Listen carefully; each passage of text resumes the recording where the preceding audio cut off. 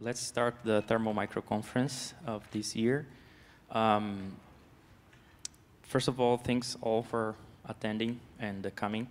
Um, just a reminder, uh, as written on the notes over there, the idea here is to have an open discussion.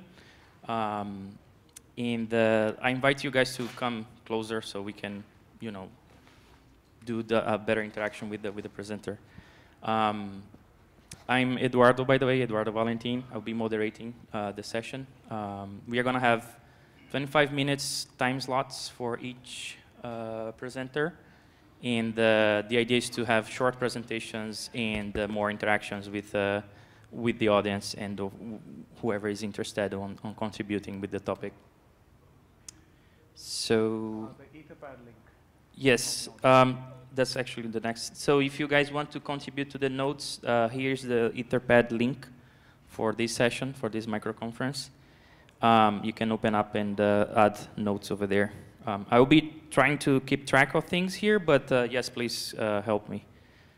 Um, so with no more delays, I will introduce Srinivas. He's going to talk about user, user space and kernel interface.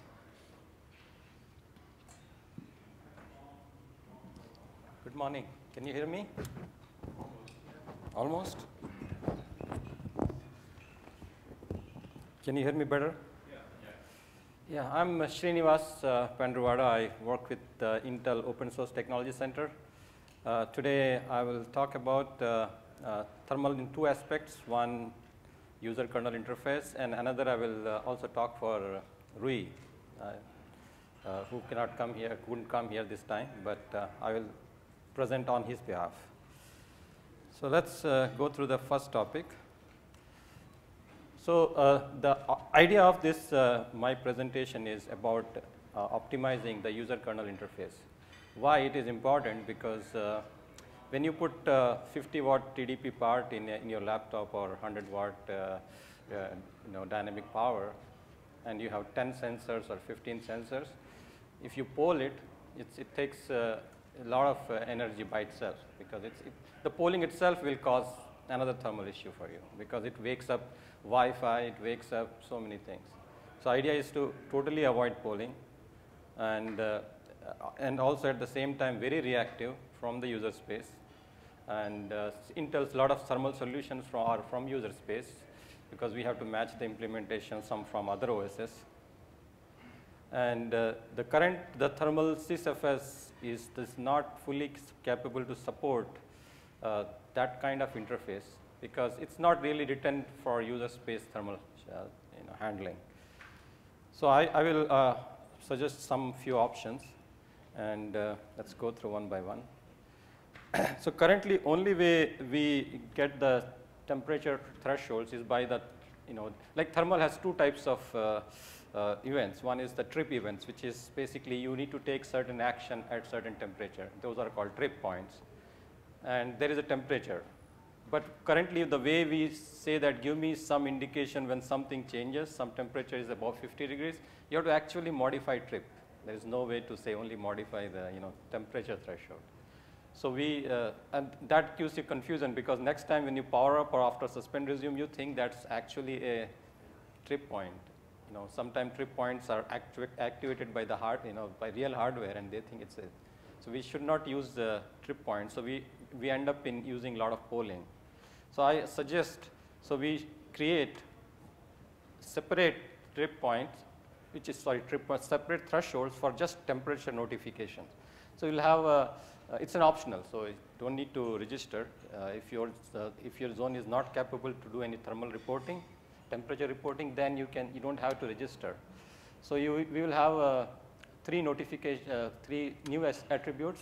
One is for high, and one is for low, and another is for hysteresis.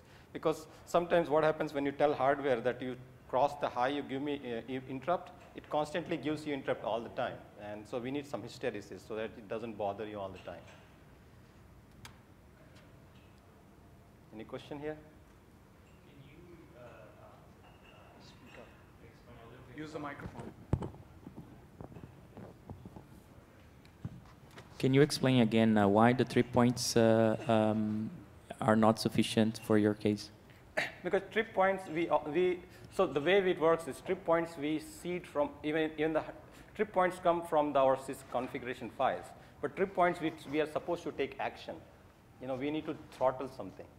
But when the temp, so, so when the, uh, when like in, in temperature, we don't need to take any action, right? We just need to, you know, tell the user, user space that, okay, there is some temperature event happened. You might need to, you know, look at the trend. It's not really for action. But trip is for action, so that's, there is a difference. And when, the hit, when we hit a trip point, we take an action. When the temperature uh, reporting, you don't take action, you just note it. You know, you may need to take action if it is really, you know, after a certain threshold. So what's the hysteresis uh, file? So, so because what happens is like if you say CPU temperature, you say you give me interrupt at, at this temperature. So what happens is the moment that hit that you know once you are in high, you always get that interrupt nonstop. So you know you need to disable it till you you know for some time so that you, up to that hysteresis. Don't give me another indication till five you know another five degrees you know up or So, so that's basically telling you what the threshold for the Yeah, hysteresis is. yeah. Okay.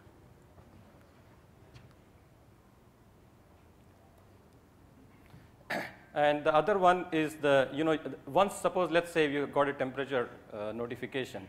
The currently, the way we notify is kobject event and when netlink, we have to put strings. Say zone equal to one and, you know, and that's, and user space we have to parse the whole big string every, you know, when we poll for S say every 200 millisecond or whatever. You need to parse the whole string, which is not really that efficient. Uh, so, so I, I suggest the for whole uh, thermal uh, zone, the whole thermal, there is one character device, so that it's not too much over, overhead. It's not per thermal zone, but it is full thermal, and which is a K FIFO based. And so from user space, you just wait on one cell at one time, and you get all the events. You don't need to parse it, just strings. Instead of that, we will have a generic structure, which will tell you which zone is triggering it, what type of notification type, and what is notification data. For example, uh, the, these are some of the notification codes which currently we, you know, we really require or we use it. Uh, so, we, so each of this notification code will have some data, and that can be custom to it based on notification code, what, what this data means. Uh, so in this way, uh, we don't need to really use uh, netlink, and we can leave that netlink for legacy purpose or slowly deprecate it. I don't know any who, anybody cares about netlink interface with uh, thermal. When we put it in, it was the latest shiny thing.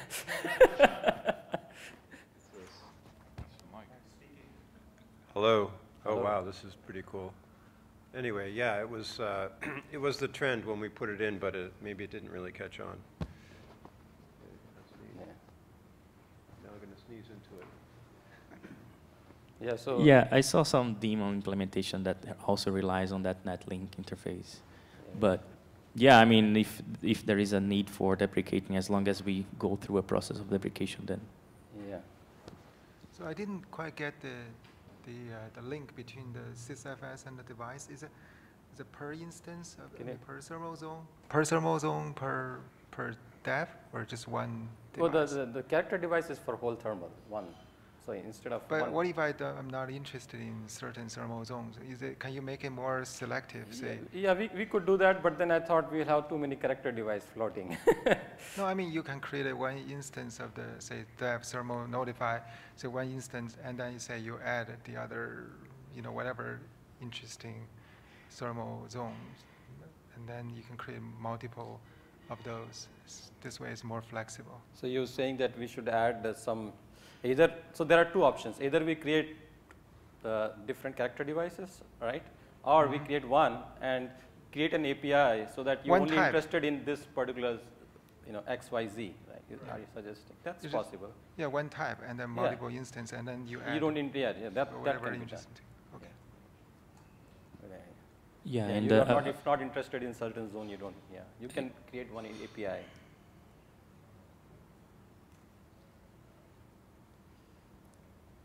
So yeah, these are, uh, these are the currently events we get sometimes, you know, a lot of uh, uh, those uh, fancy devices, the zones disappear on fly, particularly like when on, you know, you remove it or uh, you connect AC, connect DC, the new zones come and old codes disappear, particularly on those Chrome devices.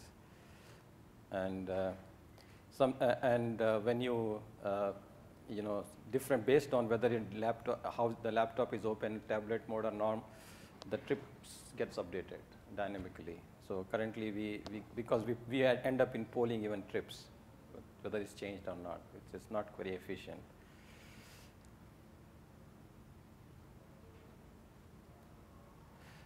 In, in addition, I, currently if you look at our thermal sysfs, there are so many attributes which nobody uses it. And nobody, it's, it's like KP, KD, KI, sustained power, you know, like it's every zone is full of 15, 20 attributes. Uh, and that's because the framework, there is no, there is nothing, there is no way to add custom. Like if I want, why do I need sustained power? I, you know, if you cannot sup supply sustained power, right? Or why all needs these uh, PID constants when we cannot even use it? So I, I, I like in like uh, like in CPUfreq uh, drivers, each of this uh, driver can add on private attributes. So I suggest that we should have the similar features like each thermal driver. If they want to add some attributes for their own, they can just add a private attribute instead of creating in the core which everybody gets it, whether you like it or not. Yeah, so that, that, that's a good point. Um, just one, one clarification. Um, there are people that use those attributes. Yes, there are, Uh. But they, they, these are from the um, um, IPA governor. Yes, yeah. The, or the power allocator from the ARM folks. Um, but I agree with you. Probably uh, we should have a private uh, setup of uh, sysfs entries that might change depending on the governor that you select Yeah. or the driver. Oh yeah, if you based, yeah, if you, if you can use it, yes, right. Si similarly, we also have uh, some, uh, uh, you know, conversion tables which we need to can download to firmware. We also have like some custom value called, you know, like instead of getting one temperature, we can get running average temperature. Uh, you know, uh, we don't expose it because, uh, you know, we need both, right? Real temperature is also important, and also the running average is important, right? So we need both of them. So, so it's, it gives us more flexibility if you allow us to add some custom attribute. You think any problem in adding custom attributes? Yeah, I mean, I think it's a good idea to, to clean that up, Yeah. the, the thermal zone sysfs entries. Yeah, it's like currently there are 20 yeah, plus on like some of the. this is my last topic is the, you know, uh, the handle critical and hot trips. Uh, am I on time track? Yeah, okay. You have Okay. So, uh, so currently what happens is this, this critical and hot trip, even if you select user space kernel, the kernel handles it. It's, you know, it has a good purpose and bad purpose. But what happens is on some platforms, when your system powers up, there is a you know, temperature, the, the, the sensors are still not stabilized, particularly cheap sensors. It goes to trip, it goes to critical and your system gets powered down. Nobody knows because you cannot even debug it because it just comes up and just dies. Uh, so I, I, I was I was always thinking wh- when if it is a user space governor is is the driver is the zone is already said that I can use user space only why to even handle those critical trips in in kernel you know it, it has good and bad sides so I wanted to have opinion on this if it is not user space, yes, should handle it. But currently only critical and hot trips are used, uh, are, are processed in kernel. There are two problems. The hot trips, we have, uh, you know, because we have to comply with some other OSs, the hot trip is handled very differently. We are not supposed to shut down. We are supposed to, uh, you know, hibernate, you know, we call, uh, you know, some, something close to freeze, not really do anything. And currently it is, uh, we just shut down. And so for that we have to put hacks on some platform where we, at the start, we, jo- you know, we don't give temperature. We let's say after one minute, let me give temperature. Um,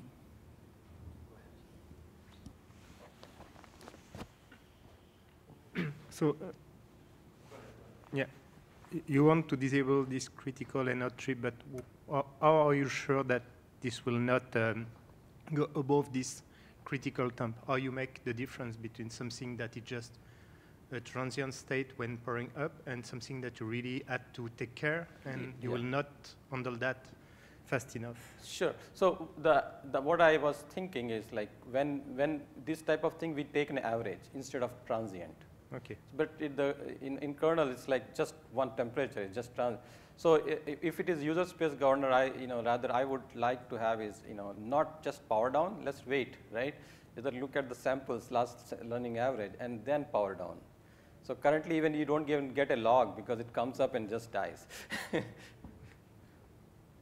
Rafael some. Oh, it is risky to Yeah, it is risky disable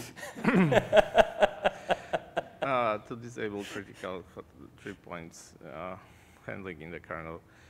Uh, for two reasons. So first of all, Can you increase the volume? Can. you you may not know that. So user space may not have the time to handle trip point, right? Yeah. This is the first problem. And the second one, the kernel doesn't even know if there is user space going to handle this in the first place. It may be registered, but it may not be running for some reason. That's correct. Yeah, that's why it is risky. so I, so, you know, the problem is that some hardware has a crit, crit, you know, the safety nets for that, and some hardware doesn't. yes. So I'm not sure if we can do it. Yeah, that's Like- that's why I, I wanted to ask because yeah, even even when we discuss internally uh, with Rui and all, we say it's not a good idea, but we have to put hacks currently, so maybe hack. But yeah, Um, but the way that you describe seems that uh, the probing of the device that's supplying the sensor is somehow broken, right? it, it, you know, it's like at that time platform powers up, you know, the temp sample sense, you know, depending on your sensor, how good they are, you know, there is a spike when you power up.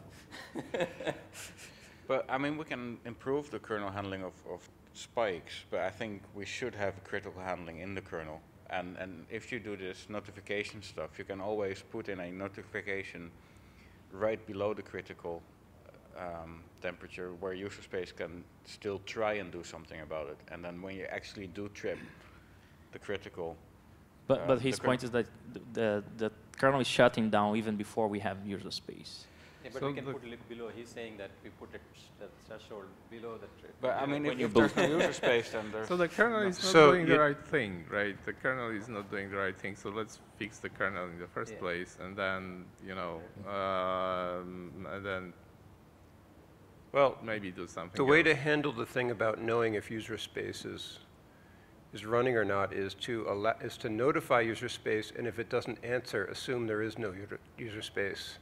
So uh, the kernel can notify user space, user space sa- can say, hey, I got this, don't shut down and do whatever it wants. But if it doesn't do anything, we can assume, okay, we have to handle it in the kernel. But that's timeout, and you might have burned the chip. We might have burned the chip by then, yeah. But, by- By the time you're maybe frying already. yeah, I mean, it's, Yeah. Well, Yeah. uh, yeah, yeah. so- Sometimes you have it, sometimes you On- don't. On our hardware there is, on not all hardware there is. But, I mean, we've all seen this where a, a- a temperature sensor goes like this and then it goes like this on the next reading, right? Yeah. Um, And that's, we- if, if that happens, a spike shuts us down, then we're, you know, the users are really unhappy with that. Yeah, I think we pro- But need we to can fix in improve kernel a the little bit. We can improve that, yeah. We have to fix, instead of just looking at temperature and the spike to shut down, let's look at, Yeah, and usually we have time, poll it one more time. Yeah, Yeah. you, you can do a small medium, uh, medium filter on it. Yeah, medium So- some filter.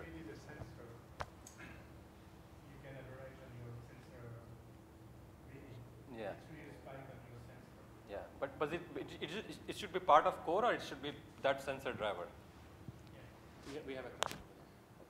I mean, you could also look at the differential, basically what happens to detect, detect a spike and sort of per sensor say, oh, this is an unreasonable jump in temperature, right? I mean, you, you wouldn't jump by like, you know, 100 Celsius in, in no time and try to, you know, on a per, per sensor level sort of work around that. I, you know. Yeah, that's, that's, So one thing that I noticed uh, a while back was we had an, an Can you speak uptick of, the- sorry, we had an uptick of reports at Red Hat on, on laptops of having these critical uh, temperature trips during boot. And I mucked around with the idea of setting the CPU frequency lower during boot. The moment the CPUs were found, dropping them into the lowest CPU frequency by writing the MSRs. And in many cases, that made these problems go away. Is our mistake here that we're booting with the CPUs at 100%? The, I, lots of those platforms want even faster boot, so this, at the power up, they want to even put higher. I, I agree with that. I agree with that. But is there, is there something where we should bring these CPUs up, drop them down, let thermal start, and then bring them back up? Uh, That's, that's can be done, but, you know, it's, it's a decision by the. There's no cure-all. There's no Yeah. cure-all. Go ahead, Rafael. So the there are different needs, right? Some people want that, some other want uh, different behavior. So I think that the way to go is to fix the kernel which Yeah. doesn't do the Okay. right thing today and maybe make it like less sensitive somewhat to the spikes or similar, right? And uh, but but I think that the kernel is the right place to, to handle critical trip points. Yeah, I, thi- I, I- I think that makes sense. So, but I, I was only thinking whether it should be done in a core or per driver. So I think core is should be fine. too, I right? think the core should be pre- at least prepared for dealing with whatever drivers Yeah. do because they they are drive you know better and worse drivers and especially on devices like Android phones. And stuff. Yeah, I mean, a couple of opinions over there. Uh, first, uh, so to answer your question, is it on core or drivers? Um, we have two problems here, right? One is uh, if you are having spikes because the sensor itself is not at the right time to be read. I think that kind of problem should be handled by the driver.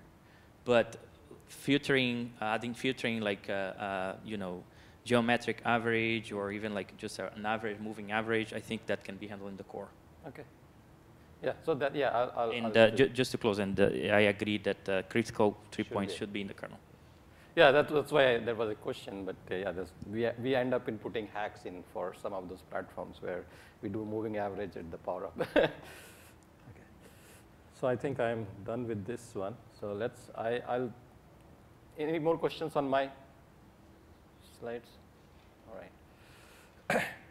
so this I'm doing on behalf of Rui. So uh, I, I think I understood what he wants to say, but if anything uh, not, we have to you know, email him. I said that, can you be on the call, but it is 1, 1 a.m. for him or?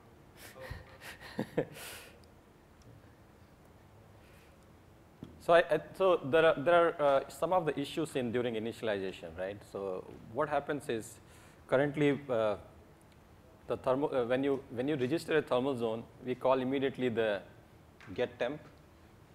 And there is a, there is a problem with that because some of those driver, uh, you know, some of those particularly looks like DT drivers uh, don't even register at that time, so they put a dummy there. and uh, the, and then uh, and and they remove that dummy probably once they I know uh, thermal chip control kind of whenever the IRQ is set up later and then enable it. Uh, I think there was uh, there were some patches uh, in the kernel to you know to fix it, but then we you know we thought you know internally we discussed and thought like you know the issue with initialization can be fixed by adding one more flag enable in the zone. And you know, currently, the, when you do device register, don't call this zone device update so that you will not have this problem. So idea is that thermal zone device register just registers the callbacks and the set up the data structure. That's all it should, it should do. And then we introduce uh, uh, another uh, you know, API which basically enables later. So if once you know that your IRQ is set up, your, uh, your device is ready, you can call enable. And uh, the current, and then and, and then you can call thermal zone device update like the way we are doing at from many many places. There is no change in that, and uh, this also like when we enable or disable thermal zones, we can use this uh, uh, new flag, TZ enable. And probably that will, uh, won't require call to any dummy, uh, you don't need to install any dummy handlers for, is that?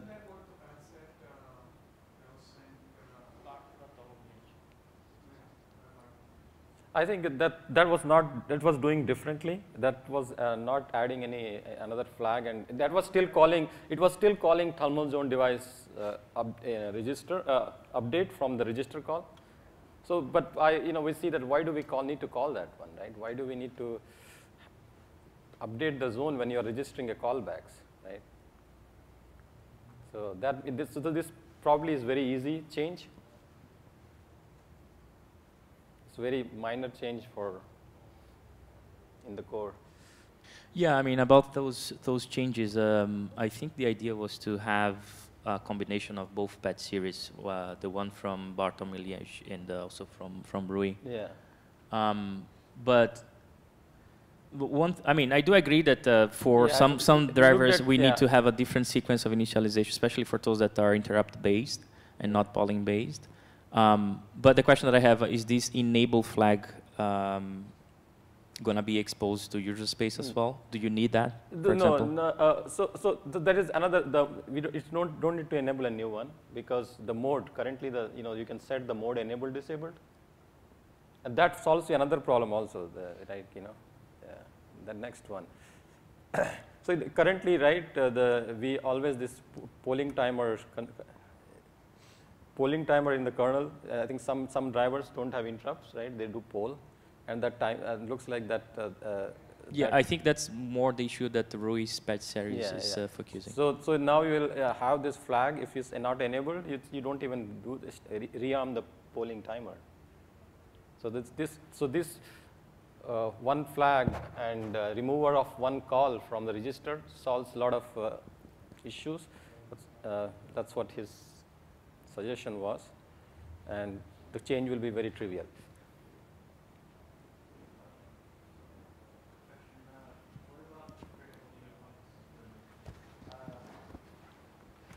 Yeah, so what about the critical trip points when you disable this, uh, when you set the mode disabled?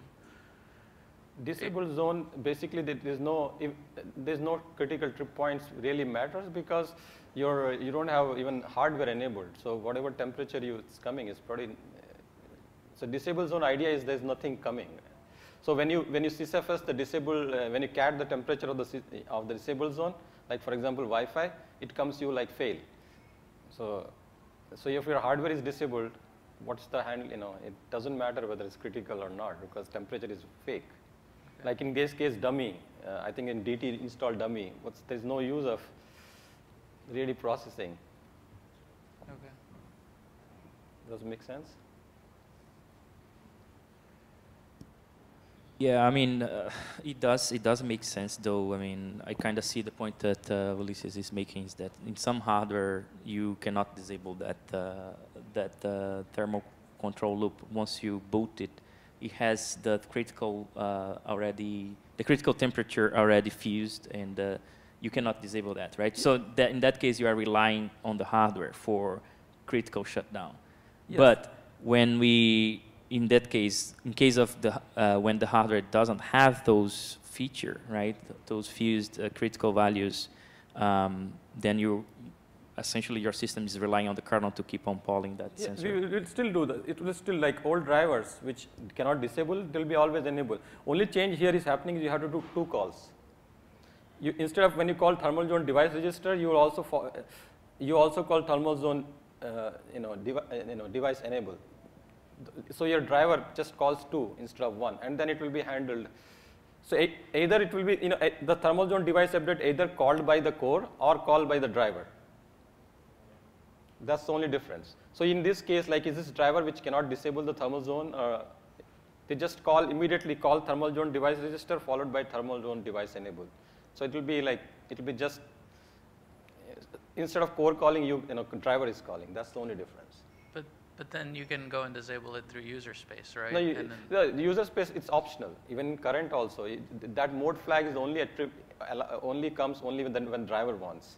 Okay. The driver which is allows you to have user space to disable the mode, there are only few drivers which does it. It's a driver's optional. You don't see, you cannot disable the zone from user space for all. There are some. Okay. So the issue that we are trying to solve is just the, the dummy polling that we keep on going, right? Yeah, and dummy polling. on- yeah, yeah, yeah. yeah, and dummy polling and like you know startups at, at, like polling timer, right? Okay, got Both. it. I mean, yeah, I mean, I do agree that there is a there is a problem of semantics here, right? When you disable the thermal core, still keeps on using that thermal Yeah. zone. So for those that want to have that difference in semantics, then I think it makes sense to to really disable it.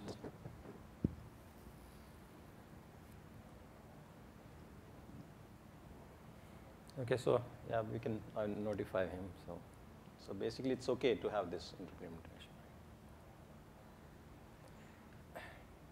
This th- this is the one which I had issue with it because currently, if, uh, lots of those, uh, like at least our is uh, in, in in Intel hardware, even if you disable the mode, like you still uh, you know temperature still comes. You know, so currently, is irrespective of the mode field, we can always get the temperature. But once we have this uh, change, that we will fail. So we um, so you, so user space always need to go and enable the zone before it can read. That's So that it- series when- can whenever, can yeah, break like, your oh, your. no, it's, yeah, it's not going to break it current one because we will enable it immediately. So you already have the code to enable it. Yeah, we have to yeah, enable it immediately in the kernel. But in future, if someone uh, wants to write, they have to be careful, right? Okay. And the other problem I have is like, you know, currently we disable, uh, we register to HWMON and the, all, the lot of people rely on those LM sensor utilities. And uh, so in future, if uh, anybody is writing it, uh, you know, like, you know, like if I, dis like the drivers which allow you to disable the th thermal zone from the mode, at expose the mode attribute to user space, once you disable that mode, the HWMON interface has to be removed too, otherwise it will be confused, right? Because that there is no temperature sensor and you are trying to get that pole from other interface. So LM sensor will be getting confused. So this, so my suggestion was to remove HWMON dynamically. You cannot, you cannot leave a a eh, attribute which doesn't work, right? So that's, that's little bit complex change maybe to, to remove on fly. Yeah, I have a question actually, um, and it's for both uh, presentations. Um, for um, this uh, mode uh, issue, I know that we have two patch series, one from Rui, another one from uh. Um, how about for your previous presentation? Did you have any patch series no, for that not yet. No. No. Okay. Are you planning when? Yeah, you planning? yeah, it's very simple. My changes are simple. So it's, I can send within. I mean, the, last the, time the reason I didn't send patches because last time we, you know, we I made a lot of patch series and it looks like finally it didn't get merged. Uh, yeah, I mean, your Yeah. your character device was Yeah, yeah, posted, right? yeah. Did Rui merge that? no, no, yeah, because it didn't. Merge. So I wanted to make sure that it's agreed before I, you know, start working on it. Yeah.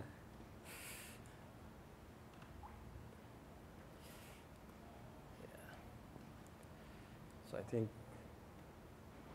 no more questions, I think I'm done. Faster than my allotted time slot. Um, also, for this hardware more interaction on this previous comment that you made, uh, I didn't see any any change in that direction. Uh, so is this like yeah, I think we need to. Yeah, he, he's going to make a change. Yeah, that's important. Otherwise, it'll be confused.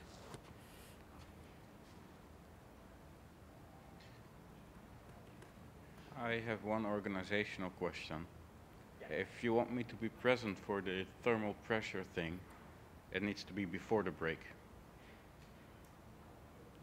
Uh, we can switch. I'm not sure if Tharas is there.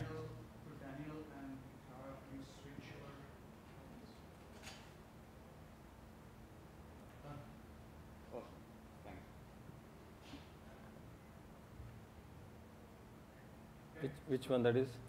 Yeah, I'm done. Any more questions for Srinivas? Okay. Thank. So now we have Amit with uh, use case or different use case for thermal.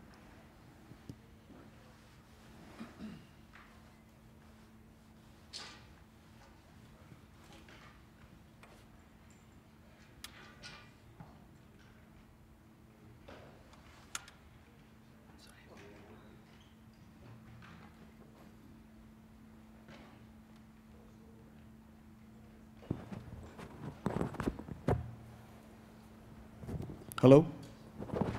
It's loud enough? Thank you.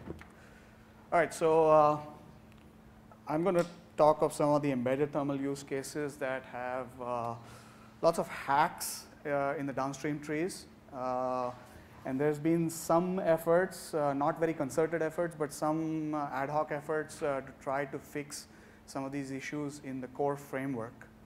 Um, and to set the scene, set the stage for this, uh, that's your typical SOC with uh, two clusters, uh, four cores each. There's a GPU, and then there's some peripherals off off to the side, uh, battery, display, modem, camera. Um, the colors are roughly where the hotspots are. So red means that's where you see hotspots, and then, then there's the ambient across the die and uh, whatnot across the system. So that's slightly less, less hot. So that's the scene for what, what your typical SOC looks like. And what we're seeing is that there's platforms there that have many, many, many thermal sensors now. Uh, the reason is they want to capture hotspots very quickly. Um, we're seeing uh, platforms where you have a 30 to 40 degree temperature rise within 10 milliseconds or less. Um, so I'm working on, uh, on a SOC which has uh, like 22 thermal sensors all across the SOC. And even within, within a cluster, uh, you're seeing uh, differences of 5 to 10 degrees on the hot uh, CPU versus the rest of the cluster, the ambient temperature of the cluster. Um, so we are trying to capture uh, those as quickly as possible. Now, when you apply, try to apply mitigation, whether it's CPUfreq or, or something else, um, it usually, uh, on, on, a lot of platforms, it actually applies uh, to an aggregate. So when you, when you do DVFS, uh, you probably uh, there's a single uh, voltage domain to the entire cluster. So you're actually uh, capping the frequency of all the cores in that cluster, possibly. So it would be nice to have some sort of uh, aggregation uh, available. Currently, uh, the way uh, the thermal framework is um, structured, you, you have a thermal zone per sensor. And some, there's no, there's no facilities for aggregating some of these values, so you can have like a cluster-wide, other, than, other than having uh, another sensor to, uh, at the right location on the die. Um, so what I'm expressing is a need for some sort of aggregation features uh, in the framework itself. Um, to take a practical example of uh, the example I showed, where an octa-core CPU with eight sensors, one on each of the CPUs. Um, I mean, right now the only option uh, today is it's literally one thermal zone per sensor. But then you don't get the ambient temperature uh, on the cluster, across the SOC, on other peripherals and whatnot. It's just hotspot. You're just capturing the hotspots. You don't know what the overall trends are. Uh, across, across the die. Um, I mean, option two. Uh, just, just one interruption. In yeah. That's actually a cross uh, question. Uh, Sh uh, Srinivas, on your use uh, user space based demo, do you have this kind of uh, yeah, so need we as well? We have virtual sensor. Right. So basically, like when you have ambient, like CPU temperature sorry, the CPU temperatures and ambient temperature need to be correlated. Otherwise, they, you know, it doesn't work, right? Yeah. So we have a, so basically we have a formula, which is a co, you know, so it's a coefficient. Coefficient. You have the coefficient. Yeah, it's a coefficient. Yeah, that's option two. So you, yeah. you have a coefficients to create a linear equation. Yeah, we do that in user space, yes. Okay. All right. So technically, uh, option two isn't even possible because we need to fix uh, uh, where we can actually have multiple sensors within a zone. We need to fix that part of the core code. Uh, but that's fixable. So we, we could do that. But again, then we lose all the hot spots. We only get the ambient temperature if we put all these uh, sensors into, uh, uh so let's say one per cluster, um, one thermal zone per cluster, but then you lose all the hot spots. So how do you, how do you get both? Uh, the hotspots on each of the CPUs and the ambient temperature. Because we have enough sensors, it's just, uh, Yeah, I mean, the way that I have seen people solving that kind of problem is uh, you, you essentially have different virtual sensors. So, and then you do a linear regression for extrapolating the hotspot based on, I don't know, maybe three or maybe all your sensors or only two. And you have another virtual sensor that does another equation to extrapolate your, your surface or your ambient, what you're calling. So you're basically pushing that problem down to user space at that point. I mean, Yeah, but Uh, the- no, I mean- the core framework could, N- could oh, do some of that. No, I'm, I'm not pushing anywhere. I'm just saying the way that uh, mechanical engineers are doing that is Okay. by creating correlation between sensors to extrapolate hotspots and to extrapolate ambient temperature. I mean, where you are implement that, if it's in user space or kernel space, of course, that's so, debatable. so yeah, if you want to do in kernel space, then you have to spec spec separate zones and sensors, right? And in each of this sensor, then you need to, in the zone, there is no temperature indication in the zone. I was thinking about that, but that may break a lot of existing, uh, you know, mechanism. But then you have sensors registered to zone, and then you have a, in, then you have an equation or some, you know, which basically, uh, there are two ways to do it. Then you have groups of sensors come up with a virtual sensor and register a zone, right? Or all the register a zone and zone has some formula which tells you that, you know, a complex, uh, you know, quadratic, some equation that it tells you that uh, correlated basically, right? Yeah, I mean, actually, I'm going to talk about that, that subject, Yeah. but um, um, I would prefer to not make things overly complicated and uh, messing, as you said, I mean, messing around with the, with the thermal zone code, um, I think it's going to be a little bit too disruptive. We could just have a virtual everybody sensor depends driver. on that. It's Yeah. like so hard coded. now. Yeah. I mean, uh, the idea would be just to have another thermal driver that it's essentially implementing a virtual sensor, and th- where you could add and remove zones on it, right?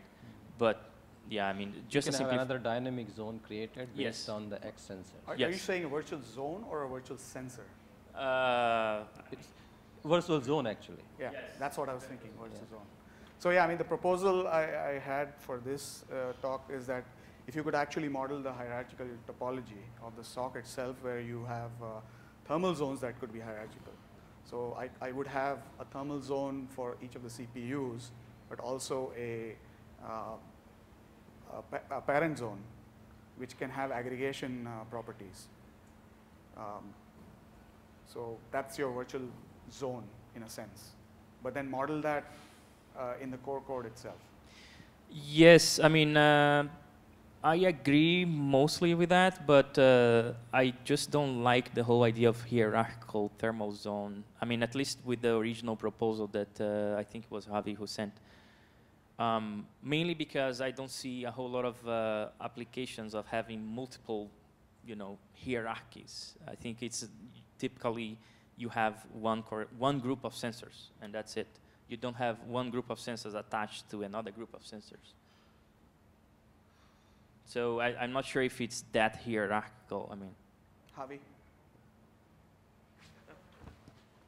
or Javi's here. So I th- uh, I, the the benefit or uh, is what what he has in the slide the the ability to have different policies for the different sensors. Like I understand why you would want one for each CPU because you would uh, you could take uh, you know intelligent decisions uh, towards scheduling and things like that. But then you also want one for the whole cluster. S- I, I, I do So one of the things is yeah. we want to be able to use different governors at, at those different hierarch- hierarchical levels. So there's the long-term trend for the, for the virtual zone that you're saying, and then there's the hotspots that have a different governor, uh, which are a lot more reactive. In. Um, I mean, uh, if you think of this problem um, from, let's say, a filter kind of setup, right? Do you? Uh, the question that I make for you guys is the, the, the question that I have is: Do you want to have, once again, you want to have one filter on top of the other? Meaning, you do an average of say three sensors, and then you use that average as input to another set of average. Do you want to do that? And what use case you're going to well, do you that? use that as, a, as an input to another governor, which is sort of take, tracking the long-term trends, saying uh, the die itself. I mean, uh, in, in our case, uh, uh, in the big.LITTLE case, uh, we're, we're talking about maybe uh, doing more intelligent scheduling, for example, something that Thara might uh, address, or idle injection, or something else. um, based on what's going on in that virtual zone. Okay, we, we have. I agree with, with, with this hier- hierarchical thermal zone. You can use different cooling device. At the cluster level, you can Yeah. cap all the frequency, but you can also use idle injection per CPU, and you can use, I don't know, something else. The point is that you can select which cooling effect you want, instead of trying to, let's say, um, magically discover what should be the best. Yeah, I mean, um, so I see your point. It's just that uh, I, I would, the way that I'm seeing the, the, the issue and also the way that I'm seeing the solution is slightly different than what you guys are telling me. I mean, if we have, for example, as I said, a thermal driver that exposes a virtual sensor, you can have multiple virtual sensors. Doesn't mean that they need to be one dependent of the other, right? You can still have a set of sensors that are describing, for example, the case temperature or another set of sensors that is describing, for example, a hotspot on the SoC, uh, and still attach cooling devices and uh, different governors on these two virtual sensors because they, I mean, I'm saying virtual sensor, but in fact it's ther- virtual thermal zone. And then, and then you can, you know, do uh, these two separate and have different policies per, per zone or per virtual zone. The only need that I'm missing here is to have these sensors dependent of the other. I mean, I would need to see what, what data points you guys have to really have, a, a, for example, a moving average as input of another moving average. Right, Or, and- or a moving average as input of a maximum aggregation, for example. I, I, I need to see what's the use case you guys are looking at. Will the higher part of the hierarchy always be the maximum of the lower part? Or some other combination? I, I think we'd be interested in uh, the average as well as the max. So the average sort of tells us what the trend is in, in a sense. I mean, are we constantly uh, going up? And uh, you might be able to work around with scheduling uh, tricks to sort of mitigate some of that away from the rising trend. So when you do hierarchical, you, you, you are limited still by the relationship, right? Because, you know, like, w- you want to still get the max and average of the lower one to the higher one. It may be complex, right? Like, you know, there's two, two individual two sensors, and one your ha- top hierarchy. Yeah. So what, so basically you need to have some way to relate the same max of this and average of this. Or add. So when you do Right. hierarchy, you need to have still relationship with downstream. Yes. And that relationship can be com- complex that you cannot solve with hierarchy. That can be a, a graph, you know. Yeah, I mean, the, the original proposal from Javi was a graph. And that's why I'm saying, is this, I think that looks a little bit overcomplicated for the cases that we want to solve. So, so the properties of the thermal framework that we are really interested in is uh, the ability to have um, different governors at, at different levels.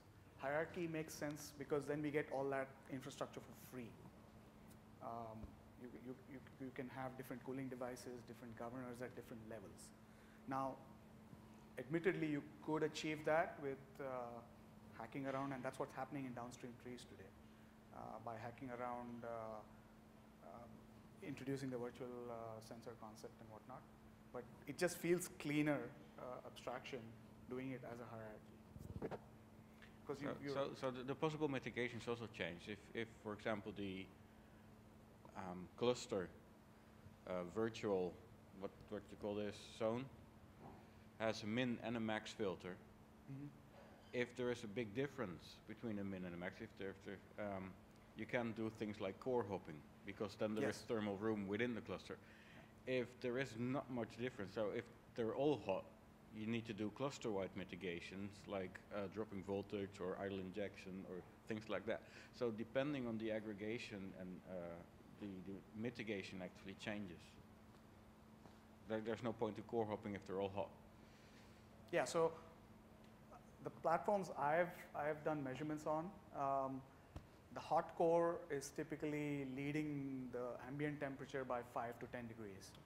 If, if there's like a CPU bound process on one of the uh, cores, it's, it's 5 to 10 degrees ahead of the ambient temperature. And then eventually, yes, uh, the ambient temperature will catch up if this continues. Um, on other platforms, we've seen that the difference isn't as much, like on the high key. Yeah, it's, it's there. So it, it's really SOC dependent at that point. Sure, but you can, but you can express that with the with the hierarchical stuff. Yeah. Um, Otherwise, you can't. And the, the other advantage is that if you, the, with the hierarchical description, is that if you start to apply mitigation at one level, at the parent level, you can be aware of that. Otherwise, if you have two independent, both thermal zones can apply some mitigation at the same time. we, you will just over mitigate. I mean, you can have some idle injection on the core, and then at the um, cluster level, you can also start to decrease the frequency, whereas maybe only the idle injection was enough. With the hierarchical, you can be aware of what is already applied. So there are some more crazy things that are done uh, downstream. Uh, but let's start with the. Yeah, we, we can move the hierarchical versus linear to, mo- to the so, other section. uh, the obligatory Game of Thrones uh, quote, winter is coming. So we also have requirements where you want to be able to uh, uh, run at very low temperatures, negative temperatures. And so uh, at the moment, uh, we only talk about high trip points. We only talk about 60 Right. degrees, 80 degrees, 90. Right. Um, so we want to be able to run at minus 30 degrees. I mean, it could be aircraft at 30,000 feet, or it could be uh, Canada, not Canada. So I don't know. Uh, and uh, there are actually hacks in place uh, in downstream trees where you actually have a, a regulator cooling device, which is actually a heating device, which, which sets the, uh, the threshold of the, the voltage threshold to keep the SOC warm enough. Wow. So you, your phone actually works. So, uh, I mean, So what ambient temperature we are talking here? Minus 40 C? um, again, that's SOC dependent. Uh, uh, but uh, I'm, I'm guessing that uh, anything below, uh, I'm guessing minus 10, that's when things start to get interesting. You want to. But uh, what, what are the limitations on the framework that you cannot do this? or, Um, or you are, your proposal is to have the regulator cooling devices, So uh, I, I or actually heating device. Yeah, so I pr- actually proposed to send the, clean up the regulator cooling device. It's currently very uh, SOC specific. I want to clean it up and make it a generic one. Um, but then um, one way they handle that downstream is by allowing multiple governors to, to be associated uh, to a thermal zone. So one that takes care of the low temperatures, the other that takes care of the high temperatures.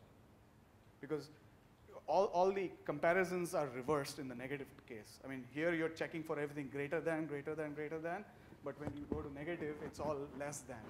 So they essentially have a different governor to just do that. Um, I was thinking maybe a range-based governor, so we actually enhance our governor to talk in terms of temperature ranges. So you could have uh, uh, like lower one, lower two, and upper one, upper two, upper three. So you actually think in terms of ranges at the governor level. It sounds more elegant, but uh, I don't know what, what our feelings on that are. Um, my feelings is that definitely we need a new governor for this kind of setup. Um, No, so if it's gonna be you have a one that's governor- generate, If you have a new governor, like a completely different, like a uh, heating governor, uh, for lack of a better word, uh, then then how do I deal with the case where I want to be able to associate that when you are above zero, then you want to Yeah. switch to the other governor. Yeah. Yeah, no, what I meant is like we need a new policy to handle this case, right? I mean, if it's going to be part of the existing ones or if it's going to be a new one, um, that's, I think we need to see the code at this But point. Is, this, is the describe the- regulator cooling device the only, the only uh, There's a bunch of other action that you do No, or there's other things. I mean, you even uh, shutdowns? You even cap the minimum frequency. You actually run slightly. Uh, Right. Yeah, so you can do all kinds of things. Everything that you, it's everything that you do opposite of saving power. It's like Reflection, yeah. burning power. Yeah. Do you have inject power? Uh, how do you describe the governors? Um, Sorry? Which, how do you describe these governors to be able to, to, to, to mitigate, to warm or uh, cool the, the SOC at boot time, for example? because we were talking about uh, hierarchical thermal zone and saying that we should we could have different governors, but how would you describe that to to have them available at boot time, for example? For boot time? Yeah. Yeah, that's a separate Or for any for, for any use case, right? I mean, that's back to the hierarchical approach. I mean, So- how how does hierarchical is gonna play a difference here when you combine those, right? It doesn't. So right now, because we only allow one governor per zone, uh, there's no way to actually deal with both those cases in a single in a single way. And uh, since the patch that I proposed to, uh, to allow us to specify the governor in device tree, so I can actually have the right one at boot time, that was rejected uh, because device tree doesn't want. Uh, device tree is only about hardware description. It's not about policy. So um, I like CPUfreq and CPU idle. So that, I mean, that's another bunch of hacks they have downstream because they want to be able to boot with the right governors. Otherwise, they might they're going to heat up very quickly. Um, it's the it's the boot fast uh, use case. They want to boot as fast as possible at the highest frequency, but then they hit thermal issues. So yeah, I mean, th- this is another one. Um, uh, what, what do you think about the range-based governors? I mean, is that something we should actually have a look at, or should we just add a new governor and then somehow hack our way through? No. Right now, they, they have a separate governor to deal with cool uh, heating, and uh, and they have hacked the framework to allow multiple governors. So they have, have multiple governors associated. I think that's the whole idea. Yeah. Yeah. They use that as well. Yeah, but the comparisons are all reversed, right? Yeah. So you can't use the existing stepwise to. Like when, when, the, when you go to the others, others, you know, the condition, Yeah. you can keep the same governor, just change the min state. Like when it's less than zero, change the min state to whatever, instead of zero to 10, 5 to 10 or something. Then you'll always be forced to 5, right? No, I'm, I mean, yeah, I see your point, but I think the idea is like inside the governor, the comparisons are all reversed. So you're gonna request at the wrong time. But at least your flow will be set, right? And if you just change the min state, the current governor should work as is, right? I don't see how. Maybe we should talk offline because I have, I have one more uh, slide to get through.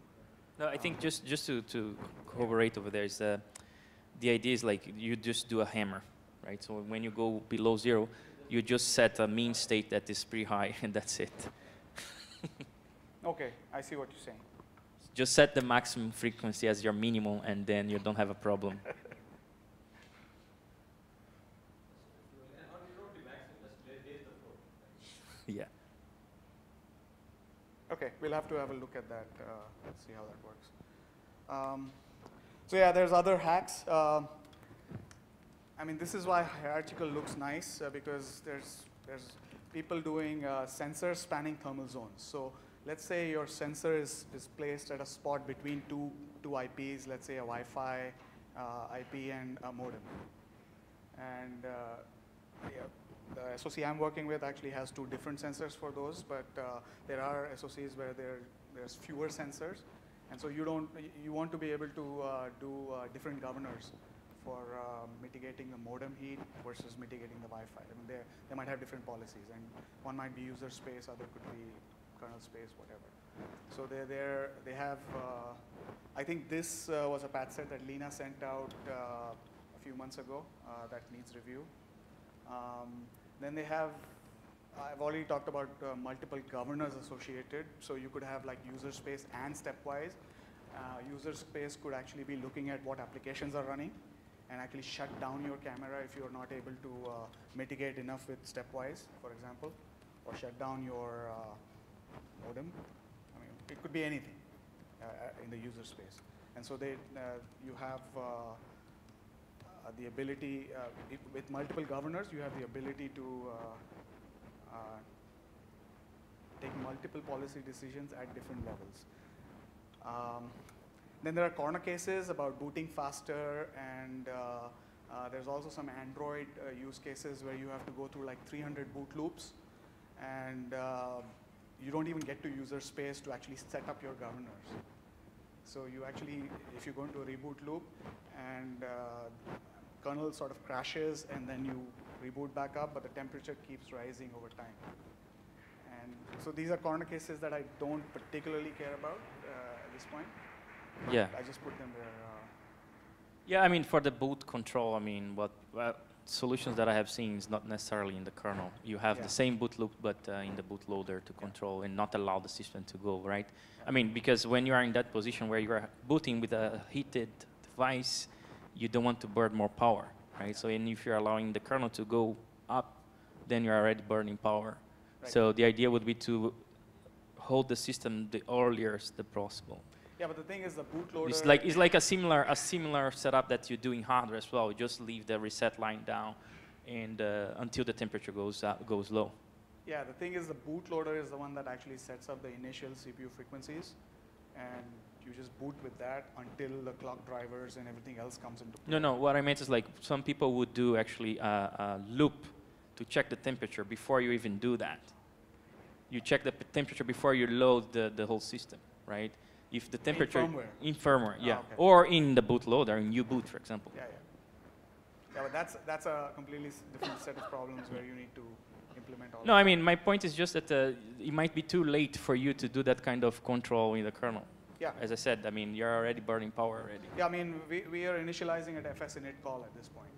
Yeah. And uh, some of the CPUfreq drivers don't even uh, get initialized until late init call. Yeah. So, uh, yeah. So that's the catastrophic case, right? Where you're too hot to boot. But I think probably a common goal would be you want the best boot performance that thermals will allow you to have, right? And so it does seem like there is a special case where we want to optimize boot performance within thermal constraints before the real thermal system is set up, right? That's really a special, that's a special area that needs to be to handle, handled specially. Uh, did you say that uh, uh, Lina sent a patch series for this? Uh, for the first one, the sensor spanning multiple thermal zones. Oh, okay. Do you guys have a patch series for the boot performance? Yes. Is it out? Well, it was it was mostly about trying to move around how uh, how early we initialize uh, thermal uh, the thermal core. But is it in the mailing list? No. Okay. So I uh, I can clean it up and send it out. Yes. So the original definition of a thermal zone is that it is a temperature. A thermal zone is a thermometer. It may have other things associated with it. It may be associated with a device, or it may be associated with a number of devices, and those devices could be associated with many thermal zones. But there wasn't a concept of a temperature with more than one temperature, right? A thermometer is a thermometer, and a thermal zone is a temperature. So I'm, I think we're sort of diluting the, the, the wording that we're using here, right? It's getting a little bit confusing. A thermal zone and a thermometer are the same thing, right? Then you have devices, and the device may have multiple th thermometers on it, or it may be sharing them with other devices, but it's not the other way around, conceptually. At least it didn't used to be, and if it becomes that way, I think this is going to start to get really confusing. Yeah, so I, I agree with you, um, but I think the idea is to. Um, so, I mean, first of all, I do agree that we are stretching the concept, right? Because, yes, there used to be a one to one relation between thermometers and uh, uh, the zone itself. But I think the idea now is to represent a temperature at a specific spot, especially for the cases where, for example, a mechanical engineer wants to characterize how your phone, you know, what's the hottest spot on your phone. And uh, because of, you know, lack of sensors to be really placed on the specific spot, then people do a correlation between what you have available right. of, sensor, And and of uh, that's- and- thermometers. And that's what a vir- a virtual sensor is all about. Yes. Right. Yeah. So you can imply the temperature in that corner where you don't have a sensor is the following based on knowledge of its surrounding sensors and what's there. Yeah, and the same the same idea actually apply. I mean, the same technique applies when you want to extrapolate hotspots within your SoC as well, because many times because of the SoC floor planning, you know, when you are you know uh, uh, printing that SoC, you don't have enough space to put uh, uh, thermometers all over the place, right? So, and that's why uh, many, in many of these policies, what people do is, okay, um, I can use three of the 20 sensors that I have to extrapolate a specific spot, right? And uh, it's, it's this, uh, pretty much the same technique that is done, but to extrapolate the hotspots on top of the SOC, but not on the case. And the, I mean, the, the very typical two cases that I know is exactly these two. I mean, you want to extrapolate the hotspots that are moving or that you have on different uh, workloads on your SSC, and also when you are when you have different workloads on your, you know, mobile device. Let's put it this way, on the case of your mobile device, and that's where the virtual sensor comes into picture. So I mean, there's two ends of the spectrum there. I mean, there's people who have uh, fewer sensors, fewer thermometers, uh, and they they need to uh, find out what's the hotspot. And then there's SOCs where there's lots of sensors, but you also need to know what's going on in other parts of the SOC. Uh, Yeah, you might uh, have a yeah. hotspot. You, you locate the hotspot very quickly. and You know exactly if it's the CPU or the GPU or the modem. But then you, you want the other side of the equation. What's the overall trend uh, across the die? And then you could do other things, uh, other governors, other policies uh, for the longer term trends. That's, so it's two ends of the spectrum there. So yeah, I mean, in, in, in summary, uh, obviously the ultimate goal is to avoid throttling as long as possible. Uh, if we can do uh, intelligent task placement, we can do idle injection. A power allocator uh, helps uh, quite a bit uh, to avoid those sawtooth uh, curves bouncing around uh, um, So does idle injection as well. Yeah, it does. Um, but uh, uh, one of the requirements that we are seeing is that we need more flexible uh, sensor and thermal zone uh, topology.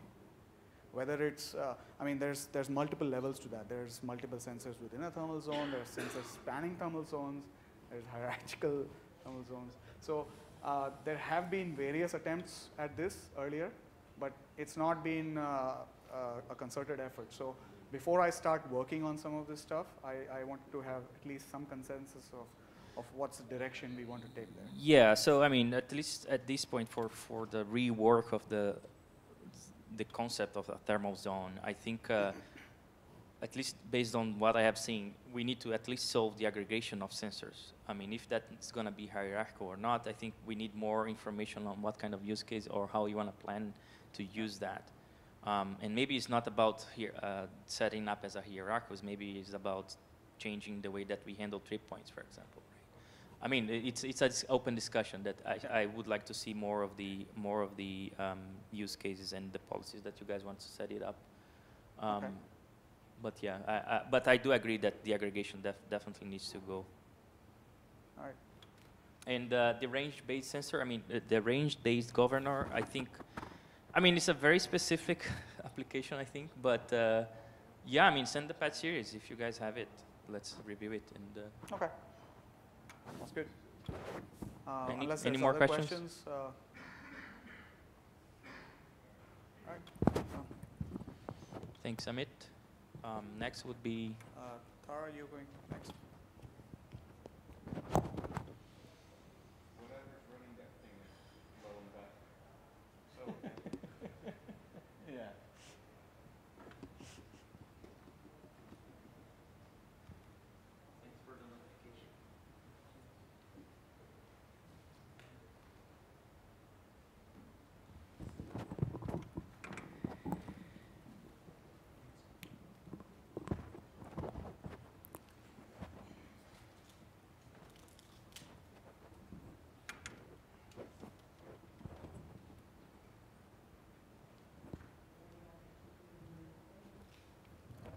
Hello, can you hear me? Okay. Louder? Yeah, okay. What's that?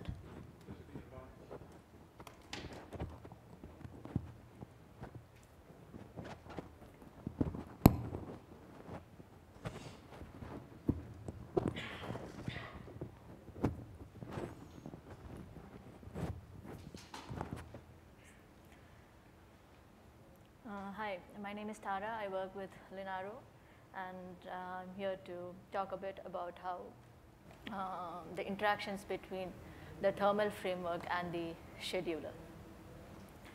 to give a background, uh, today in the kernel, a cooling device can restrict the maximum frequency of a cluster or a CPU um, in response to thermal events to mitigate the, the, thermal events, which means that the maximum frequency available for a CPU is clipped, which in turn means that the maximum, from a scheduler point of view, the maximum capacity available for that CPU is kind of capped. Um, and in today's framework, there is no way the scheduler knows that the capacity is capped. The thermal framework goes ahead and caps the maximum frequency, but the scheduler framework thinks that all the capacity is available for the CPU to schedule tasks on. And um, so thermal pressure is the term that describes the delta between the maximum possible capacity of a CPU and the maximum available capacity of a CPU due to a thermal event or it can be due to any event, but it's basically the delta between the capacities. Um, so a couple of things here. So one is there is, like I mentioned, there is no mechanism to update the thermal pressure from the thermal framework uh, to the scheduler. And other thing is to reuse some of the scheduler uh, mechanisms that are available today to track the capacities in order to track this particular thermal pressure. Uh, for uh, initial prototype, there was a patch set sent out as RFC to the um, list. I guess there were a lot of discussions on it. And uh, to, before I may move on to the issue, I would like to show the results that prompted uh, to send out these patches. So this is on a HiKey 960 with the mainline kernel when I sent the patch out uh, a month ago. Uh, running AO bench, which is a test suite, which is which is a test part of Phoronix test suite, um, and I observed a um, difference of around 12% at uh, performance improvement of around 12% on HiKey 960. And then there were there, there are a few tests that has run on Android on HiKey 960 again, uh, but these tests are not run with the patch set that has been sent out to the mainline. There is a slight difference in the solution implemented. The idea is the same, but then there is a slight difference, and um, there is an observable performance difference between uh, having such a thermal pressure applied at the scheduler level versus not having it. Um, just one question. Do, do you think this is because you observed capacity inversions, and then with your patch set, the scheduler was able to leverage the, the little CPUs and to see that they are actually more capable than the big ones? Ah. Uh, how, how, do you explain the results? I guess my, that's my question. Okay, so the idea is that when the capacity of when the CPU knows it has a, a lower available capacity, the tasks are better placed, tasks are better spread out, tasks are better placed, tasks are not tried to be cramped into one CPU, whereas it tries to spread it out a little bit. Another thing is, yes, there some of these tests do does have a inversion, but not all of them, if I remember correctly. Yes, not not all. Especially the AO bench does not have a uh, frequency inversion. Which one?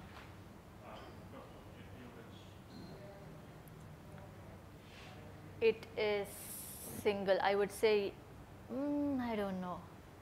I don't think it is single threaded, but it is not, it is not eight threads or anything like that. It is more like two or three threads, is what I, if I remember correctly, yes.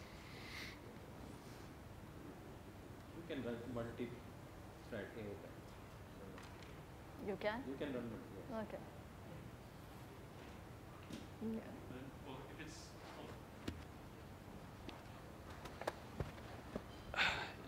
if it is single-threaded, the only way you can get a better score is by being on CPU that has the highest capacity. Right? Yes. So, so, that will be yes, in that case, yeah. the way you can do better by, is by yeah, placing I, I don't think there's a single-threaded, yeah. So there is, so I, as part of posting this out and um, I, I, I, I'm preparing a second patch set, so I'm trying to kind of uh, run a few rt-app simple scenarios where I have, I know, I have more control on the tests where I know that, okay, it is probably four threads or five threads and which CPU it is scheduled on and stuff like that to see the uh, task placements better with and without the patch series. So the maximum maximum gain you will get in the single threaded performance, right? Are you, what is the aim is to improve the single threaded performance? Uh, Workloads or is it like, what's the aim of this series? Is it, now when all cores are busy, there's nothing you can do about it, right? Uh, yes, when all, no, so wh- what, what do you mean when? all- Yeah, like if you, you're, you're trying to solve the single threaded performance use, ca- what are the use cases you're trying to solve? Uh, It's not single thread because if it's a single thread and it's always running, I don't think you will see much of a performance difference there. It is in a busy CPU with multiple threads, how tasks are placed optimally. It, it's on a big little system, so you have yeah. different capacity between CPU. Yeah. And at some point, the CPU with higher capacity are reducing. So if you're still putting a lot of CPU on this big core, which are capped, the, the, the task will run slower. So the goal is to say, okay, the big core are mitigated, so you don't have this original capacity available, but a lower one. So you may, might want to balance more tasks on other CPU, which are less mitigated. So, so how, how do you, how do you know, uh, like, interactivity? Of, do, you, do you specify from user space what is the really need for that? Sorry? How do you know what, which tasks are more important than others? We let the load balance to do the stuff. How does the uh, thermal pressuring work? Is it on cluster level or on per CPU level? Like for instance, if you have a thermal, if you have thermal pressuring, do you cap the capacity of all little or all big core, cores, or is it like individual per core? On HiKey 960, uh, On HiKey 960, it is at a cluster level because there's no other way you can do it. On a HiKey 960, the mitigation is at cluster level, which means And the the capacities are capped at the cluster level. It's so not at CPU that means level. there's only one policy. If there's a thermal event, you cap the capacity of the big CPUs. In case, in case of a thermal event, I cap the capacity of the CPU for which there is a thermal event. Let's put it that way. Okay, so you have both, like Yes. for little and for. Yes. Okay. So one question that I have there is like usually when there is a thermal event and we send this to a cooling device, um, to a CPUfreq cooling device, um, the CPU frequency policy should be updated. Uh, why we have a missing link here? So the CPU frequency policy is updated, but that is Right. again at the CPU frequency level. That doesn't mitigate to scheduler, right? Because the I think the question is uh, why is CPUfreq not informing the scheduler that the capacity changed? Right.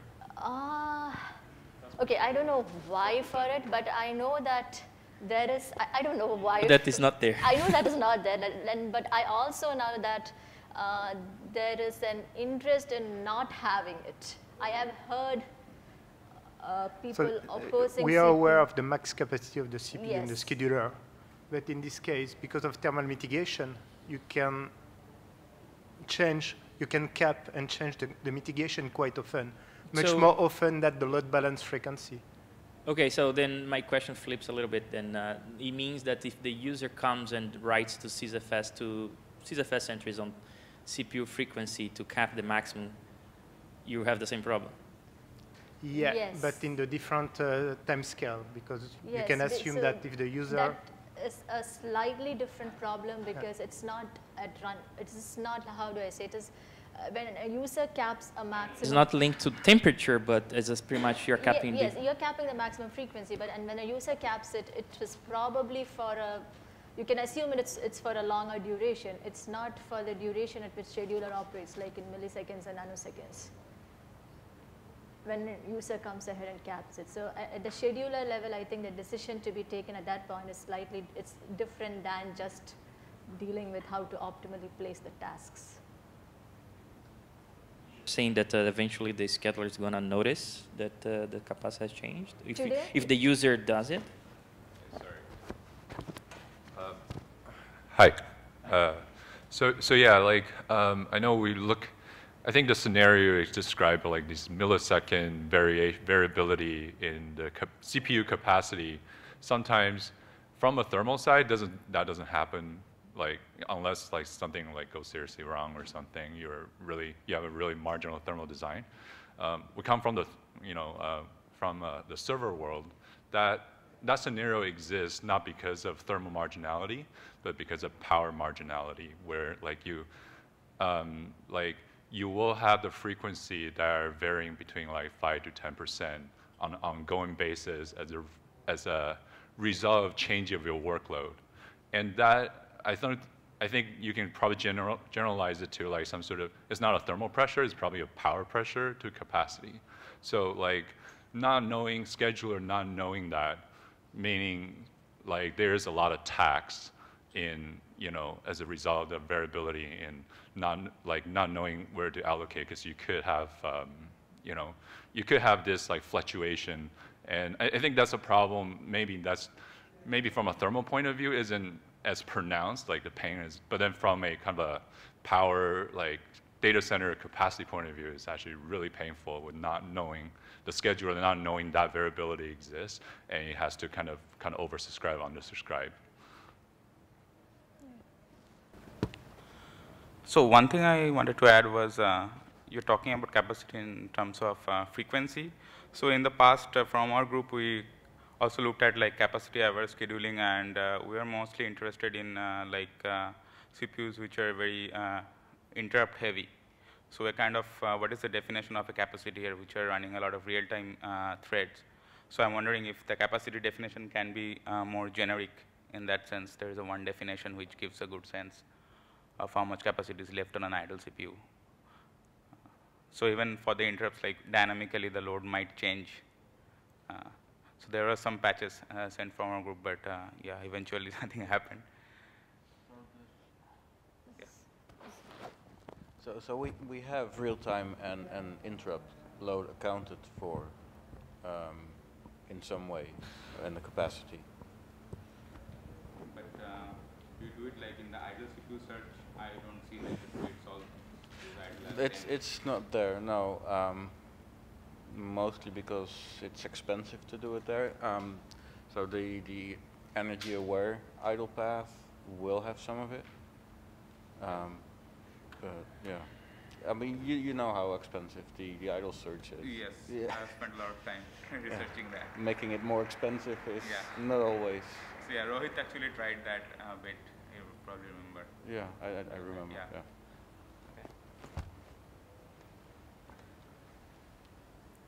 Okay, so moving on. Mm, okay, there were a couple of issues we talked about when the patch set was sent out to the mailing list.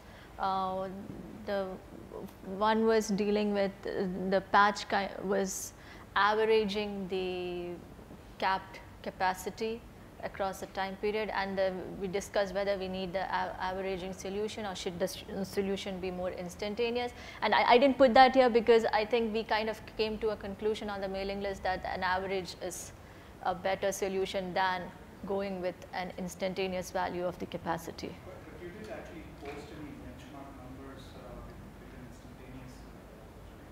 I did not because uh, the tests were, the instantaneous tests were run again on Android and there was nothing observable. But I, I can post the result. I do have some in an Excel file, but yeah, I can post it. But there was nothing observable to mm, mail that across.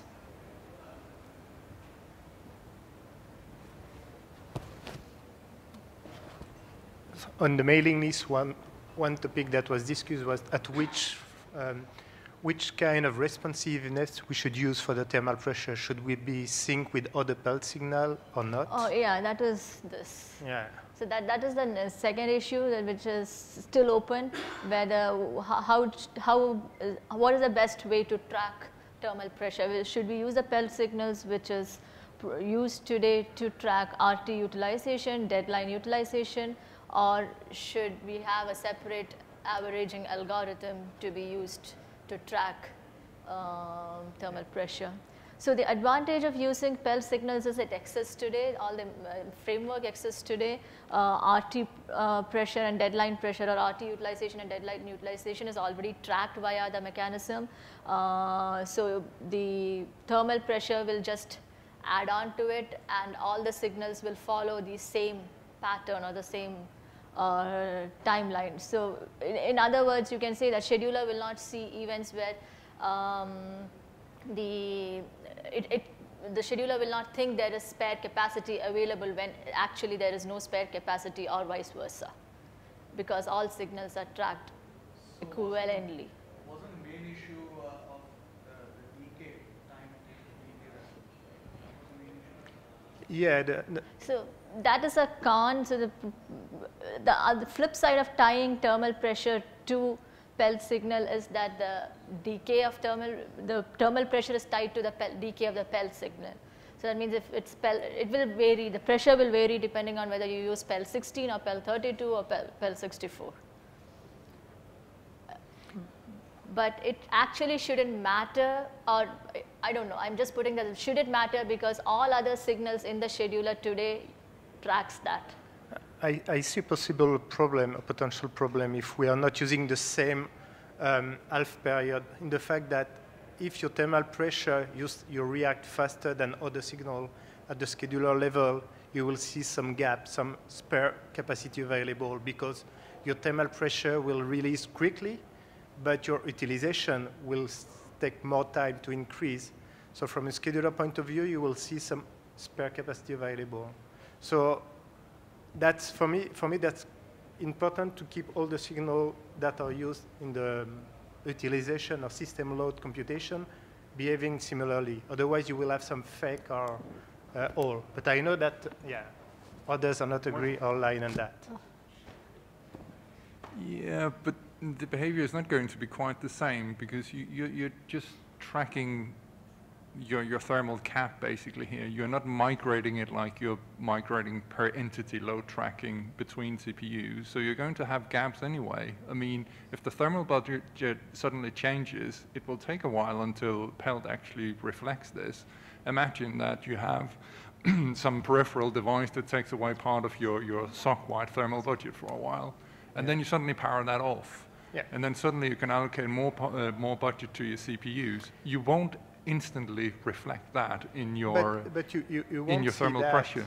The, the problem is that if you have capped your, your CPU to um, half the frequency, mm -hmm. so all the tasks that are running there, if you have some all running tasks, you will be capped to half the capacity. Yeah. And once you remove this uh, thermal pressure, mm -hmm. the scheduler will start to see some available capacity and we'll start to migrate more tasks there. Whereas we don't have any more, we don't have spare capacity. It's just that the utilization signal is slowly increasing. So it's just that it can't, if you have, uh, it will not follow this thermal pressure change. So you have a wrong, a wrong uh, metric in that case. The, the goal of the PELT signal responsiveness is to behave at the speed of the scheduler. You don't want to behave at the speed of the of the CPU cooling device because you're not able to react that, that fast. So why do we want this to behave differently than when we migrate tasks? I mean, you suddenly have more capacity available at a CPU. Because you have really removed that suddenly. Which is as well if you have three tasks fully utilizing the CPU.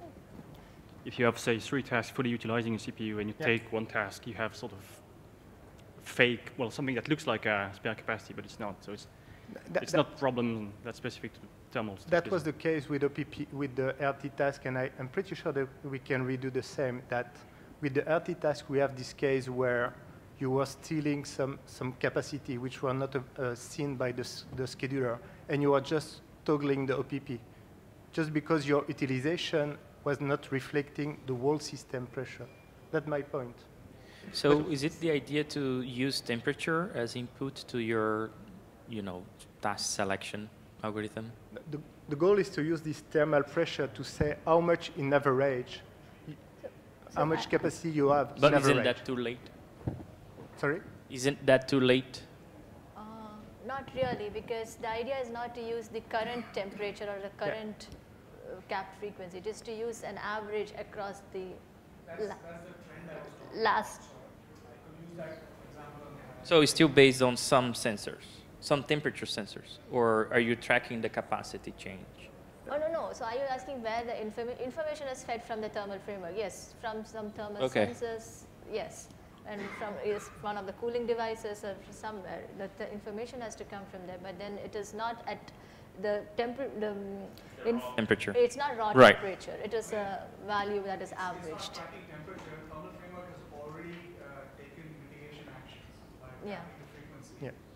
is just about informing the scheduler what uh, that it reduced capacity.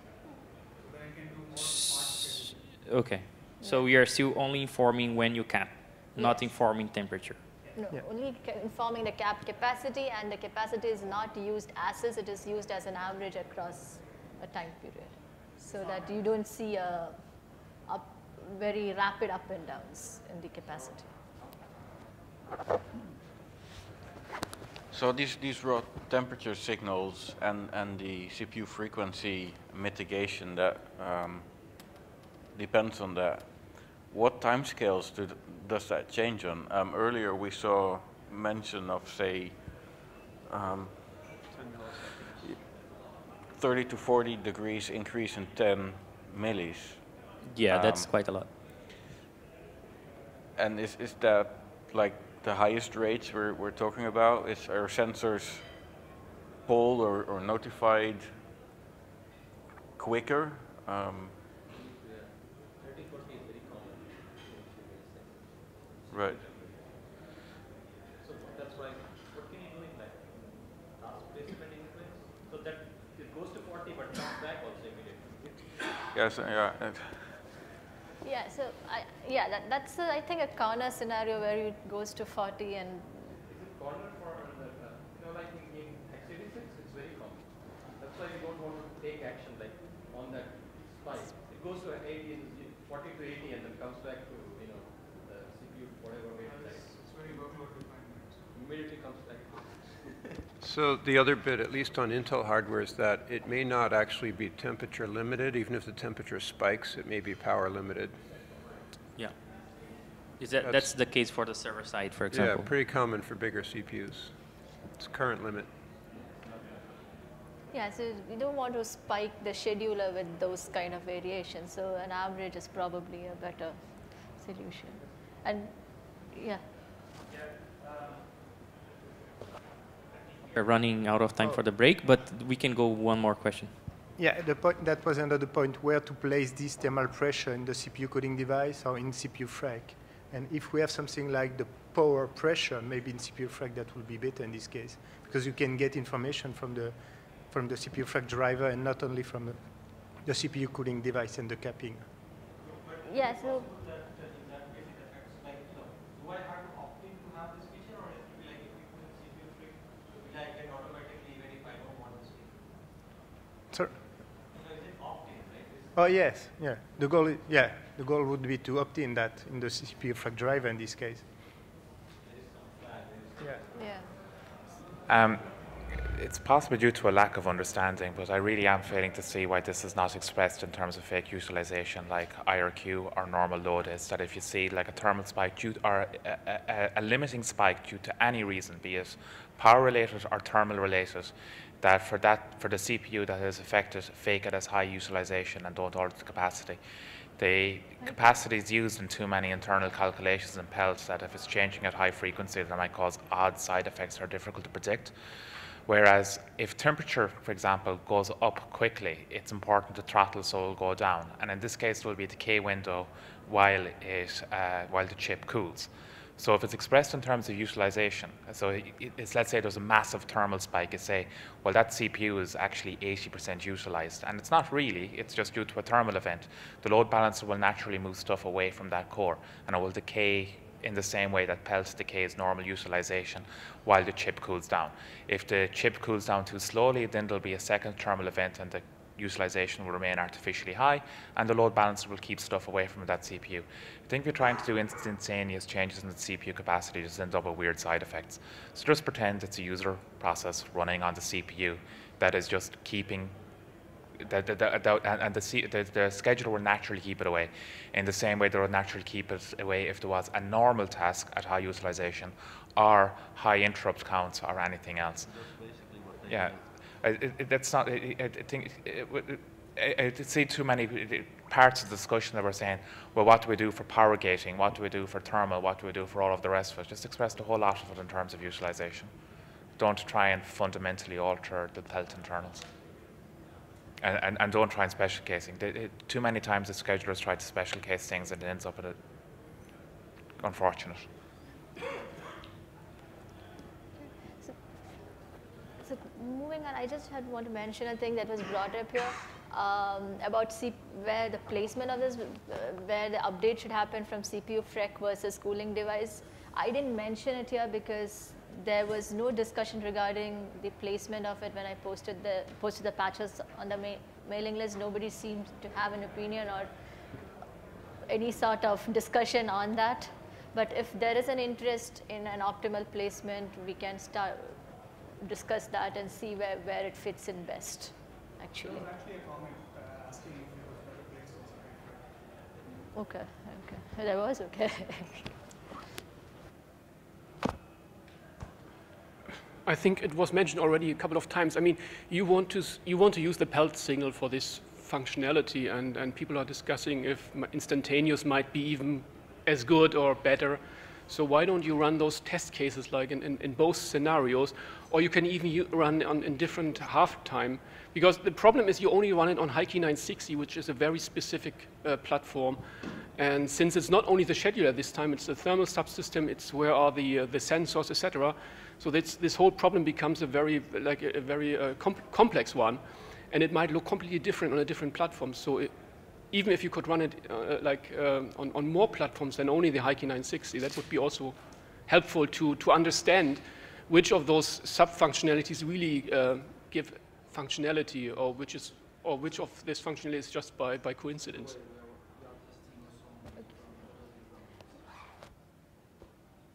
We are testing on other different boards also, on the DB A20 right now, but there are some parts missing. We need to, to have them implemented before being able to give more numbers. I think the best, would be to put it into the next cycle of the Pixel phone, for instance, right? And, and let it actually uh, grow there, like via like like the whole product cycle of one year, and then we can say if people really use this with their thermals if they attach it and they use the, the PELT signal to reduce the capacity of the individual CPUs, and they are happy with the scheduling decisions for their, for their whole Android use case, then you could say that essentially uh, it would be a gain for, for more than this phone. But since it's so complex, it's very hard to, to, to reason about half time or, yeah, or half life, I, I agree that there is few data to I, I kind of I agree with that. There, yes, that there is a lot more testing that needs to be done, and it starts with I think the availability of I think even it starts with availability of platforms, availability of probably like you said Android on the latest kernel. There are a lot of issues with that, but yeah.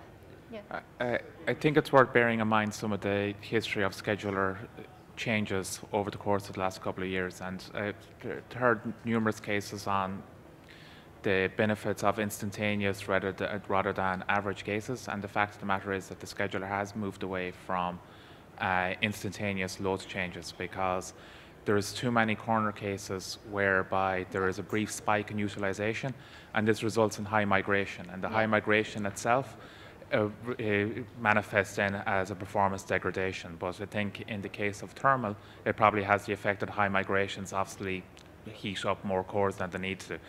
And each time there has been a move towards instantaneous measurements, it has ended up causing too many problems. And I have no reason to believe from listening here that thermal will be any different. If anything, the time frame that thermal likely depends on is a much wider window than the scheduler is aware of. Because I imagine, I'm guessing, that you heat up very quickly, but you cool slowly. So the, if you're looking at instantaneous spikes, I think you'll end up with migration storms, which will make the problem much worse. So uh, don't bother repeating the mistakes of the schedulers past unless you have extremely good reason to go down that road. And accept the logic as well on testing on multiple platforms. That can be a bit of a rat hole on uh, in terms of did you test this one everywhere? Because that one is going to hit any time you touch off the scheduler or CPUfreq or CPU idle or thermal, you're going to get smacked with that hammer. And I think it's somewhat unfair to uh, put that in at the beginning of the implementation. What works for HiKey is almost certainly going to, not going to work for something else. Yeah. Um, and it's going to take time to identify it. Rely on something like zero day picking it up or distribution kernel testing or something like that. But again, they did get burned quite a bit on instantaneous measurements and trying to make decisions on that. They were the ones that crop up over and over again. And while the averaging has an issue with ramp up time, for PELT in particular, it tends to manifest as a relatively harmless problem. It tends to hit more on really latency sensitive workloads, not something that's generally interesting, but the instantaneous spike stuff hits all sorts of things. So again, just, just avoid special casing yourselves too much or making decisions that have gone counter to the scheduler history because it's just a rocky road. Uh, okay, guys, I think uh, we run out of time. We are 10 minutes past into the break. Um, we can restart on your discussion if you guys feel that there is more time, there is a need for more time. Yeah? You want to continue after break? Yeah, if there's things to discuss, we can. Okay, Yeah. let, us have a break and restart uh, at 11. Thank you. Okay, so um, today we have uh, different boards uh, with uh, running at a very, very high speed and uh, with high temperature, and we need to to mitigate that with uh, what we have today. And um, so uh, this is an example of uh, the temperature increasing with the OPP. So the first, the first figure um, is, uh, is the temperature with a load on uh, one core, two cores, uh, three cores, then uh, four cores, both clusters. And each time we are increasing the OPP. So we see that we are, when we are at the full load, at the end, um, the temperature is uh, uh, staying at more or less 55, uh, 75 degrees. And in the figure below, we see that the, it's the different OPP states, the index um, during the mitigation. And what do we see is uh, in this, um, at the end, we see that the, the mitigation is uh, uh, always changing the state between 2 and 3. So that means the frequency because the, the, the, the, the SOC is so hot that he has to reduce the capacity almost uh, by uh, 40, 40%. So um, what we did, uh, it, we created cooling, another cooling device, uh, a separate one, with where we are in, injecting idle cycles um, more and more. The more we have uh, uh, the, the temperature increasing, and the more we are adding idle cycles. So the result is uh, we have um, here uh, the comparison between the, on the left column we have the, te the temperature with a load. So it's a load uh, doing uh, working um, uh, 30 seconds, then um, doing nothing during five seconds, and again doing the same load. So it's done 20 times. Uh, and on the left column we have the mitigation. Oh, No, it's the, it's the previous one. Yeah, that one. You can switch back to that. Okay. No problem.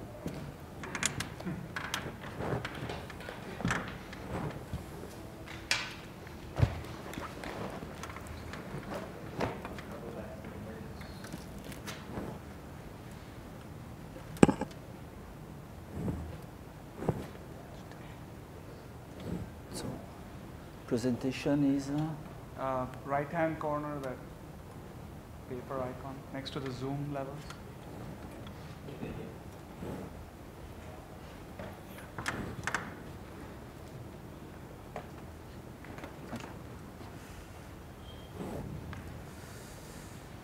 Okay, so here we can see in the left on the on the left column the mitigation with CPUfreq, and on the right column the mitigation with uh, CPU idle. Um, for that, we are injecting idle cycles on all the CPUs on the cluster, um, what we call cluster basis.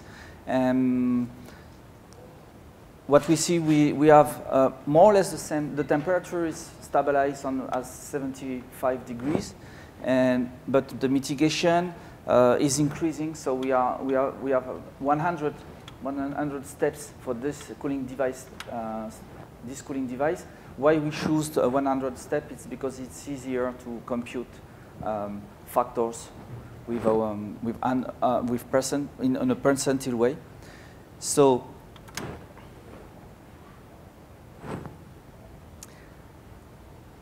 what we see here, that's, well, we, we are mitigating, but the entering in idle, that has a cost. It has a cost in terms of latency. The more we are adding idle cycles, the more we are adding latencies. So we stay in a, uh, on a higher OPP, but introducing more and more latency. So the question is, uh, can we do better by taking both and uh, mixing both, both mitigation method? So the answer, I think it's yes, because if we, if we look at the, uh, in, at the fourth figure, we see that we are more, more or less at 45% uh, idle. So doing a, a, quick computation, that means if we have uh, the, the capacity of the, the highest capacity is uh, 1024, which is the, the base capacity we use uh, by default. And we assume that we, are more, we have more or less 10% spent by entering and exiting the idle states. We are really idle uh, 30, 30% of the time. So that means if we compute the capacity um, of um, one, 1024, we, we have uh, the uh, cap resulting capacity of uh, 716. If we compare this capacity with the different capacity of the with the different um, the, at the different OPP, we see that actually we are running at the frequency, the, the highest frequency, but with a capacity which can co correspond to the, the OPP at uh, running at one, uh, 1,000 um, 1,008 um, uh, megahertz. So uh, probably it's better to, instead of adding more and more idle cycle, at one moment change the OPP.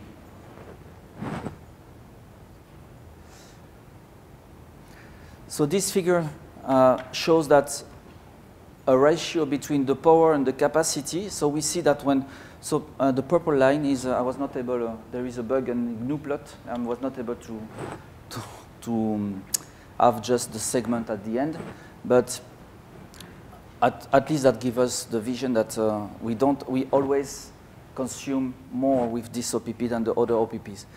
But we see that we have, uh, we have steps. So um, with different OPP from 1,000 to uh, more or less, uh, 9, 9, 900, we can, we can use the highest OPP and reduce the capacity of this OPP by doing cycle injection. And then when we reach the OPP equivalence uh, of uh, the, the, the, OPP below, we can switch the OPP and stop injecting idle cycles.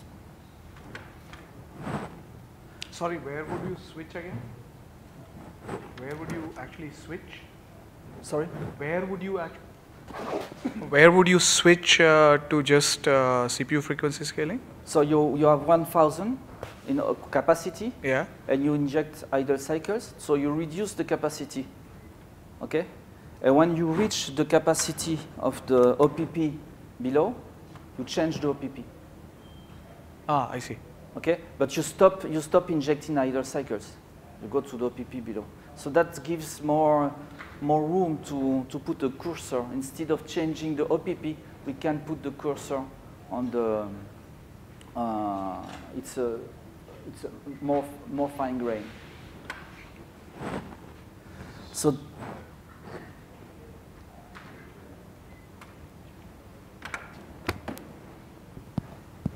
So if you had an infinite number of OPPs, then you wouldn't need to inject idle at all? No. Okay. So basically, you're talking about smoothing out the discontinuities between your OPPs by using idle, right?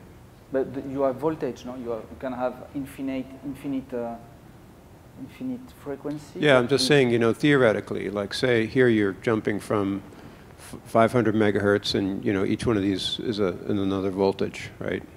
Okay. Um, but if you had a hundred of those or a thousand of them or an infinite number of those, and you had very small, Yes, then you wouldn't need to inject idle to Yes, smooth out the difference it- between it's them. not worth to do that. Okay. In this case, this is because the, the steps are very, very small. So. Right. Thanks.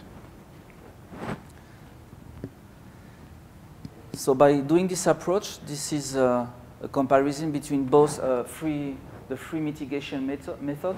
With the first one is the CPUfreq, the, the, what I showed before. The second one is the CPU idle, and the third one is the resulting mitigation, temperature mitigation, um, uh, with the CPU, CPUfreq and CPU idle.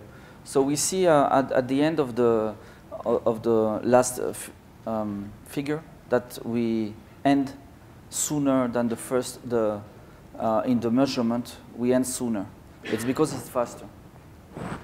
So if we do a quick comparison, we see uh, I use Dhrystone. It's a it's a very rough testing for the moment. We need a more fine fine grained testing, but giving uh, well running all the cores um, with a full full load. We have uh, with dry, dry stone, we have the, with CPU idle mitigation we have higher results.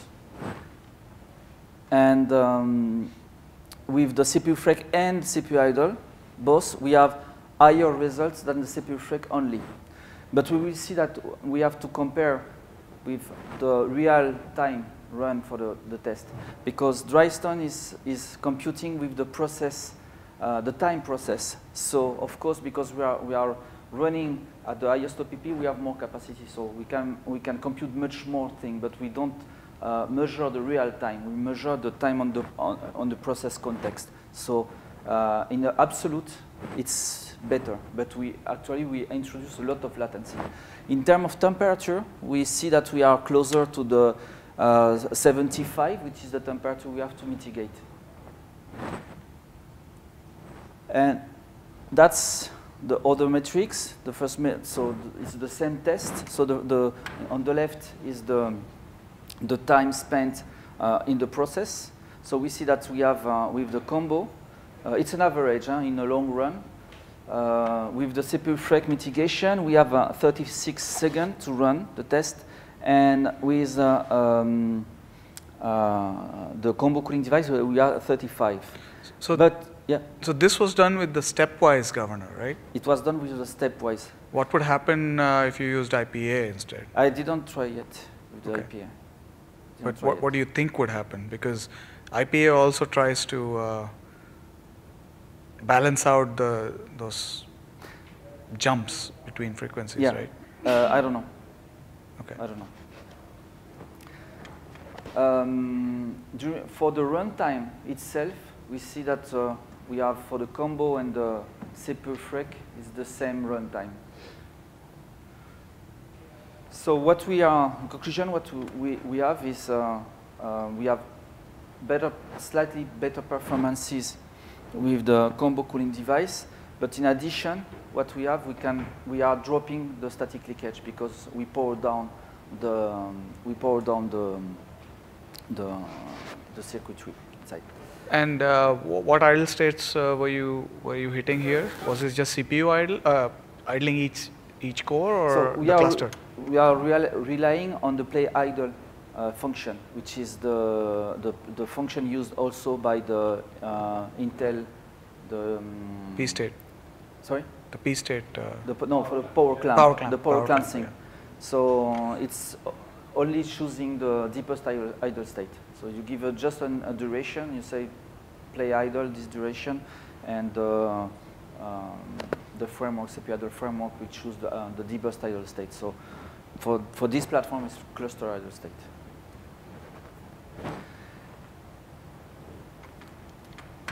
So there, there are a lot of things to do yet because we see that uh, the, the CPUfreq mitigation is uh, um, working on a cluster basis. We have board with eight, we have two clusters and we have just one clock line. So the mitigation acts on the, on the eight cores. So it's not, for the mitigation itself, uh, we, we are mitigating only the eight cores at the same time. So we are not able to mitigate just one core. By using the, the, the combo cooling, the, CPU idle cooling device only, we will be able to do mitigation only on one core. Uh, so also what we we, we tried that on a, on the HiKey 60 and the HiKey 60 um, has, has a slow idle state, exit and, and entering and exiting idle state. So it, it adds a lot of, uh, of uh, latencies inside. Uh, also, we can have boards with idle state with, where the, the, the, the, numbers can be wrong. So uh, if we are doing some math behind that, the math can be wrong also. Uh, and we need to do some mathematic mathematical uh, proof on how to switch from the CPUfreq uh, mitigation to CPU idle and going back and forth with the different uh, mitigation method. So yeah, it's, I think it's, there are still uh, a room for improvement on, uh, on, on this mitigation method. So yeah, so I, I don't know. Uh, if we, we need uh, some, some more testing. So today we use the HiKey 960, which has a very specific thermal behavior. And uh, we are planning to do that on a DB820. Uh, it's uh, another board we have, which has uh, high frequency also. It's a quick, they have a quick, quick, what they call the quick and silver cluster. So one, one running at high frequency, but uh, having the same cluster running at the lower frequency, but with the same mi microarchitecture. How does it work on your laptop? Uh, it's a good question, but laptop is Intel. I think it's really yeah, different. But, yeah, I mean, but I mean, just a benchmarking perspective. yeah.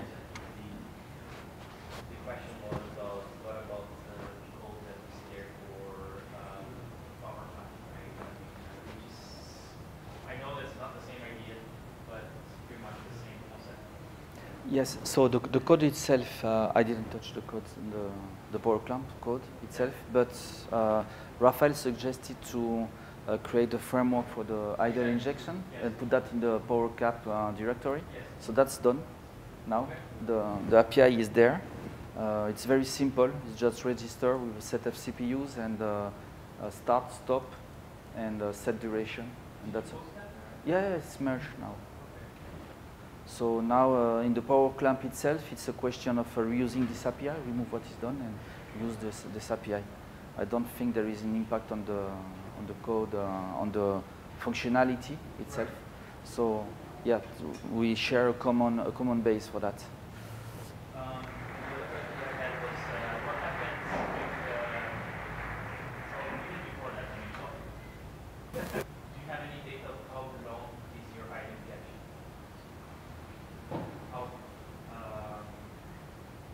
How how much of idle time you are injecting, typically? So. Um, a couple of milliseconds, couple of microseconds, tens of milliseconds. So we cannot do that with um, with a couple of. so we have we have the cluster idle state is uh, I think it's four milliseconds target uh, target uh, residency. So at least we have to to stay um, the duration of the cluster idle state target residency for the, for the cluster idle state. And uh, Milliseconds. Yes, it's, uh, it's that's the reason why I was saying that we have slow idle states. So it would be interesting to, to do some testing with boards with uh, faster idle states to see what, what, is, what could be the, the benefit. Yeah, I mean, I ask that because four milliseconds starts to be a little bit long yes. for some applications. Uh, so the question that I, I, might suggest you to characterize is, how does this behave with uh, uh, any real-time um, threads right? That needs to achieve a specific deadline. What's your impact on that? But the measurement, well, the rough measurement, uh, we show that there is no impact with the using the combo. The idle only, yes. Obviously, we are injecting uh, idle cycles, so we are injecting uh, uh latencies with at the wake up time. But when we are we are using um, the combo, um, we can assume that because uh, we are running at, at, at an higher stop PP, we can compensate the time to enter and exit the, the idle state because we are, we are running an higher stop and that's the complexity uh, that's the complexity of the mathematical proof I'm unsure if I got correctly what was your point, but my what I was trying to say was even on your combo case, if you are injecting like four milliseconds of idle, right, and you have, for example, a, I mean, just throwing a random case here. If you have, for example, an audio pipeline that has to update uh, buffers every eight milliseconds, for example, that can be already problematic if you are doing that like on a yeah. frequency. So, so so another question that I had is, are you updating the capacity of the scheduler in that case, or no, when you inject that's idle? That's, that's one, uh, that was uh, one point to investigate this kind of mitigation and how to collaborate uh, with the thermal, how they, they can fit with the thermal pressure Thara is preparing right now.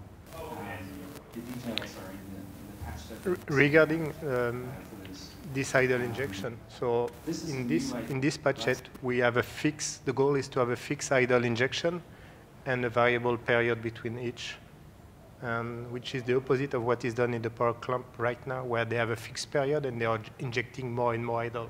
Mm -hmm. So by having a fixed idle injection, you can decide what is acceptable for your platform. If you can't accept more than one millisecond of injection, you can set that I mean, that's something you can, you can con control in that way.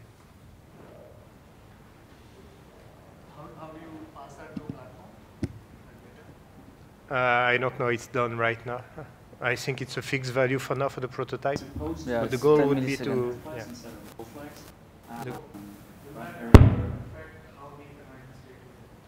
Yeah. Yeah.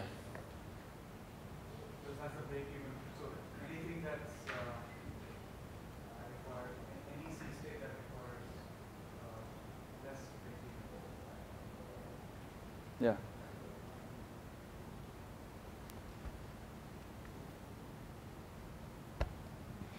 And for the thermal pressure, go ahead. For the thermal pressure, because you are RT task, and I think that you already, uh, the RT load average is already taking that into account. We need to we need to check because of this idle uh, flag, but I think it's already the case. So you're already reflected in the scale RT stuff. I think Amida already mentioned it earlier. It would be nice to see testing against IPA and that list of things to do. I mean, I think we're missing comparison with state of the art here to see how it actually compares. I don't think, or I don't know how many people actually use the stepwise governor. I would like to see it against IPA to actually see how well it performs. It seems pretty close with the stepwise. I'm just wondering if IPA does so much better that it's actually on par with, with the changes that you're, you're proposing. Yeah, I mean, two, two data points over there, just to pick on that. I mean, we already mentioned one is definitely to compare on the same use case, I mean, the combo versus IPA mm. by itself. I mean, and also a fine-tuned IPA as well that also needs to be mentioned. Um, and obviously, that the other question was how about how does this cooling device behaves with IPA mm. itself, right? Yeah, right? So two missing data points: IPA and mm. combination of IPA with uh, with this. We talk about uh, also uh, using the cooling device, CPU idle cooling device, as, as an alternate cooling device. So if uh, if if we are not succeeding, that's what Javi saying, telling us that last time if we don't have enough, uh, we don't succeed to mitigate with the CPUfreq cooling device, then at one point we can switch the cooling device and use the, the CPU idle cooling device as an alternate uh, backup. That's what our That's what uh, we do when we say power clamp. Okay. When we cannot do with CPU, you know, regular power, you know, like power control, then we switch to it, not as a parallel or before. We use as a last resort. Okay. Because this definitely will, you know, it can enter, we, we can inject up to 50%, so it's, there's no way more than, you know, it will bring, but not as a first preference. And what, what are the conditions when you, you fall in uh, this Yeah, if we all we already reached uh, like in uh, you know if you have we cut 50% of the power for this from the package, and Okay. then also you still cannot control thermal. Then we started Okay. because for us the power control are, is, is granularity is much more finer than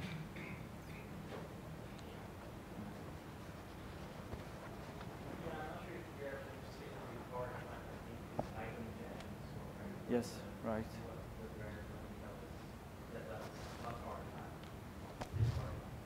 Yeah. power clamp, yeah.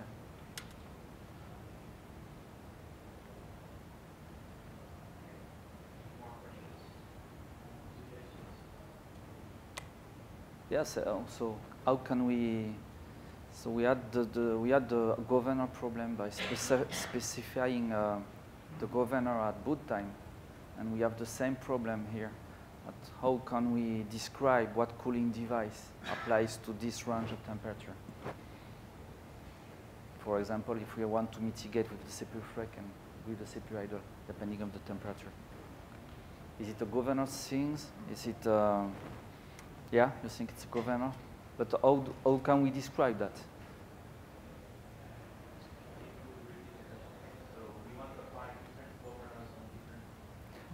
No, no. Before we, we we discuss about using different governors, okay? And here we have the same situation when we want to use different cooling device for the same thermal zone. How can we describe that? Yeah, but by using the CPU idle, we can do that with different cooling device. But uh, how do we describe uh, in the DT? Because uh, with the DT today we have uh, we have CPUfreq. We, we are not describing CPUfreq cooling device itself. We are pointing to a CPU. Shall we use the do the same? Shall we use the uh, point to uh, an idle state, for example, in the DT, saying this idle state is a cooling device? Yeah, I mean, you know, when we start to talk about heat and Yeah. so studying is not a little bit because uh, uh, I will actually we might call not as a real device, so we're not really S- So if I understand correctly, you, you were you were referring to uh, maybe referring to the index of the idle state.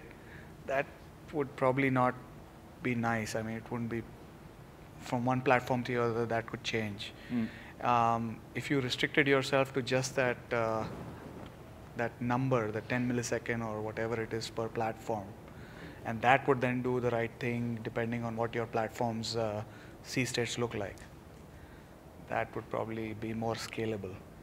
Okay.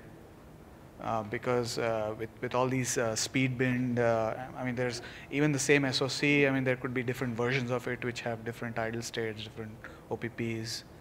Uh, you don't want to specify that in DT. Okay. Can, can you measure how much idle you want in your, in your platform? How much, you know, when you, when you inject some idle, can you measure what's, what was your act effective idle? The system may be idle for some other reason. Not, not uh, so measure as in um, read some registers to see. No, I think it's it's more of an external measurement.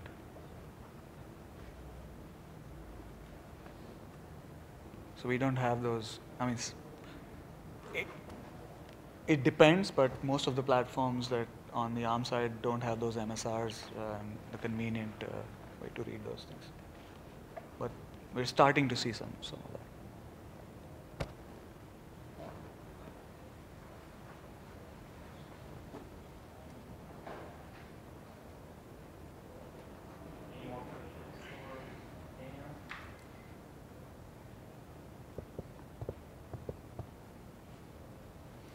Okay. Thank you.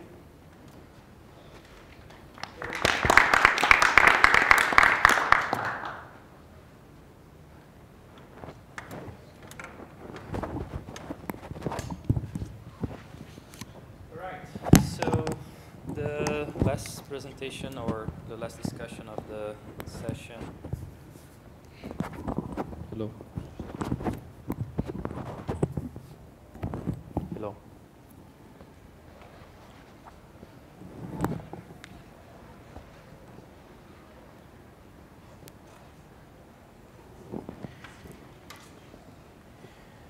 Yeah, so I'm gonna restart the discussion that we had uh, on the virtual sensor.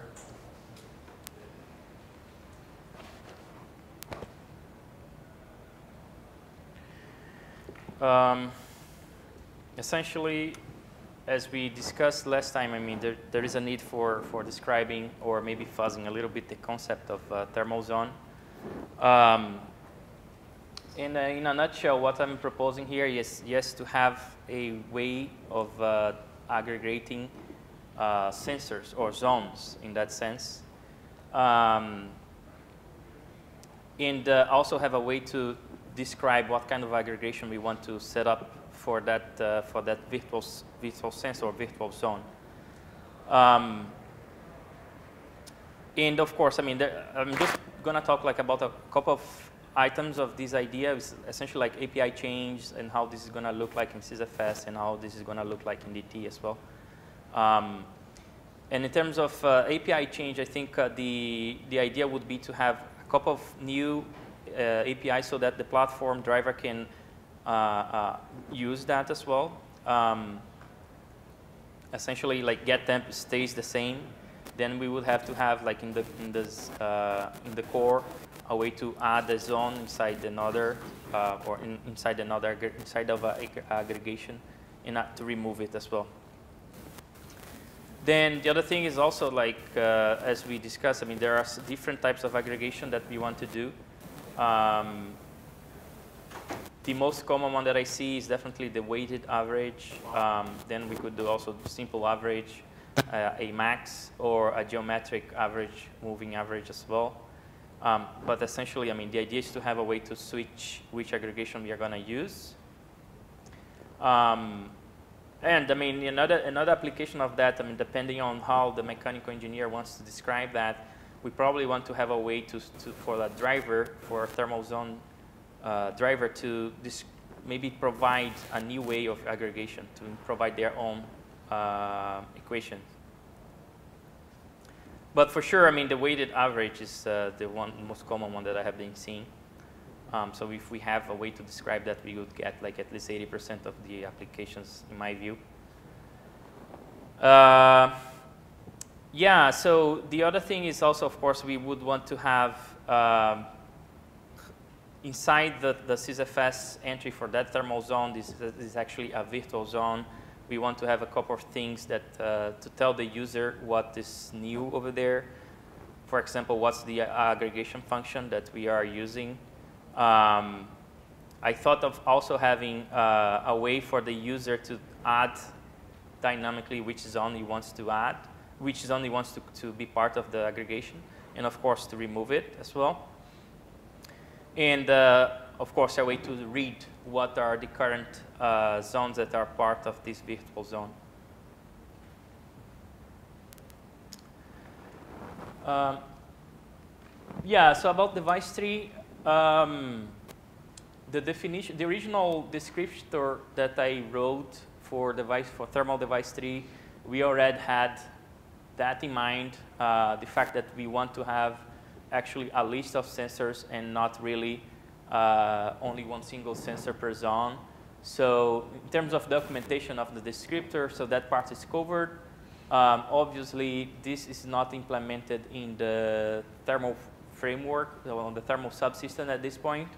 Um, but OF thermal, uh, it can be extended to, to actually cope with the multiple zone, multiple sensors per zone. And the other thing is also that uh, we have also a property which is already there for describing the coefficients uh, that we want to use for that uh, aggregation. um, in terms of uh, gains for each sensor and also a offset for this for the for that sensor.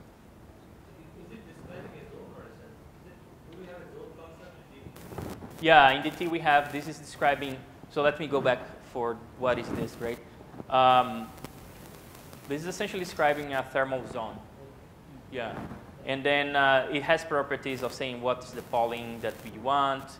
Um, it has more stuff, but essentially what I'm focusing here is actually the, the sensor part, right? So we have a way to describe what are the sensors that we want to add in that zone, and also the, the coefficients that uh, are going to be linked to these sensors.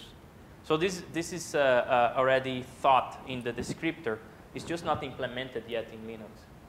Um, and then, of course, I mean, inside the thermal zone, we have all the description as well in terms of what are the cooling devices that are linked to that thermal zone and what are the trip points and things like that. You also have the maps, which, which basically link the cooling device. Uh, yeah, so device tree describes that. So that was an attempt to have, uh, or, or, at least the first attempt to have a description of how this is going to look like in device tree. Obviously, here we have a challenge uh, because, again, device tree folks, they don't like to describe policies a whole lot. Um, so describing what is the aggregation function is probably going to be a challenge to have a property to say, I want to use aggregation function of x, y, and z, but we can always try. Um, but yeah, I mean, that's, that's, that's what we have today. Um, yeah, I mean, the idea would be to have it uh, on both cases, right? So you could have, like, in SysFS to change it, as you said, like having a SysFS entry to change that, but also to have describe it in device tree. Yeah, but I mean, a lot of cases user space is too late as well, so that's that's the other. I mean, it's kind of the same yeah. problem that you said about the boot, right? Um, so yeah, you would have, if you and it also need to means wait for user space to set it up, then you would have some boot process time that would have uh, wrong configuration for that zone. Plus, it also means that you have to ship a thermal daemon, which which does all that configuration for you. If it's in device tree, it just just works out of the box. So a couple of challenges. Uh, couple of things that I want to highlight. I mean, uh, so the idea that I, I was originally thinking was to have a much simpler description of this virtual zone. Um, and uh, with this zone, we would simply, I mean, for implementing this virtual zone, my idea was to simply have an additional thermal driver, what we could call it virtual zone. And uh, that would expose the SysFS entries into the, in the, into the SysFS entry of, the, of that zone. That could be controlled, right, to add sensors, to remove sensors. Um, but it would not be limited to one single virtual sensor per system, right? We could have multiple instantiations, essentially, of this virtual zone that you could configure differently. For example, you could have one instanti instantiation of this virtual zone for describing uh, a board case hotspot, for example, uh, that uses, I don't know, a couple of uh, ASIC sensors plus SOC sensor, right? And then you do uh, your math, your equation for describing that. And doesn't mean that you, you, you cannot have another virtual, virtual zone to describe the, the SOC case temperature, for example, right? That, that use only the SOC uh, uh, sensors in that case. Now, I, th I think what you, the way that I see would be the simplest way to describe that, but for use cases that you guys were describing, I, I would probably need to think, uh, maybe we need to sit together and, or you could guys, you guys could send me like what are the use cases that you want to cover. Um, but based on, on stuff that I have seen in the past, I mean, this, this should be good enough for, for, for most of the cases. Um, so when you say a thermal driver, uh, what do you mean by that? Like a simple thermal driver? Um, just a simple, I mean, on the thermal subsystem, on the thermal core, um, subsystem, you can have like a governor, you can have a, a, a, cooling device, and you can have a thermal zone or thermal driver, right? Um, I'm not saying to have this, uh, my, my suggestion here is not to have all of this into the core, so it, it would be in all thermal zones. Because, as I said, that's kind of stretching the, the concept of thermal zone itself. Is the idea would be to have like essentially a driver that would expose this virtual, virtual zone. Okay, so idea. it will be a parallel driver to the to the uh, Yes. to the to, to ADC the driver. driver or to the To to, the- the, uh, board to the sensor driver. Yeah, yeah. And, And then you that could would attach- expose virtual sensors. Yes, and then you on could that have virtual sensor, on that virtual zone, you could attach a governor or attach trip points on it, and so on and so forth. So, Eduardo, did, did you think about using something like BPF programs to define virtual sensors? Um, no, I haven't think of that. Um, So user space could then load, Load the know, program that would- BPF, you know, description of the of the virtual sensor, and then it will work just like a sensor from the point of view of the framework. yeah, that's that's a, that's. I mean, I, to be fair, I haven't thought of that, um, but it's a good. I, I'm gonna take note. Um, but I think the idea of uh, at least having a driver, for, not necessarily changes in the core, but at least having a driver to have the virtual zone concept exposed would be to have that also described in SysFS, so that, for example, thermal daemons could make use of it as well.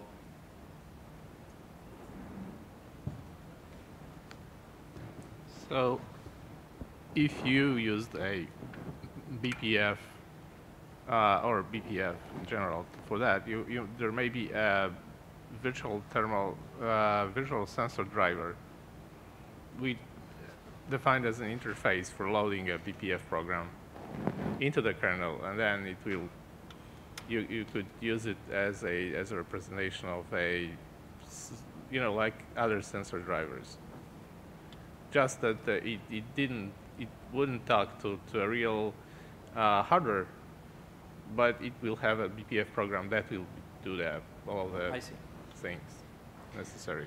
Yeah, and I think, uh, I mean, uh, maybe the motivation of using BPF is kind of the same motivation that I'm having to have a, a separate driver instead of a whole lot of change inside the thermal core because we want to, this is like a an exception, right? It's not really representing a physical sensor, a thermometer, right? It's not representing a hardware, it's just a, a, a, an artificial representation of a hotspot. Um, so that's why like separating this from the core, I think, at least to, as, as a starting point, I think it's, it's a better, a better approach uh, in a sense of that we don't mess around a whole lot with the thermal core, for example. Um, but yeah, okay, I, I'm gonna take, take a look on the PPF PD as well. But I think uh, the, I think that's pretty much what I had. Um, the, the idea here is, of course, I mean, to cover for any use cases that we, we might want to, to, to cover, but at least for now, I'm not really convinced of the hierarchical approach. I would need to understand uh, a little bit better. Um, because essentially what you have here on this approach is uh, of, of the virtual zone or virtual sensor is to um, have an aggregation, yes, maybe having a filter on top of a single sensor as well. Um, and when we add one sensor uh, combined to the others, like if you have like a three-level kind of uh, virtual sensor, to me it seems that you're adding, like, as I said, like adding a, a moving average as input to another moving average, and I'm not sure what kind of use case we want to cover with that.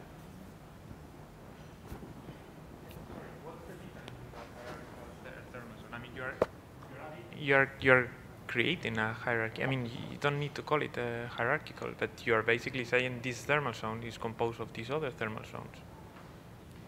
So I don't understand No, I mean, why my, my, you my idea is actually to have um, a two-level hierarchy, let's put it this um, Just capital two. Yeah, yeah. Okay. But, but yeah, you can call it, this proposal, a hierarchy of two levels. Yeah, no, so, sorry, I was just trying, trying to understand the, Yeah. Yeah. There's no, I mean, conceptually it's probably the same, it's just that, uh, even, I mean, if you look at your um, implementation, you see like a recursion going over the graph, and if you choose a recursion, to me it tells that you are thinking that you, your graph is not going to have like so many steps, right? So, uh, so many uh, levels. Um, which is already like, you know, uh, uh, uh, data enough to say that, okay, we are not really not need to have multiple layers of this uh, uh, uh, virtual zone hierarchy. But yeah, but the idea Yeah, would I be mean- to have a flat, like two-level hierarchy, um, and that you have you can have multiple of them, right? Multiple instantiations of them that you can describe different hotspots or different cases. Yeah, Um, so- but this doesn't solve one of the topics that was uh, r- reason here during the, this micro conference, which is what can we do to have um, different policies or different governors per temperature range, Yeah. right?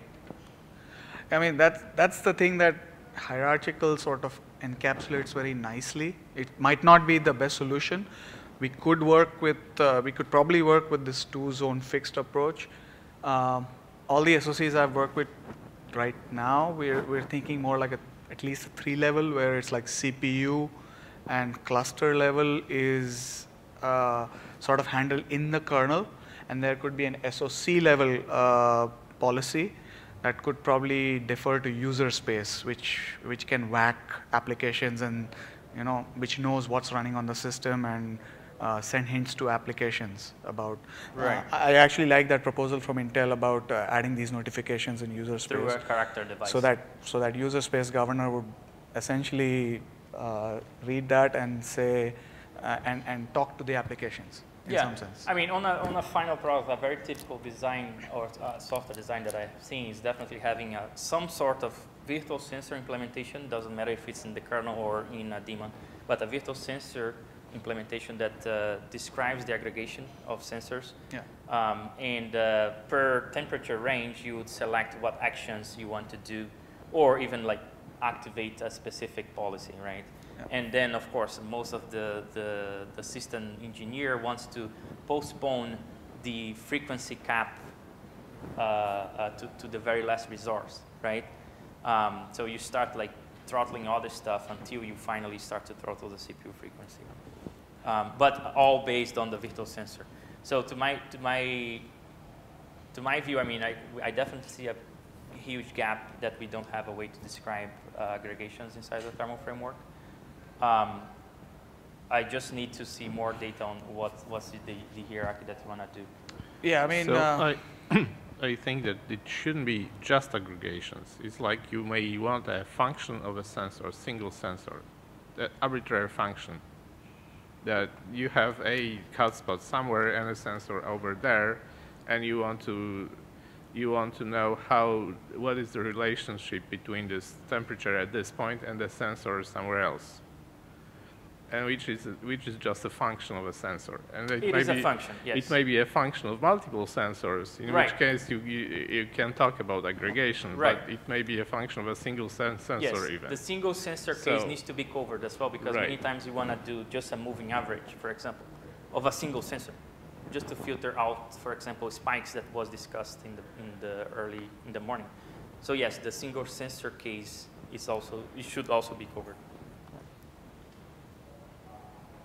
Yeah, so I, I didn't mean to say that. Uh, so, although uh, most of the CPU and cluster level should probably happen at um, in the kernel, and then uh, user space would be for SOC level uh, thermal zones, but that doesn't uh, discount that you could also have user space governors uh, at the CPU level, at the cluster level, if depending on what platform and what uh, workloads. But uh, I mean, essentially, we there are some requirements we need to be able to change policy. Um, When you go over temperature, I mean. um, well, fast moving versus slow moving. That's that's so fast moving is at the CPU level, for example. That's what I what I think of as fast moving uh, things, and we kernel is probably the easiest place to to take action there by capping frequency or whatever. Um, cluster is slightly more uh, longer term view by saying, okay, I can bounce processes around, do some smarter scheduling. SOC level is more like at application level, saying, I know that the camera app is, is running, so, or, or the video, uh, there's video playback going on, that sort of thing, and you could do some capping there, or tell the application to slow down or shut down or whatever at that point. So that's that's our view of how this looks Yeah, like. I mean, uh, to But to how we achieve that, I, I think we can discuss. Yeah, but I think, I mean, maybe one thing that you need to sit down and think is, uh, are these policies talking to each other, right? Are they sharing? I mean, definitely they might put uh, conflicting uh, resort, um, constraints. Yeah. And then, of course, at the cooling device level, we need to sort for the worst, I would say. Um, but if they, if it's not a, a, a holistic decision, I mean, that you are having policies talking to each other, then I don't see why not, for example, having multiple virtual sensors, two-level virtual sensors Yeah, that yeah. you aggregate. One for your, oh, maybe three in your case, right? One for, for the uh, CPU, another one for the board that you attach, for example, your, I don't know, your smart scheduling. Another one for your, for your case, for your, for your board level. And then you, of course, on the, on the one that actually is doing the board level, then you attach user space notifications, for example. Would you allow aggregation Uh, of two virtual sensors? A virtual sensor of two virtual sensors. Uh, well, aggregates of aggregates. Yeah, Uh, that's, that's, that's the whole point. I mean, I, I, at least I haven't seen a case that needs that. But obviously, if you have it, then of course we can discuss it, right? Yeah, but you always can, I think, mathematically, you always can represent an ag aggregate of aggregates as a single, as a, you know, first order aggregate, but uh, with a different, with, a, with different formulas. No, I mean, that we can do, and ha we even have the, uh, uh, a patch series that was already more or less doing that. Um, the only thing that I'm challenging is, yes, we could, you know, represent that, but are, is this going to be really used, right? Should we have it as yeah, at least a base, basic case? Maybe, but if it's really helping, I'm not sure. I would, so here, here's an idea. So define a sensor as something that gives you a temperature. It may be a physical thing with a backend somewhere in hardware, or it may just be a virtual sensor being a function of physical inputs. Just sensor gives you a temperature. And Yes, so I think as that, that idea is also going to another way of doing this, which is, is splitting completely like thermal zone concept from the thermometer concept that we have today, and then just attaching, like having really a sensor representation to So, attach to, and now, to a zone. at a second step, so the, in the first level, it's the sensor is something that gives you a temperature of a certain spot in your system. Maybe SOC, maybe somewhere in your case, something. Just the sensor is a temperature measurement. This way or another. And now. Can't just. What? And now, uh, and now associate ther- thermal zones with those sensors. So a thermal zone is a, you know, something that is attached to a sensor. And now there are there is a tem- temperature scale in that. It, the, you know that the, y- y- you have different ranges of temperatures in that zone, and you can associate a policy with every range. Yeah, yeah. I mean, uh, we. I think uh, it, we are probably talking similar stuff, but um, the the only missing link definitely is to have at least this, the thermal zone Gonna today have to be that involved. cannot allow different policies to be attached Done. to different ranges. But the idea of uh, associating um, um, multiple zones into a virtual sensor, I think that's that's what I'm proposing here. Yeah. Um, just want to remind, we have about 20 minutes, and we, we had kept some side, uh, some time for Okay. open audience discussions if there's anything.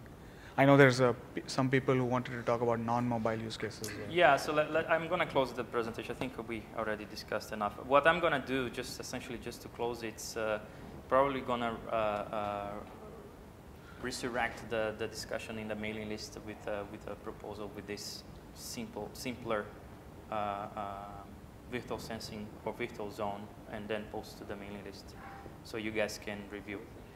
Um, and then we go from there. And if you could maybe reply with your use cases, then then we can maybe propose a back, go back to the hierarchical multiple cases. Right. Um, so yeah, so the idea was to have uh, 40 minutes or the last minutes uh, of the session uh, as an open discussion for anyone to, that has any other topics that wants to discuss. Um, so we can either do it here or go back to the lobby, I don't know. Um, but I think uh, that closes up at least the presentation sessions that we had. Um, and thanks you guys for coming. Uh, that was, uh, that I think it was a good, good thing to get this together.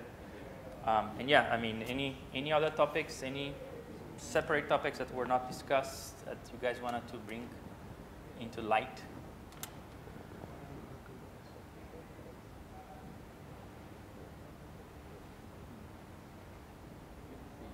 Guy's not here. Someone from Oracle wanted to bring up. Oh, okay.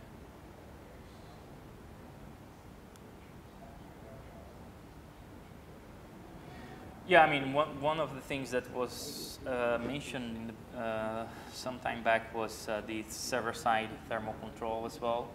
Um, obviously, that's a different beast, we know. Um, it's definitely done like in a separate microcontroller, what we call BMCs. Um, but, and it probably has like different targets, different uh, uh, uh, objectives in the sense more on monitoring than actively doing uh, changes into the system. But maybe that's another topic that we should uh, start to, to get together in this, in this micro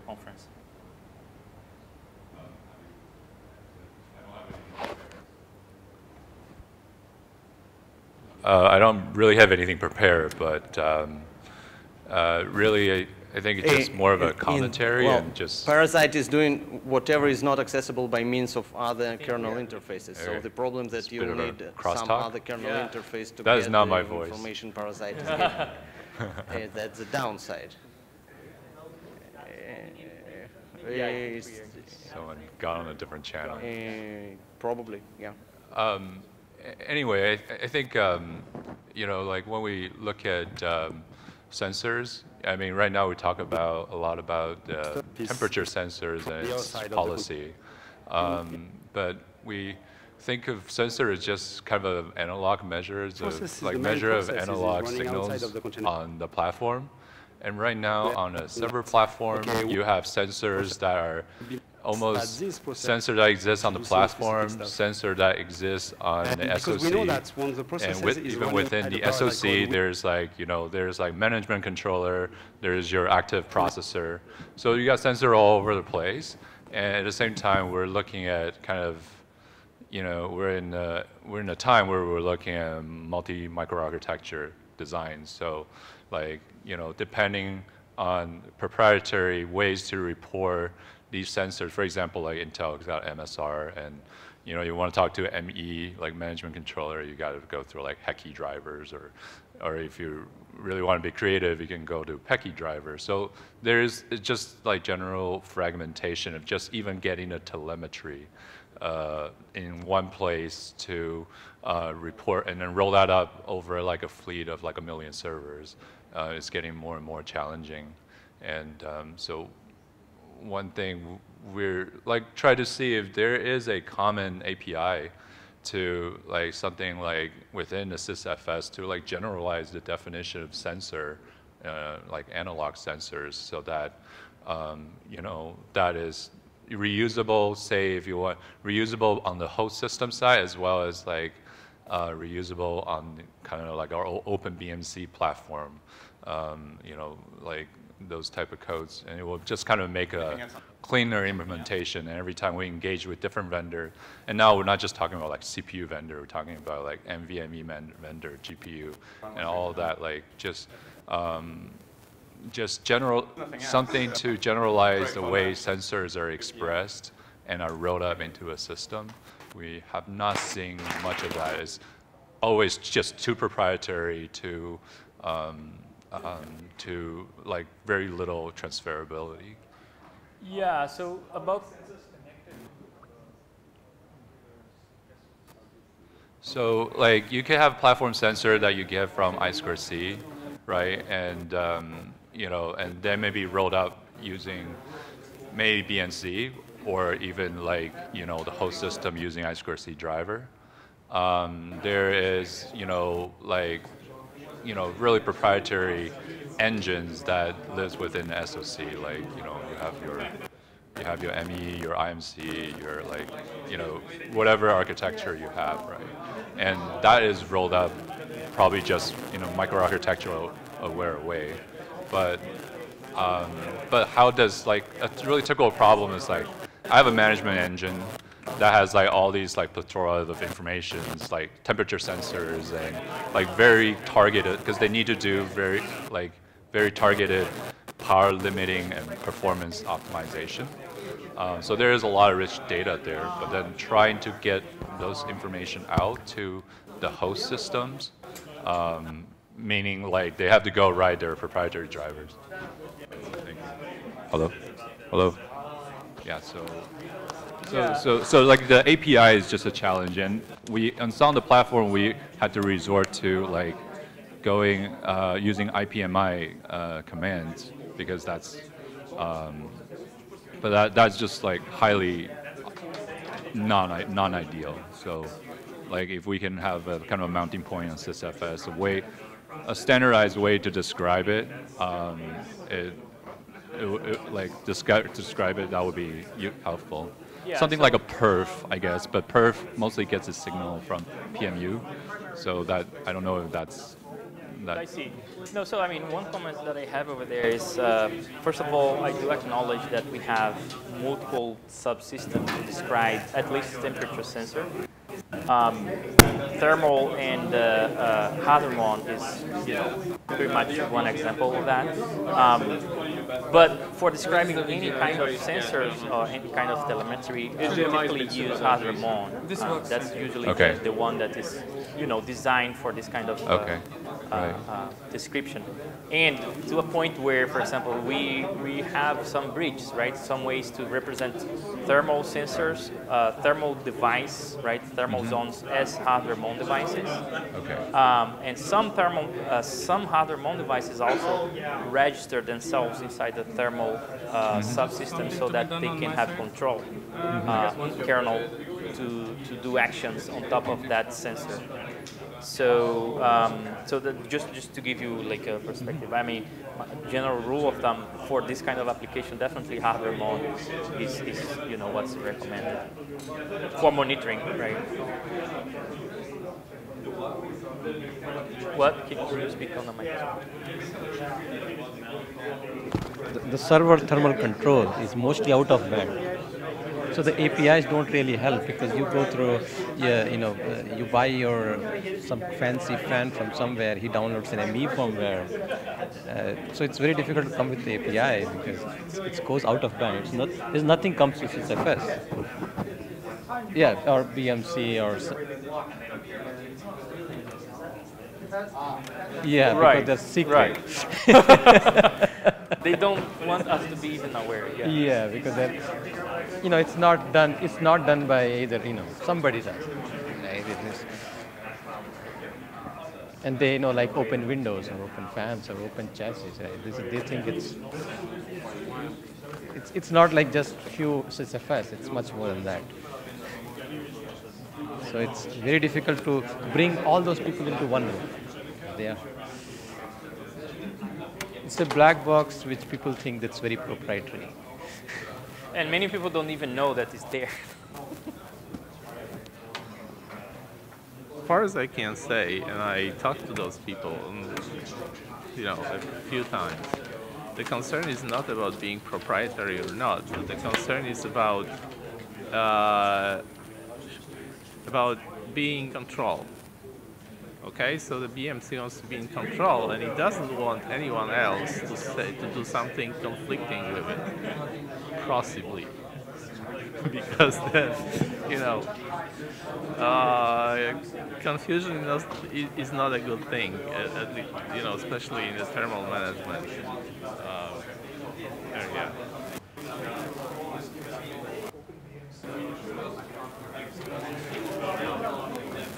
OpenBMC is just a project to do BMC development in the open, which doesn't change the rules too much. Uh, uh, you know, the BMC still wants to be in control, even if it's an open BMC.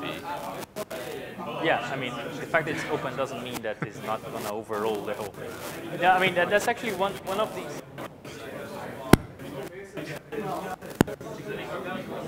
No, I mean, and for sure, open. I mean, what I saw from OpenBMC, they are also monitoring like hwmon devices and stuff. Um, but I think uh, one of the points that I want to make as well is actually Jason's comment, is that um, they are of course dealing with a different beast. It's a, but it's a very similar problem to solve, right? In terms of monitoring. I mean, if they are doing control or not, that's a different story.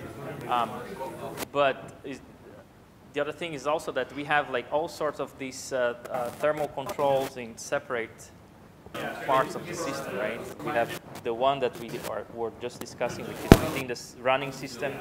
Um, we have sometimes like a microcontroller, like a unit that does all sorts of stuff that the, the, the OS is not necessarily yeah. aware. And then we have, for example, BMC, which is you know in a so different type of processing unit, but still it's like something the, uh, in, in general, so the problem is that different entities have different information regarding well, you can just present So dif different entities have different types of information. So the P unit has uh, information about what happens to the CPU. Uh, the, um, the kernel knows other things, and the BMC has hopefully access to all of that this way or another. So in, in case there is a BMC, people really want to use that because it, it, it, it knows uh, pretty much everything about the platform. Now, various things are hard to represent in a, in a generic way. Oh, yeah. like, you know, for the kernel to consume, for example.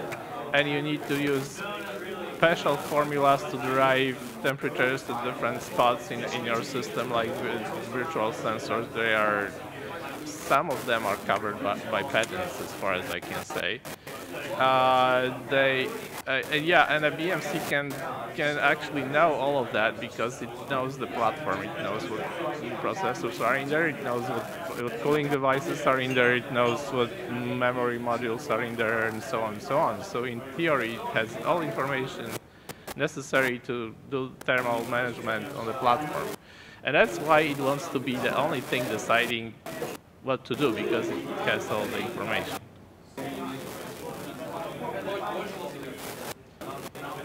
Oh yeah, that's a question probably for. Right. Your, your, your daemon is not used at all, right? Generally speaking.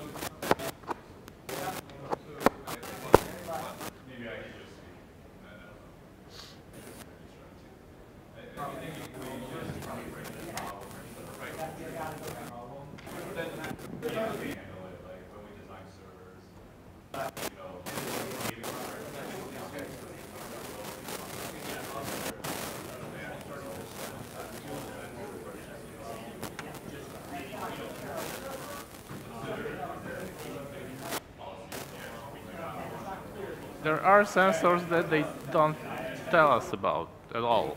Right.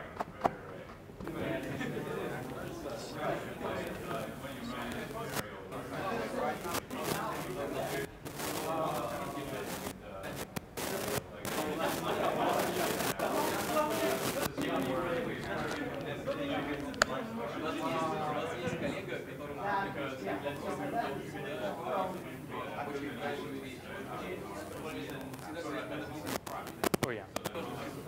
That's right.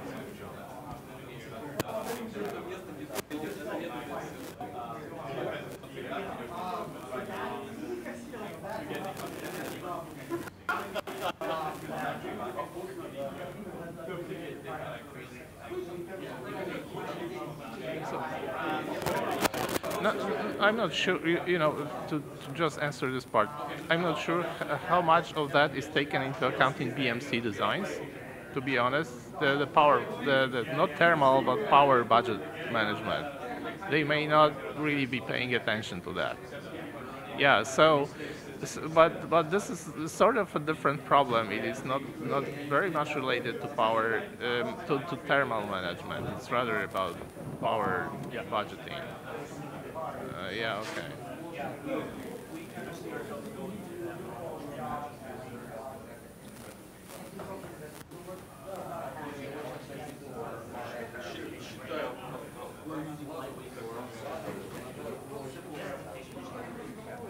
Oh yeah, you have you, you have to because the controls are the same. Yep. you, the controls you use the same controls, but you don't necessarily use them for the same purpose. Uh, okay, but but that's fine. But if you want to be, you know, power budgeting requires you to measure power essentially, as opposed to measure temperature, because the relationship between between the power and the temperature is not straightforward in, in the majority of cases. So you have to measure power, and there are power meters on the system for that.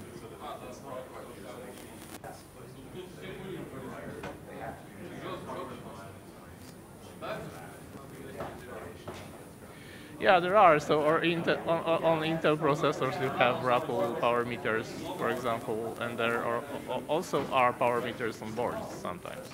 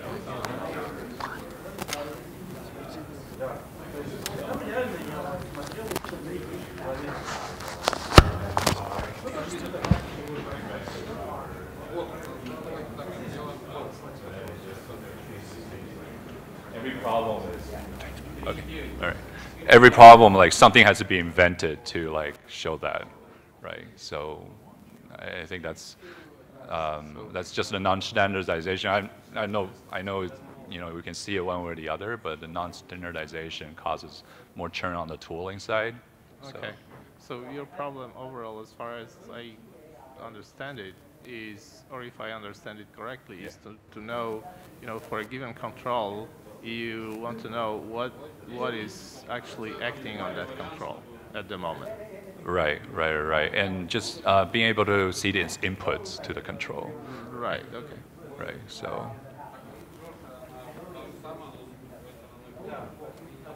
Yeah. Right.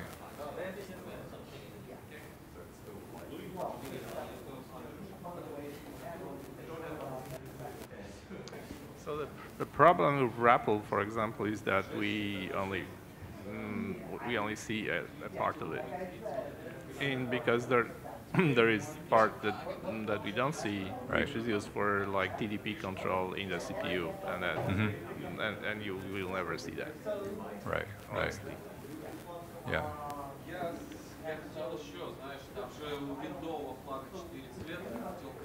Right.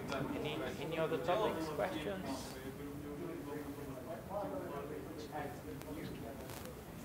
Okay, so I will close the session then. Thank you guys.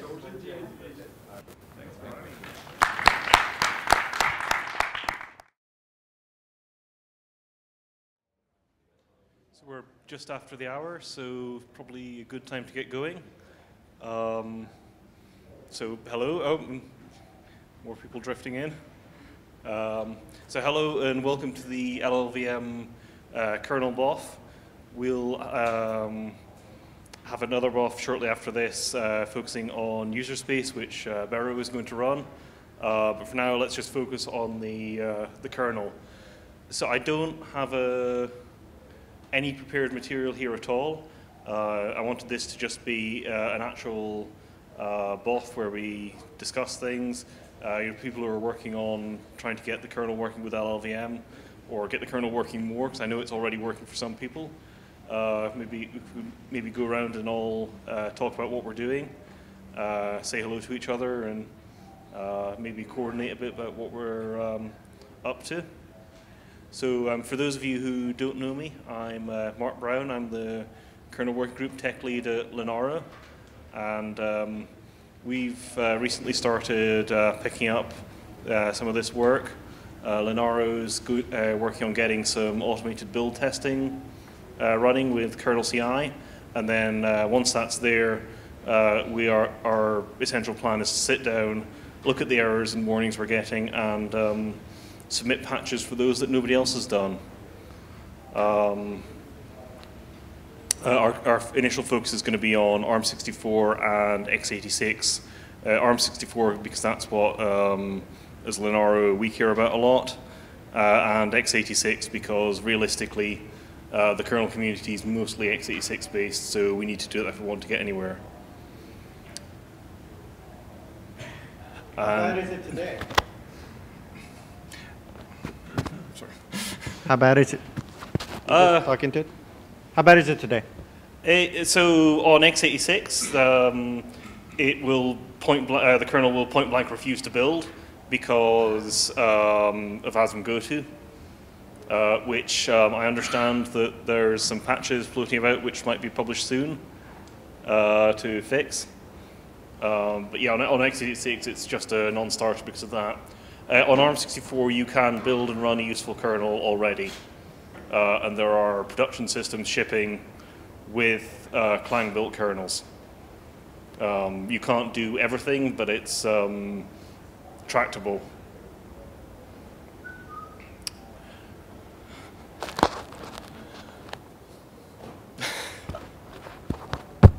But just to throw a spanner in the works, mainline defconfig doesn't build with a released Clang 7.0.0 binary from llvm.org. Uh, there are a couple of missing features there. Yeah, uh, yeah. The, the LSE atomics are um, uh, a big one there. Uh, in good news, is this on? In good news, PowerPC works. Um, so you can build uh, PowerPC 64 little endian and big, uh, some things internal compiler on big endian. Um, you can build 64-bit embedded, and I've boot tested it, and I am reliably informed that 32-bit PowerPC works as well. So for things that aren't ARM and aren't x86, there is PowerPC, and it builds and boots. Yay. Another good news, x86 also works if you revert few patches like the ASM goto. So we, we use it now. It works. We use it for who's we? The dynamic tools team at Google. We use it with the memory sanitizer, which is not upstream, but we build the, and and run and use the x86 kernel built with Clang. So you're working on, uh, are you uh, pushing any of your stuff upstream or? for Clang, or are you just using it? Not much. So we report some issues to Nick and other people. Yeah, but we, we don't we don't yeah, okay. do much fixing ourselves.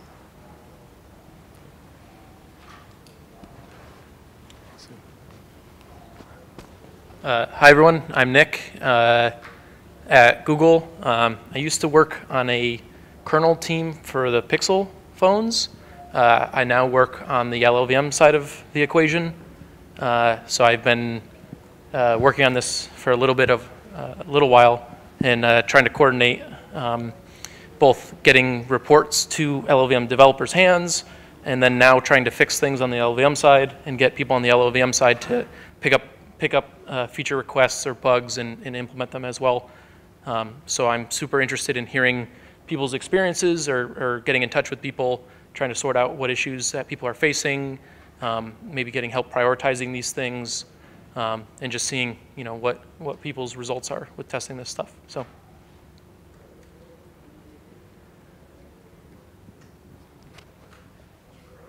Here you go. Uh, hello, uh, my name is Behan Webster. Um, I guess uh, to a certain extent, um, I was around for near the beginning of this this work to, to it's all your kernel. fault. It's partially my fault, and uh, certainly some of you have blamed me for it. But anyway, um, yeah, uh, I don't work on it as much uh, anymore, certainly, and but very very glad to see that so much work is being done. certainly, with many of you that I spoke to years and years ago about this in the first place. So, who's next?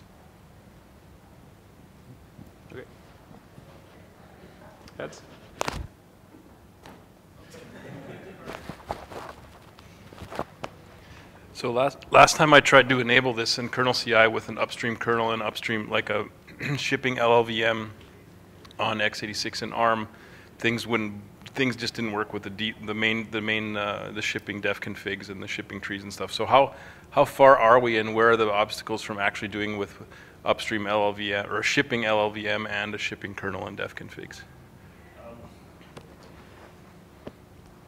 The, um, there's a couple of LLVM features that are uh, are needed. So um, there's the ASM goto thing which you mentioned, uh, SSE Atomics, uh, I think it is on ARMS. Yeah, uh, LSE Atomics. LSE, sorry, yes. Yeah, the LSE Atomic thing is um, special ABI reserving special registers. Yeah. And there's also um, KVM does not work with uh, with with Clang because Clang will generate a jump table using absolute addressing. We need a hack to avoid Yeah. that. Yeah, So- and the, PowerPC, it's mostly just config options. So there are a few things like we don't, Clang doesn't support the vector instructions required to build the RAID stuff unless you twiddle some options. Um, but it's mostly there. speaking to the microphone. Oh, it's mostly there. Yeah, yeah. I mean, th- that's that's kind of the same situation on ARM64. Um, you can turn off sufficient things to get it working, um, but that, that, you know they they are in the def config. There are a couple of patches making their way into mainline, but again, they're mostly there. Yeah.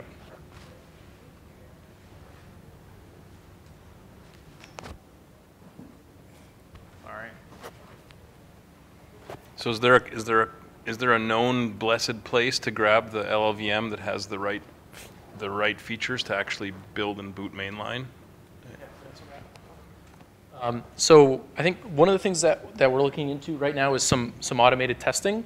Um, and I think the thing that is a little tricky is um, like as, as we need to ship features in LLVM, like how fast can we get those into people's hands? Because LLVM has its own release schedule, um, which is like every six months, I believe they put out a, a major version release kind of thing. So um, for instance, like the LSE Atomic fixes, um, like we've re- very recently implemented them in Clang, but you know, how soon is it until that becomes a published version number is always a question. And then for any given Linux distribution, you know, it takes time for a maintainer to, to pick that up and package it and put it in, in your favorite distribution that works with your setup kind of thing, right? So um, one of the things that, that I started using recently that I've had some success with um, is uh, there's a, a site apt.llvm.org that packages nightly builds of uh, Clang and the LLVM tools.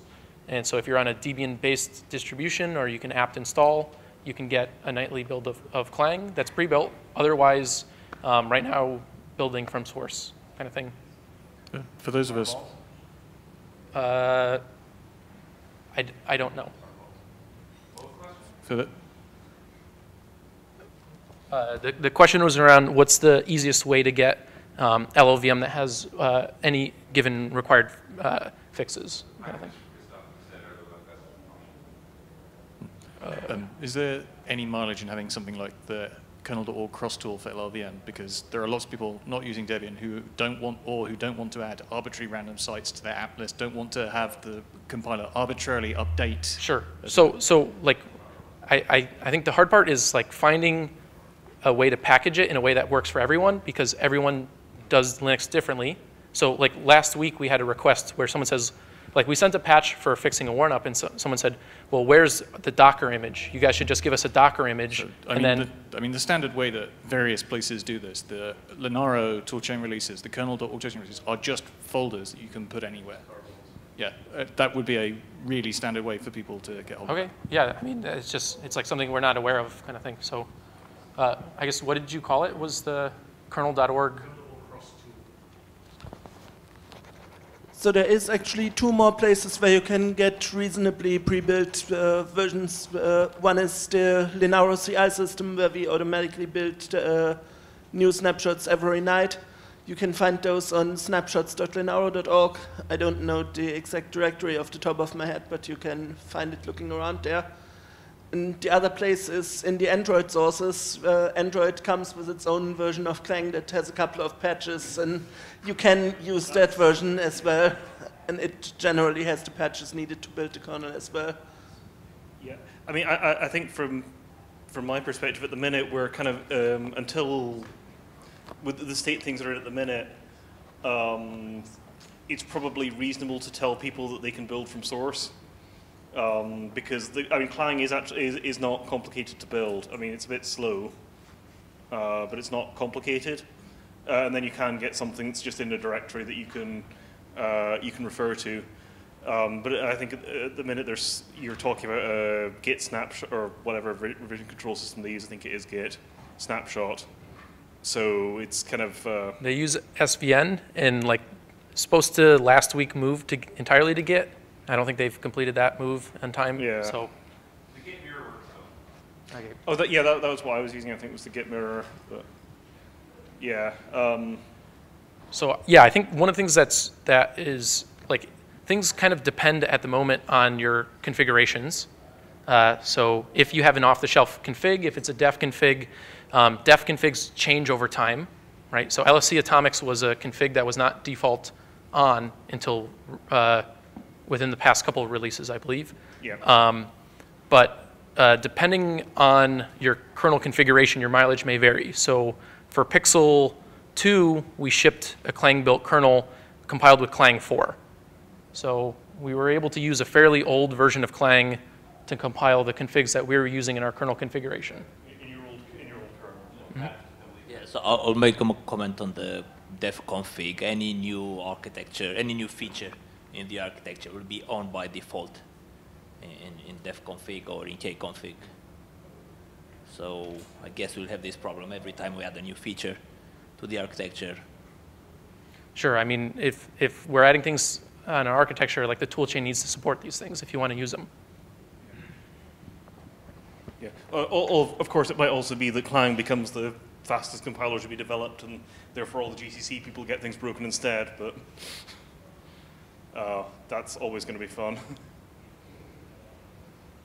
um, so th um, that's where to get the tool chains from. Um,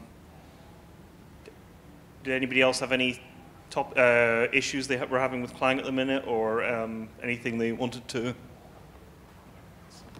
So, so far we're only talking about the C compiler, right? What's this, is there any effort of the assembler and linker and stuff like, especially the parallel linker is actually quite attractive. Uh.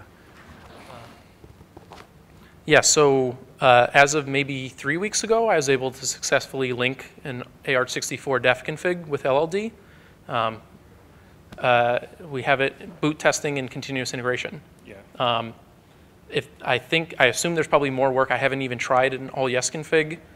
Um, I haven't tried multiple RAND configs um, kind of thing, but I would say uh, it's my personal priority to focus on compiling, then to look at the rest of the cross tools. And my personal uh, feeling on this is that we're closer to be able, able to link the kernel with the LLVM uh, linker than we are to assemble it with Clang's integrated assembler. I think there's a long tail of, uh, of work to be done in, in Clang uh, where, the, where the assembler lives um, before we can assemble the kernel with Clang.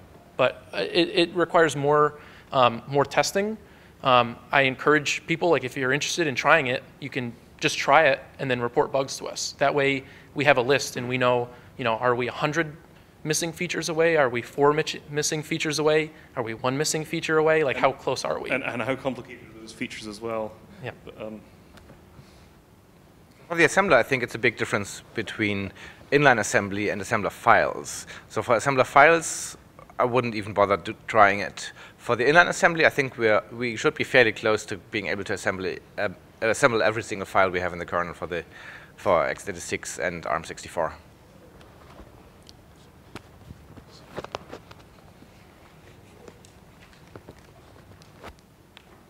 So for the linker specifically, uh, as far as I know, the only architecture people have actually tr actively tried it on is AArch64. And frankly, that was because I wanted to get the kernel uh, linking with LLD so I could have our LLD folks use it as a test case. Uh, please don't ship it in production. Uh, I would, you know, I'm hopeful LLD will make a lot of progress, and we have experimentally booted it on, on dev boards, but me and Nick having booted it on a dev board on our desk does not mean you should be using it. It means if you're interested in developing LLD, this is a very good time to, like, you should throw the Linux kernel at LLD and see what happens.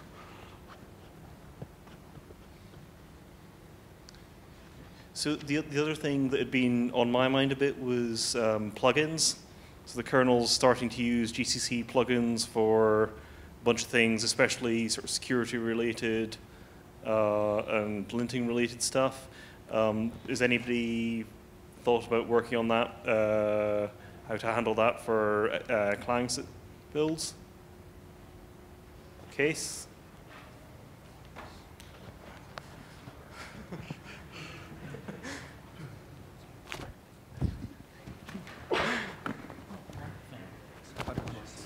check, um, check. Yeah, I can. I can speak to that. Um, right now, no one's really working on it yet because. Um, yeah. Check we haven't had uh, we haven't had sort of a here's LLVM and Clang, here's your kernel, now it builds fine. Yeah. Like, why even bother? Yeah, it's, uh, it's a bit premature. That's yeah. The the the the time spent by people who actually know Clang and LLVM better focused on actually making it work at all. I have a question uh, regarding to performance. Is there any difference between building the kernel with Clang and building with the traditional GCC? Probably. yes. so do you mean build time to build the kernel no, or time to run? The okay. time, yeah. Uh, so at runtime, there's a number of optimizations that we cannot do with Clang at yeah, the moment. Th that's the whole ASM to problem. that's where they're refusing that's, that's to. one of them. There's others. Oh yeah, yeah, I know, but it's it's an example. Yes.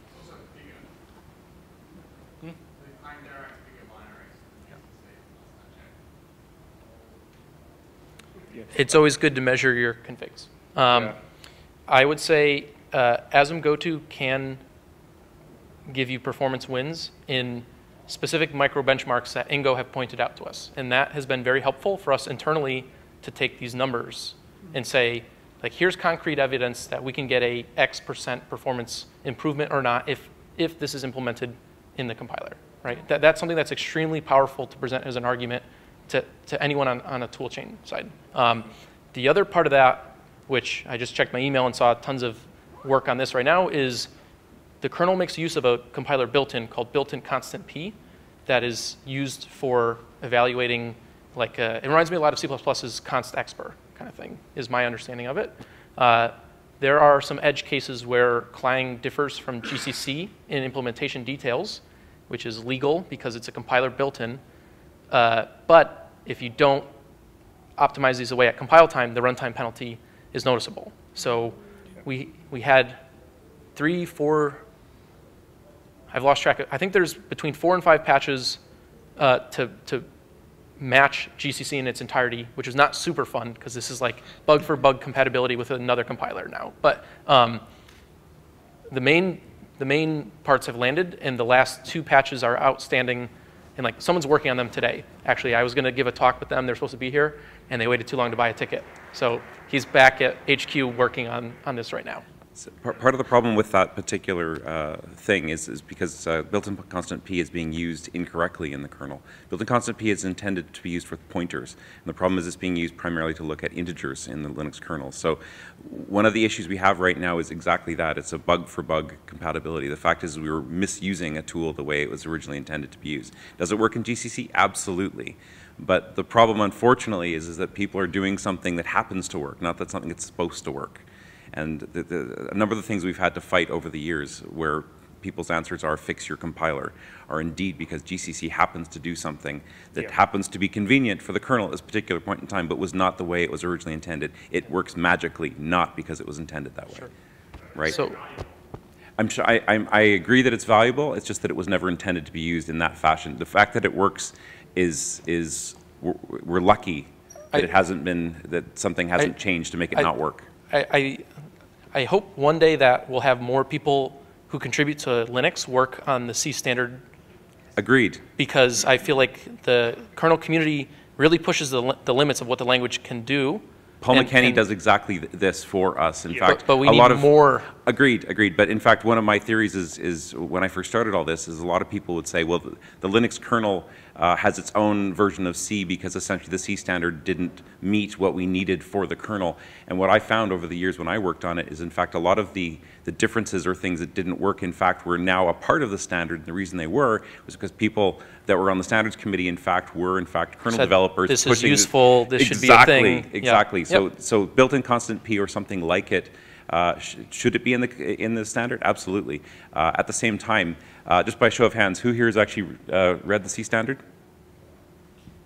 Yeah, that's more hands than I expected. What's the matter? But, but the reality is, is, is, that most people, even if they have read the standard, of course, don't know it 100%. And so the, the, the reality is, is people will compile something, and if it works, they go, ooh, good, this is great, let's keep going. But as people who port things on a regular basis to new compilers know, uh, things break as things get you know, undefined behavior is, is, added, uh, is, is fixed and so on and so forth. And this is one of those situations where we're using it in a way that we shouldn't be. Yeah, it, we need something that does something similar, absolutely, but th this, yeah. Anyway. Like, what, I, it, I mean, it's, it's one of the motivations, I mean, there's a bunch of motivations working on LLVM, and one of the motivations for working on it is to Agreed. cut down, uh, you know, cut down on that and make, or at least make us more deliberate in uh, our decisions with regard to what we're doing right. at the edges of standard behavior. Just talk about plugins really fast, and I know I'm out of the loop compared to some of the other people in the front row, but um, a number of the plugins that I've seen at least go through that are being used on the GCC side, in fact, were ported from Clang. So, in fact, some of those those plugins, in fact, are available. Whether or not they're plumbed in yet, of course, to to, to, to yeah. you know, the, the point that we should be spending time on other things at the moment. And, uh, uh, yeah, and, and Kees's point that, you know, uh, until we can actually build and run the kernel reliably and usefully. Uh, absolutely. Yeah, you always have this chicken and the egg thing. So Case like, is absolutely right. Al Alexander uh, Popov, who's working on this, like, I would love to have this implemented in LLVM. If it was implemented in LLVM, I would get it in Pixel kernels as soon as possible. Right. Right? It's just like we need to get resources, people developing building features on top kind of thing, um, and having it built in the first place. Um, just a, a, like a fun anecdote for like a recent bug for bug compatibility thing we had to match with GCC was uh, named registers. Uh, oh my God, that so was awful. So in, in C code, you can say, you know, int foo, I would like you to always use this register for it. And uh, the idea is, what happens if you're building for a 32-bit ISA and you exactly. say, I want a 64-bit variable, put it in a register. Exactly. Well, where's the other half of that, yeah. that we, word go? We fixed that partially, but they would only fix it in a very narrow case. And, yeah. yeah. Well, we ended up having to match of course. how GCC and, and picks the next register. Exactly. Oh, that's not fun. That, that's used for uh, system calls if you have a 64-bit variable, 32-bit so we, ISA. we had to work around bugs in GCC implementation of that. Sounds like a fragile thing to bugs depend on. Just GCC bugs that were they le legit bugs, not just changes in behavior that happen to break us. No, that. Do you, do you, know which which version did it change in? Because I want to make sure we are not. I think 4.5 is fine. Based on the wrong one. Yeah. okay. Uh, anything that we can build the kernel with is fine. Okay. Yeah, 4.5 is too old. yeah.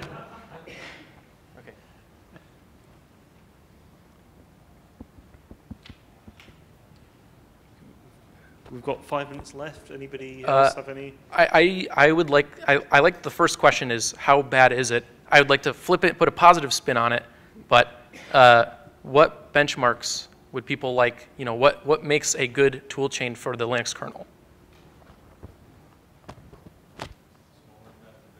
The number one thing I want personally is all of the sanitizers that exist in Clang, that kind of feature, which I'm repeatedly told are much better under Clang, but then I can't build a working defconfig kernel, so I give up at that point.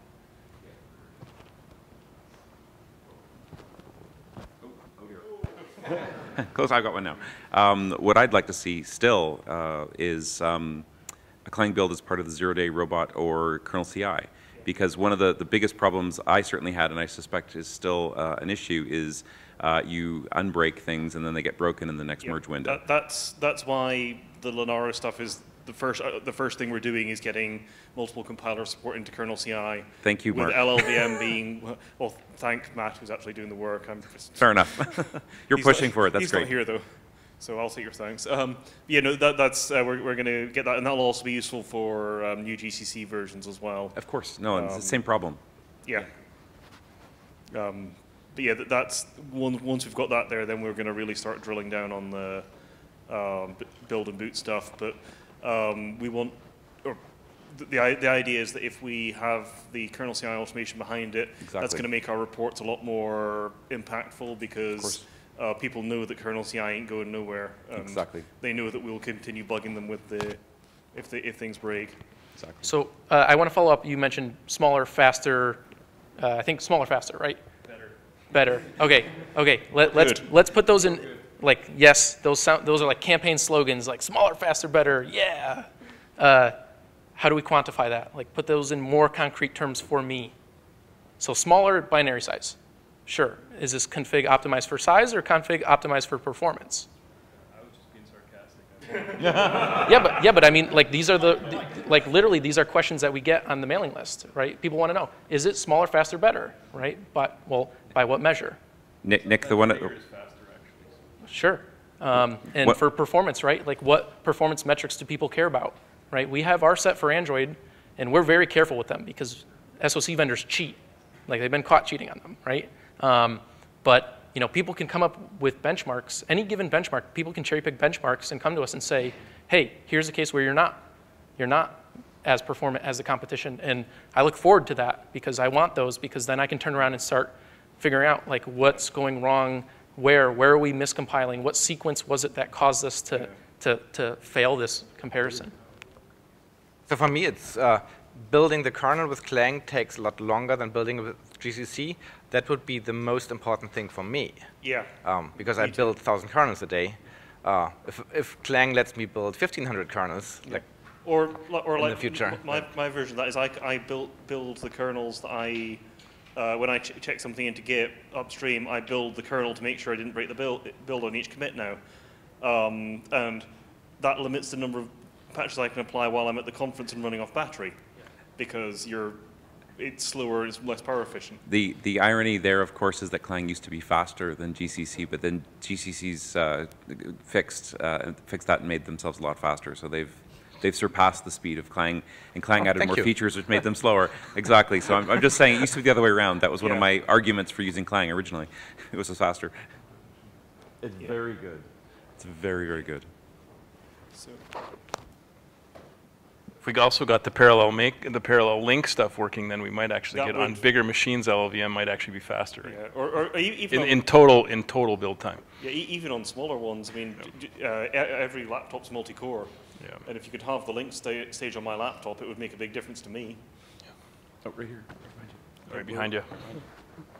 Uh, just the point that part's independent. You can use the linker with GCC objects, or so you can all four combinations should work. Um, so we're at the half hour, so it's uh, at the end of. T- is there any final thing anybody wants to bring up? Nope. Uh, for You go. linking, I'm- I think, sorry. Uh, For linking, I mentioned that our ARM64 def config is linking on, you know, top of tree build of LLVM, uh, LLD. Uh, I think x86 def config is about, um, I think there were four separate individual issues, two flags that I think can be removed from uh, kernel makefiles because they're redundant or implicit defaults. Um, and one that's been picked up by the LD maintainer, and I think one other that I'm losing track of. But that's the rough order of magnitude of how many issues there are with LLD on x86 for. And to be more explicit about the earlier question, if anyone has a benchmark that they think is important, please let Nick or me know so we can run it. And I'm super happy to answer questions or get in touch with people afterwards. Please come find me. Yeah, li- yeah, likewise. Um, so we're, actually over time now. So Bero, do you want to take over for the uh, user space part of it? No. So, obviously, I'm not going to kill anyone for continuing to talk about kernel issues. so essentially, we can just keep going. Is just moving the focus to userland.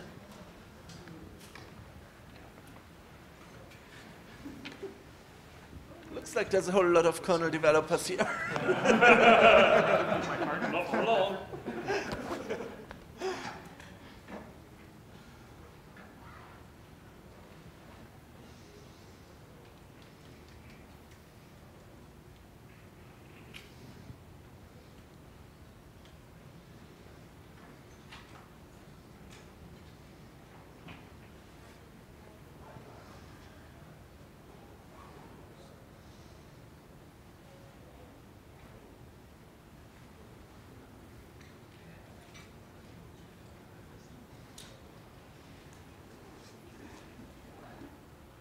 Okay, looks like people are done leaving and coming in. So essentially, let's continue for uh, what we were talking about in the last session, just moving the focus to userland.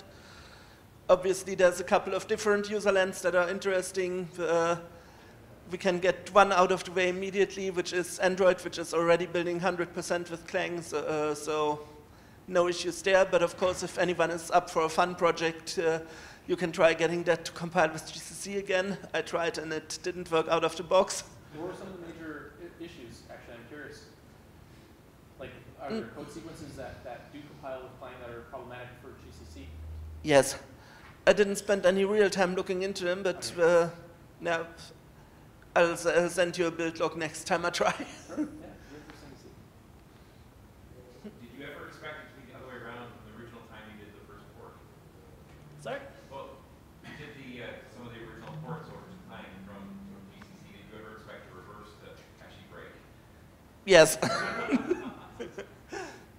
And obviously, it's always good to have two different compilers or even more, uh, more than two compilers to, t- uh, test stuff with. And uh, I've never been someone who hated GCC or hated Clang, so I'm all in favor of uh, patches that make both toolchains work. Um, I have a question. How much work do you spend on optimization for, for specific architectures and Clang? For example, I work in glibc for optimization for Intel platforms, and we work for X, for AVX stuff, AVX2, ABX212, and it's a lot of effort. So I don't know how much work do you spend on those kind of things, but for Clang and LLVM, now in the user space. So, um, is anyone here actually uh, working on the Clang optimizers uh, most of the time? Apparently not. So that might be a good question to take to the mailing lists. Okay. okay, let's uh, talk about the more interesting user spaces in the Clang context. One thing that is still making a lot of problems is trying to get glibc to compile with it.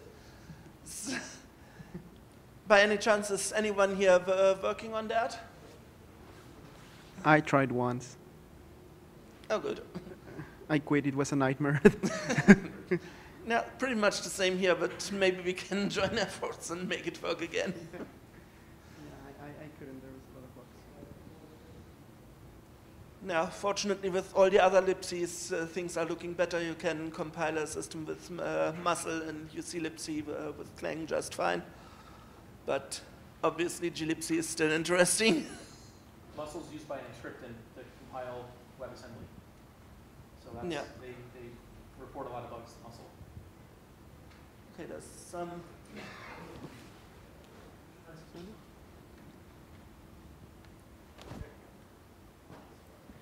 Uh, there is a there's a branch on sourceware, official glibc source code, that is maintained by Google, but uh, they do not approach di- didn't approach ups, us upstream yet. So they keep pushing patches. There are recent developments on that branch, but Google just keep for their own and does not seem interested in helping us to narrow down what the issues are to build with Clang. So I think it's possible, but uh, we didn't get any uh, information on which is are the which are the issues that Clang has currently.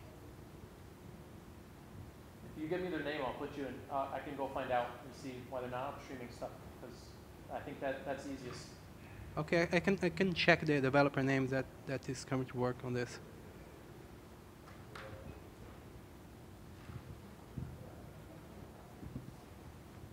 In terms of security, for example, recently uh, in glibc we implemented the CET control flow enforcement technology support. Is there any plan for building that also for the Clang toolchain? Like in terms of, it's against ROP attacks. Yeah. Um, so, uh, for instance, um, Clang has. Uh, so I, I didn't implement this, and I'm just speaking about what what. Uh, um, but uh, so there's two things in LLVM. One's called CFI, is preventing forward jumps uh, to indirect targets that were not known at compile time. Uh, and then there's uh, shadow call stack for protecting and, and I think they're roughly analogous, but they're, they're, in, they're in Clang, and I think uh, they'll be turned on in Android pretty soon.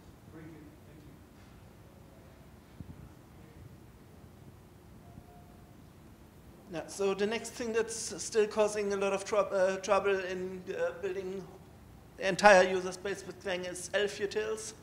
There's a couple of uh, nested functions in there and a couple of variable length arrays and structs.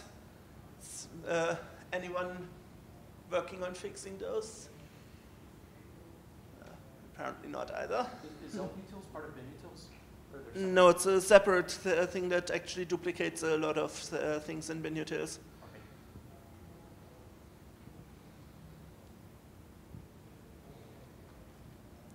Now, another package that frequently causes problems when trying to build the entire user space with Clang is glib, which uh, uses asm goto.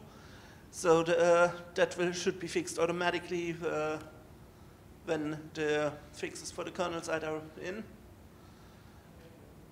N- Also, on the glib side of things, there's a tool called GIR Scanner uh, that doesn't work with uh, Clang LTO files. But uh, obviously, the workaround for that is to, uh, to just disable LTO for those files. But that's another thing. Sorry, you're saying it scans object files, or Yes. LTO does not work with Clang on those files? Like- No, the, uh, that tool scans object files and has no idea how to Oh, handle. LLVM bytecode. So, Yeah, yeah, uh, Yep, yep. I mean, I don't think there's anything we can do on the LLVM side to. Right. Like, other than rewrite their implementation to understand our intermediary representation. Exactly. What, what's that tool called? Uh, G-IR-scanner. It's uh, part of the glib stuff that uh, generates the symbol maps for object introspection. Have you tried the Clang with OpenBLAS? The, the, the, the Merrick, it's the core library for many of the NumPy, SciPy, and other stuffs for machine learning stuffs. Usually when we build or rebuild the world, every time the glibc change or GCC change, that is one of the things that, the core of that thing is in Fortran. So I don't know if you have tried building that library, OpenBLAS, with, with Clang or LLVM toolchain. So anecdotally, if it's part of NumPy and SciPy, then it must somehow build because it builds on Macs, and Apple has not distributed GCC for many years. Like GCC literally just symlinks to Clang. I don't know what kind of hacks they may have in place to make that work, but it does. OK. LLVM has multiple Fortran front, front ends though, and that was it. Uh, so there's at least Flang is a front end uh, for lowering Fortran to LLVM IR. Uh, and I think there was discussion at the latest LLVM developers conference in the United States um, about either rewriting it or developing a second one. Um, but I think for high performance compute, a lot of people are interested in, in Fortran. Yeah, another thing that I know works is compiling the Fortran related parts with GCC and the C related parts with Clang and then just linking them together in the end. Binary compatibility is good enough. If you're really desperate, there's F2C as well, which works. Stunning endorsement. okay, okay. So the good news is that uh, this is already the uh, entire list of packages where uh, we still have known problems, outside of some packages that aren't really uh, the matter of this conference, like a few games. But obviously there's a couple more components in LLVM that we may want to look at, like libc++, a replacement for libstdc++, I think nobody is really using that in the Linux world uh, because of binary compatibility issues that can get really bad uh, when, for example, you're linking the system libraries of Boost or Qt or something to libc++ and then you try to run a binary-only application that has been linked uh, to libstdc++ on another distribution. Obviously, that's going to cause symbol clashes and just, no, with almost certainty a crash on startup. But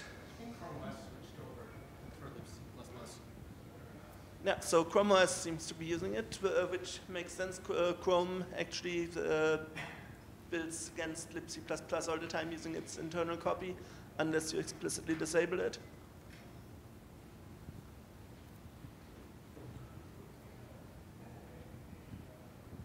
Is anybody um, using Clang to build GCC and or vice versa?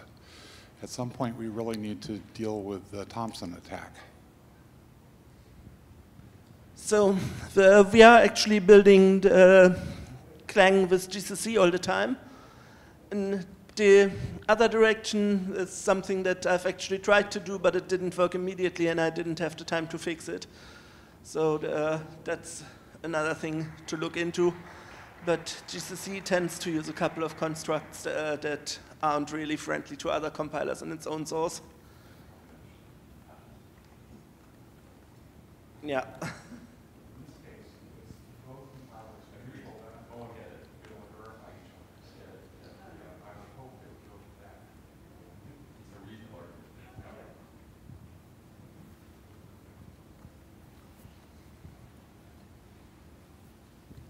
How is Clang working with Auto-FDO? Since Auto-FDO is a technology that came up from Google, um, it works fine in GCC. It came up with good performance optimization at some point, but I don't know it's like super special with superpowers in Clang or LLVM.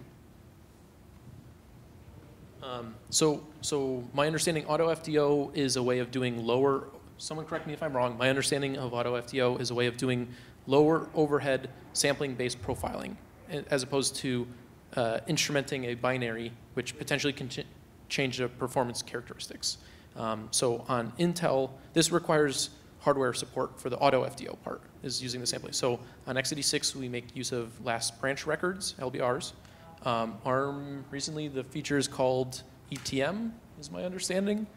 And I believe, my understanding is that there's some kernel work like that re is required to hook that up to expose that up through user space. So, yeah, um, the CoreSight stuff, um, including ETM, is that's all upstream. There's um, some.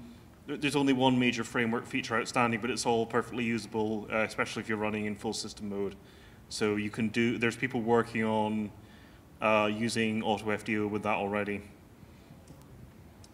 And um, I think uh, we're we're interested in, in using it on on ARM platforms uh, for, for our various devices. Um, I think one of the things that's tricky then is once you have that in place, anything that relies on sampling can be a double-edged sword because if you're not measuring something and you don't have profiles for it, right, you might make the wrong call, optimization call.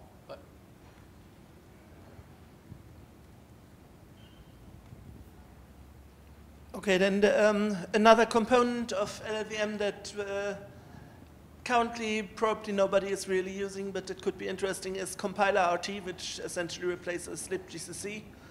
It's kind of similar to the libc++ situation. Most people just aren't using it because they fear compatibility issues. But in latest versions, compiler RT exports a couple of symbols that aren't in libgcc, and uh, Clang can generate uh, those and actually probably generates more performant code uh, when it's using compiler RT instead of the libgcc. So, is anyone working on that? Uh, or maybe uh, finding solutions for the problem? Um, so some of my teammates on Android LLVM side are working to ship uh, libcompiler RT. The alternative is libgcc, is a lot of like your built-ins and uh, various parts of the runtime um, that aren't part of the, the libc uh, runtime. And I think one of the issues that we're running into has to do with um, symbols being re-exported from libgcc, from libm, that weren't intentionally exported, but happen to be, uh, is my understanding of, of the problem. So tracking some of those down uh, is, the, is the current thing, but we hope to have that soon, at least on, on Android.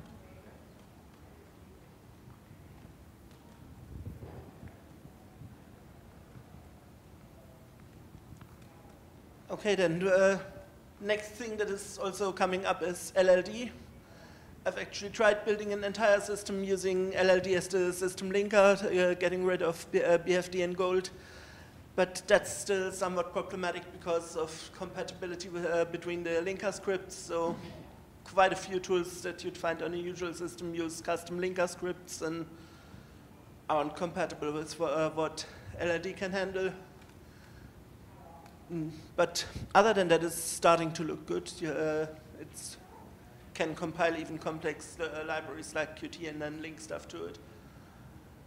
Is anyone working on the, those problems?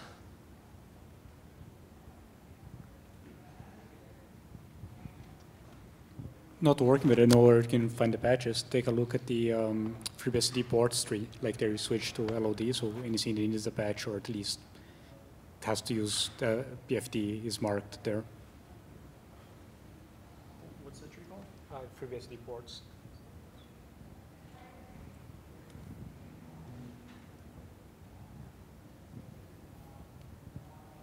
Okay, looks like we got pretty much everything covered. Uh, does anyone have any other topics?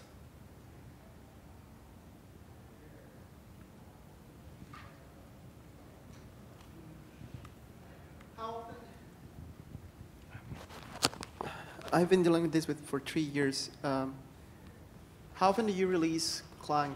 Uh, for example, in GCC, we're used to every April, May, we have to rebuild the world in an operating system. But in Clang, how often is your release? If, if I move, for example, my entire operating system to be built with Clang, in, in what is the season of the year of the fun of rebuilding and stuff and so on? It seems to be uh, on roughly a six month release cycle, but uh, I've seen divergences in both directions. So I guess you can assume uh, six months and then adjust it a little. Now, also one thing that's uh, frowned upon on the GCC side of things, but that is actually welcomed by Clang people more, is just using a snapshot instead of a released version there's a lot of users of the stabilized snapshots that aren't based on an official release version in the Clang world, while the GCC people would tell you not to do that.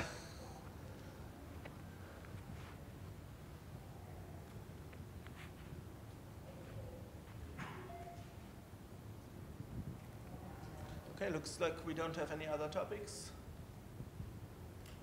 Thanks for your attendance.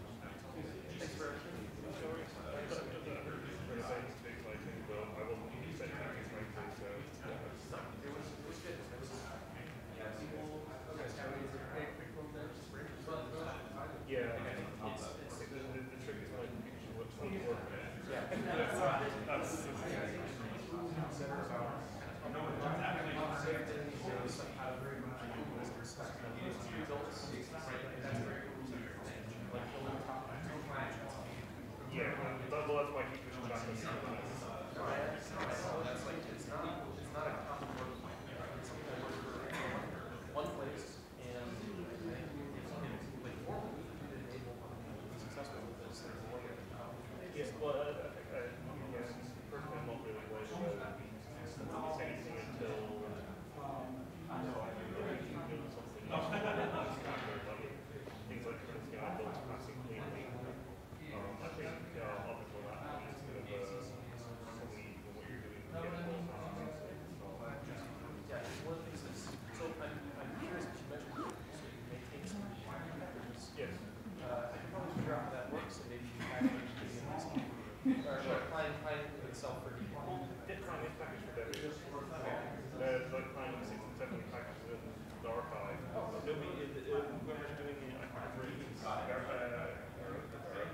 Dildo.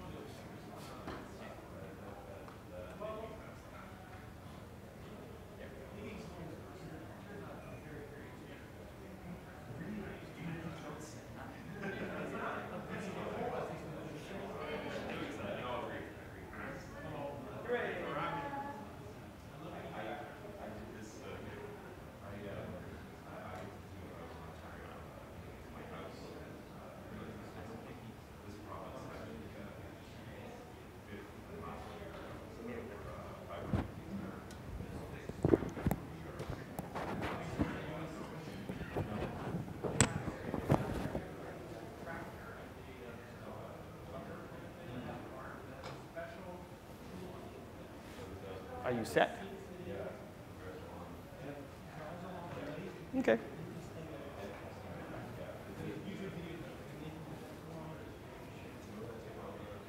Are ready to go? Okay. Well, we're about five minutes after the starting time, but I thought we should probably get started. Um, this is titled as a BOF. Um, how many of you have heard of Gen Z?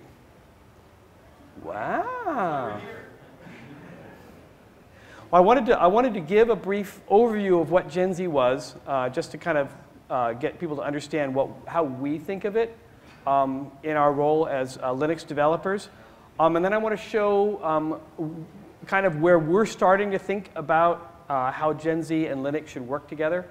Um, there are a lot of things you can do with Gen Z. Uh, we're trying to make sure you can do all of them. Um, I'm here with my with actually the, the core Gen Z development team at HPE, Betty Dahl and uh, Jim Hull. Um, uh, if you guys have uh, questions, comments, it's supposed to be BOF-like in, informal. Um, and so if you want me to stop presenting and just chat about stuff for a long time, that's perfectly fine. Uh, but I thought if we, had, if we had some material that, to kind of uh, set, the, set the stage, people kind of get an idea of what we, what we expect to be, uh, what we're thinking about, um, and how we're kind of getting this, uh, this effort kind of rolling. Um, so first off, Gen Z is a system interconnect, right? It's a system interconnect like PCI or UPI or, uh, or InfiniBand or Ethernet. It glues parts of the computer together. Um, Gen Z is designed to scale from you know, point-to-point -point links between a processor and memory all the way out to a data center. Uh, so it's kind of a big spec. How big's the current spec, Jim? A little over 1,000 days. Okay. The core spec. Um, I, I, remember at a, at a kernel summit many years ago, um, Linus complained that the UEFI spec was, was so long and he said that he was unwilling to read any spec that was longer than the King James Version of the Bible. Um, so I think Gen Z is approaching that. Um, there's a lot of stuff in there that, un unfortunately, it's got kind of everything in it because uh, it, it, wants to do a lot of different stuff and a lot of functionality. Um, and I think it's going to take us a couple years to kind of get an idea of what parts of it are useful in what kinds of environments because uh, it can do so many different things. Um, it's designed to be switched or point to point. It's supposed to be a memory semantic fabric. That means that you can actually do byte level load store access over this fabric. Uh, so like PCI can, right? PCI is a memory semantic bus. Uh, you can do loads and stores over the PCI bus. Um, InfiniBand is not a memory semantic fabric, right? You can't do loads and stores, addressable loads and stores over InfiniBand, except using some of the verb stuff, which is more of a DMA operation. So InfiniBand is kind of midway between Ethernet and PCI in terms of what its capabilities are. And Gen Z is all the way over in the, yes, we can actually do, we can map a remote machine's memory into my process and do load and store access from my, from my application to, to memory located in a remote machine. Um, if you remember about the, the machine program we talked about years ago, a couple years ago, um, the fabric in that was a prototype of some of this stuff. Um, and so a lot of the capabilities we, we, were talking about in the machine are enabled by this particular memory semantic fabric. And so when you build uh, systems using Gen Z, you can get a lot of the functionality that we were talking about in a, uh, in a heterogeneous, multi-system image, massively shared memory machine. Uh, we're building systems like this right now under contract uh, to the government, um, and we're, building, uh, we're looking at building some of these things commercially. Uh, so Gen Z is, unlike PCI, uh, Gen Z is packet switched. And that means you take uh, chunks of data, put it in a packet, and throw it into the fabric, and the fabric routes it to its destination, and then a reply packet may, may wander back uh, along the same routing. That means there's routing and addressability and subnetting and all those kinds of questions. There's multipath questions, and there's uh, what, do you do when you lose packets and that kind of stuff. You're talking about congestion control. And so you, you, you, talk, about, um, you talk about something like uh, PCI where it's pretty simple in a lot of ways because PCI is a simple tree, right? You got a, you got a hub and you've got this tree, uh, tree structure, which, which simplifies a lot of the routing questions. Or you look at USB, which is, really is a tree. It's you know, a, a single, single hosted thing which controls all the routing in the system. Uh, those are very simple, and in Gen Z, we're talking about having uh, an, an, a, a, a, fabric that doesn't really have any particular controller or particular root of the tree. Um, and so you can kind of connect things however you like.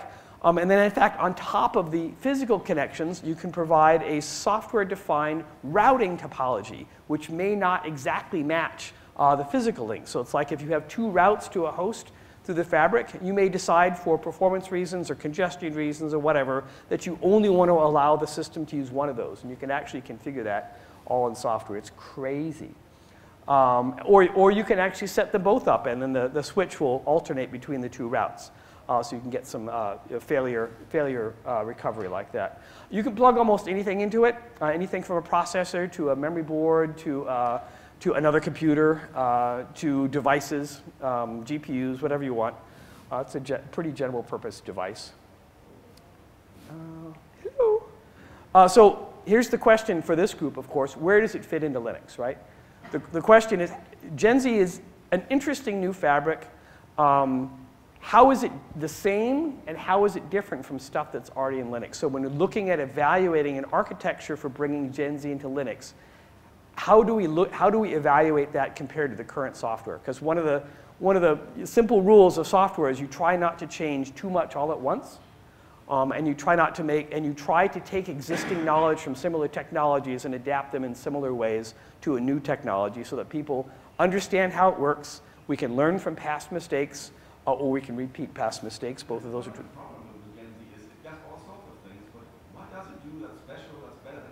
Exactly.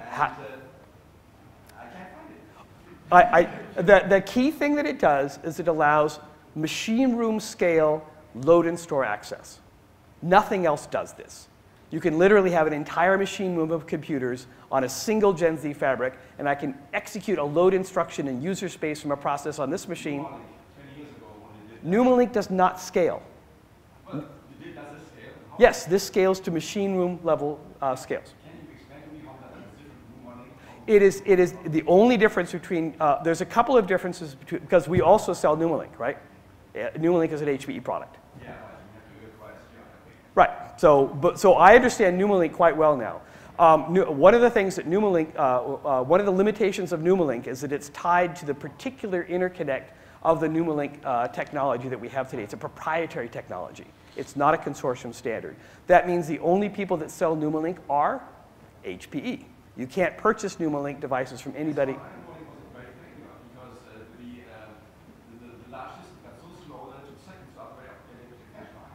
Um, so what? Oh, we actually have a microphone here. Yeah. Yeah. So let me describe how it's different from Numalink. Um, so Numalink is a uh, Numalink uh, connects the UPI or QPI links on Intel processors together. Uh, that's what it does today. Um, which, which means that you have uh, the limitations of QPI or UPI, uh, so you're not directly connected to the processor, you have another level of indirection. Um, that means you have additional latency in the, in the transactions. Uh, Numalink is also currently uh, physically defined by a copper-only media, which means that the, the connection topology is very limited. Uh, Numalink currently scales to two racks. That is it. You can't go beyond two racks for Numalink. It, the wire, you can't make the wires any longer. Yeah, okay. Right? The signaling doesn't work. Um, and so uh, Gen Z is defined as both a copper standard and, a, and an optical standard. Um, and we have, uh, we have a, a low-cost optical technology that we're working on, and that lets us get further, uh, much greater distance. Um, Numalink is also not switched, right? It's point-to-point, -point. kind of semi-switched. Whereas Gen, whereas Gen Z is software definably, it's routable. So I can actually scale to multiple levels of switches, uh, obviously with incre increasing latency, but that's what lets me get to bigger scale right? Numalink is only a memory transport technology. It doesn't define uh, uh, transfers for device information. It doesn't, uh, doesn't give you a, a, a, um, a, general packet transport, right? So it's very limited. It's defined, uh, it's defined as a memory interconnect, right? So that's what it's for. It's to make big NUMA systems, NumaLink. Right, right? Whereas Gen, Gen Z goes beyond big, that. build a big NUMA system with InfiniBand. There's a company that does that. Right, so InfiniBand doesn't do load store access. InfiniBand has DMA access, but it yes. doesn't do direct process load store. So it works with ScaleMP, for example, does that? What? ScaleMP does that. Yes, but, the, but that only by, only by using DMA to copy data around yes. instead of doing direct access. Mm. So it's different capabilities. Well, it's basically the same thing. Uh, and you, InfiniBand you is also not is also not capable of doing devices. You can't put devices on InfiniBand. InfiniBand is a host-to-host -host interconnect. Yeah. You need this? Absolutely. You're describing an either-or problem here, which is already being experienced for at least a decade with persistent memory. Yep. Uh, and so my suggestion, where does it fit in, uh, belongs with the uh, originator of the idea to make up their mind on what it is. Yep, Um, absolutely. So that's, that's my opinion. Well, so Gen Z is, the, the other interesting thing about Gen Z is it's a fairly large consortium at this point. Uh, I think 60 members? 60-ish large corporation members, probably most of the companies that, that you know of in the hardware space are members of the Gen Z consortium. So the hope is that there will be enough of a marketplace there uh, that will start to see interoperable products in the Gen Z space uh, that start to, uh, to, start to show the capabilities of the system. You know, me, I'm just a software engineer. I'm, I'm you know, paid to do uh, development of Gen Z drivers in Linux, and my employer is happily paying me for to do that. I have no idea where the market is going to take this thing. It's a huge spec. It does a lot of stuff. I think you can understand that it does, uh, it does more than any one existing fabric does today. I have uh, one more question. Yeah. Uh, I didn't see it on your slide yet. Uh, what's the coherency story?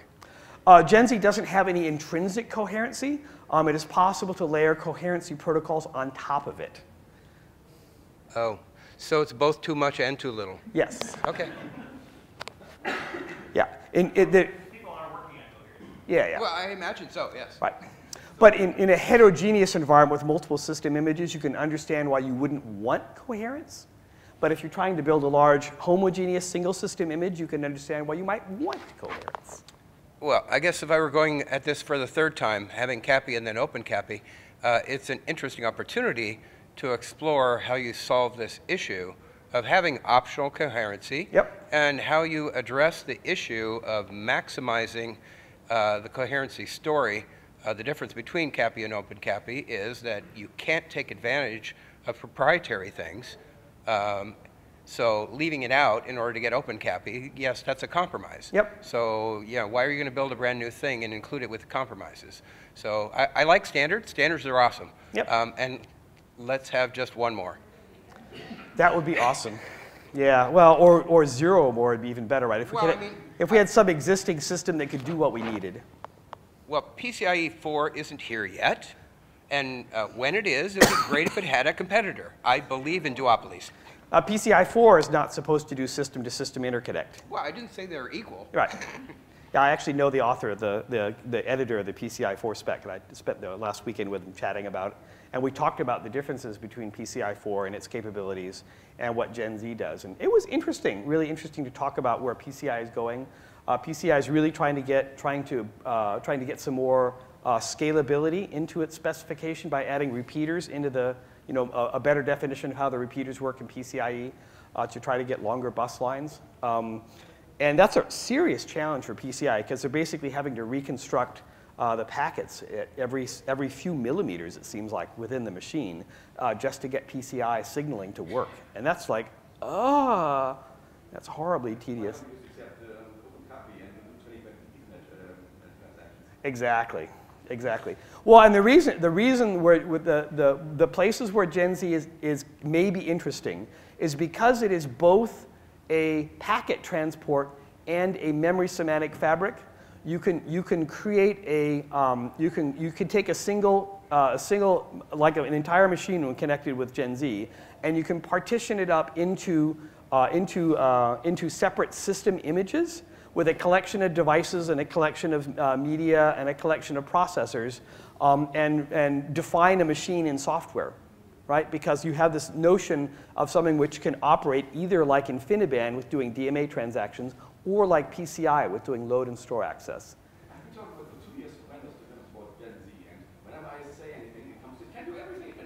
Yeah. There isn't any hardware yet. Uh, the, it, the reality is that it, it, right today is the PHYs that Gen Z is using and specified for are the same PHYs that we use for InfiniBand. Right? So it's, it's going to be the same speed as InfiniBand. But because you're allowed to do different kinds of transactions over it, the kinds of, the kinds of software you can write are different. Right? Uh, you can talk about defining enormous, enormous in-memory databases and, and, and avoiding, avoiding, uh, avoiding the, the verbs uh, construction of packets back and forth across the network to transfer data uh, at a packet level. And you can start just doing load and store access, which is lower latency typically because you don't have to get into the kernel and transfer packets around. You're just doing, you're emitting a, a processor instruction which ends up on the fabric. So it is, it, it's an interesting idea. And so I'm not, I'm not here to sell Gen Z, right? I want to explain what it is and talk about what we're doing to get it into the kernel uh, because for it to be successful in the kernel, you, I'm, I'm, we're going to need to have kind of a consensus that yes, Gen Z devices may exist. Uh, we want them to work in the kernel this way, okay? So I'm not, I, I, I think in arguments about whether it should exist, that's, you know, that's a marketing problem. That's not my technical problem. Um, it has some interesting technical challenges, right? It's a you know, crazy new fabric. Um, and so just like, just like we worked on Itanium for 10 years, it had some interesting ideas. Um, it, it, ended up not being as successful as we might have hoped. Um, you know, maybe this, what? Exactly, exactly. And, and we, are, we are building hardware with Gen Z in it today for sale for a real customer. So, yeah.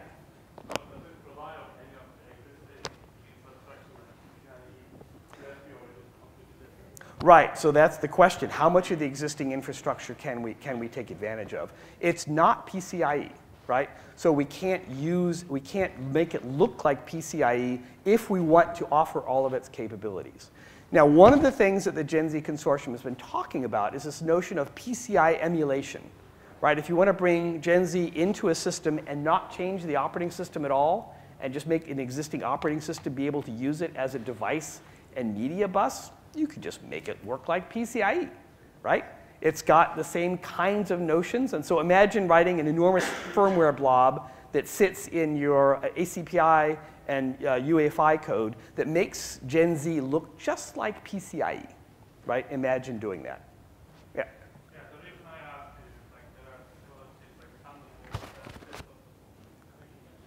Yeah. Could I reuse some of that infrastructure? I hope so, absolutely. And so that's what I'm going to talk about, how it looks like uh, PCI and USB in particular. USB is obviously not the same kind of performance notion, but it has a lot of the same kinds of topological notions. And so it's interesting to compare Gen Z and USB for the topological similarity, uh, and, uh, which, is, which, turned, which has been useful in our discussions internally about how are we going to hook this thing up, right? Uh, not in terms about how you're going to use it, but how are you going to manage it. So you talk about management and, and, uh, and actual use of the fabric as separate notions. So you talk about a Gen Z bridge device. Well, the Gen Z bridge device takes, a, a, uh, takes an, an endpoint and connects it and, and, connects it into the fabric. You know, it's like a PCIe root complex or uh, a USB host controller interface. That's what, a, that's what a Gen Z bridge device is. So when you talk about a Gen Z switch, well, in PCIe, those are also called switches. And USB, that's called a hub, right? You have one uh, a way of taking multiple devices and, and communicating with them over a single link. We talk about Gen Z components, well, the Gen Z component is the fundamental hardware thing that can connect to the fabric. So PCIe, that's called an endpoint, and in USB, that's called a host or a device, right? So uh, when we talk about um, when we talk about the fundamental elements of Gen Z are components and links, and um, there was one more thing, I forget. Uh, and the components get linked together, right? And uh, and uh, switch is just a component that has multiple multiple links coming out of it and can route packets between them. So a switch is just another Gen Z device, a Gen Z component, and it's managed just like all the other Gen Z components, and you can configure it to route packets however you like. So unlike P USB, where the hub is kind of special, uh, and Gen Z switches are pretty, pretty generic. Yeah? Uh, what will the minimum latency penalty be of sending a load or store over Gen Z compared to? It depends, right? It depends on how slow your switch is. We're, we're, you know, we're, talking, we're talking on the order of you know, tens of nanoseconds for switching latency. But yeah, I, I don't know what the actual values are going to be until somebody builds something. It is designed to be switched, unlike Ethernet or unlike uh, IP, which is designed for in some bizarro way. In, in, particular, the addressing comes pretty early in the packet, so you can route without having to store a lot of data. Um, We have, Gen Z has a notion of subnets. It's kind of a soft notion. Uh, you, don't, you could instantiate an entire Gen Z fabric as a single subnet um, and try to figure out how to get routing to work within that. Or you can actually create subnets, and that allows you to do, uh, do some kind of routing construction. You talk about USB as having, um, USB as having uh, hubs, and you have all these uh, ad addresses being, you know, this hub to this hub to this hub to this device. Well, in Gen Z, you don't have to have that explicit a routing uh, from the source. Uh, each switch is configured uh, to say, when I get a packet with this uh, subnet ID, it goes out this port. Or if it's on the same subnet as me, then if it's this component ID, it goes out this port. And so each switch is configured in this very straightforward fashion with a flat table of subnets and a flat table of, of component IDs. It's a pretty simple uh, notion of routing, but it does allow some flexibility. And it allows, again, uh, the host. So the complication here is that because the SID and CIDs, those subnet IDs and component IDs, are are, are softly definable. They're defined at runtime. And because the routing can be specified in a lot of different ways, unlike USB where the routing is specified by the hardware, it's like the routing to any particular, there's only one route to any device in USB because it's a straight tree. Uh, in Gen Z, you can have a fabric, and so you can have multiple routes. How you set up the routing is, is not determined, cannot be determined automatically. It's a policy decision. So this was the first place where we said, wait a minute, where do we want to do policy? Do we like to do policy inside the Linux kernel? Right? We don't like to do policy in the Linux kernel. The Linux kernel likes to say, no, I don't do policy. Policy is done by somebody outside of me. So when we started looking at stuff like this, when we started thinking about how, how we wanted it to work in Linux, we started thinking, wait a minute, we need to do some of the management of this fabric in user space. Yeah, exactly. Uh, in the Gen Z spec has one uh, component on the fabric as being the fabric, the fabric manager, um, and, then there's, and then there's a backup if that one can't be reached. Grant, you have a question? Yeah, so simple. You can explain. So you talk about routing a lot. Yep. About routing a lot. Can you explain how uh, probing and discovery of devices goes? Because PCI has a whole discovery protocol yep. of how to discover devices. So does USB. So does Gen Z. And so does Fiber Channel, and yep. so does InfiniBand, and yep. of course. So how does it? Can you, can you give a little flavor on how that works? Uh, Jim, why don't you talk about that? We'll get you well, a mic. We can fix that. Okay. Um, so the discovery happens, but you start out with some device that you're connected to. If you're on a CPU, that's the bridge, as you talked about. So you, you, you know where the bridge is. You find that by some other mechanism, like PCI. Maybe it's, you know, it appears as a PCI device, or maybe it's in ACPI. But you've got a connection to your local Gen Z component. And um, you will cause it to, to it, it, has, it has something in it called control space, which he hasn't talked about yet, um, which is on the order of PCI config space, the same kind of idea. It's, it's a place that has defined architected structures in it that you can talk to, and you can find out how many interfaces your component has. And then you can, you can cause a packet to go out each one of those interfaces, and you can find out what's on the other side of it, assuming the link is up. And once you've done that, um, maybe it's a switch and you want to talk to it. Um, so then, then there's this concept in Gen Z called a, a directed relay, where you send the packet to that switch, and then it sends it out the, the interface that you want. And so you, you basically build out one step at a time, discovering the entire fabric by using these control space accesses and sending packets out the designated uh, interfaces. Does that make sense? Okay.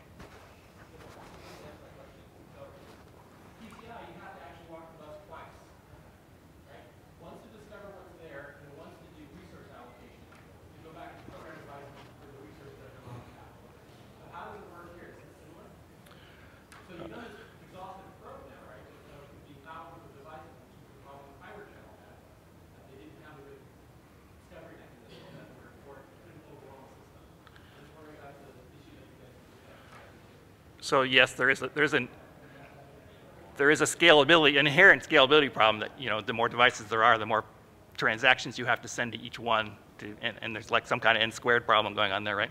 Um, yeah. So so as, as Keith said, routing is done completely by um, SID and CID, the subnet and component IDs, totally separate from addressability. Um, in Gen Z, every component you discover has a 64-bit data space of its own. Um, in terms of mapping that into the address space of the, your host on the original side, Gen Z has this concept called a ZMMU, a Gen Z Memory Management Unit, which basically says, given some physical address on my local host, what component ID and address do I want to send this to? So that's how you map remote objects into your address space. So instead of the resource allocation being done globally across the entire fabric, the, the, re, the address space allocation is done locally per component. Each component sets up a mapping from its physical address space to the global Gen Z address space, which consists of a subnet ID, a component ID, and a 64-bit address. So you have 32 bits, uh, 16 bits of subnet, 16 bits of component, 12, bits of 28 bits component, total. Um, and 64 bits of address within that within that uh, within that component. So then you map that into your own local. So unlike PCIe, which has a single address space for the entire thing, right? We have one address space per component. So at least we don't have address space allocation that you have to talk to the devices about.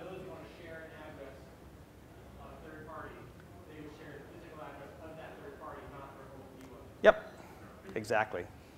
Yeah. You like it? Wow. Yeah. Okay, good. Um, here, here's, here's some more uh, uh, similarities and differences. Uh, Gen Z enumeration, uh, as, as we talked about, is controlled by walking the control space, doing uh, reads and writes out of control space, just like PCIe is, is done, you know, you, you read out of PCI control, control space. Um, routing in Gen Z, as I said, is all controlled by software, um, unlike PCIe and USB, which is fixed by the topology. Right? If you're going to route a USB transaction, there's only one route to every USB device. You don't have multipath, so you don't have any questions.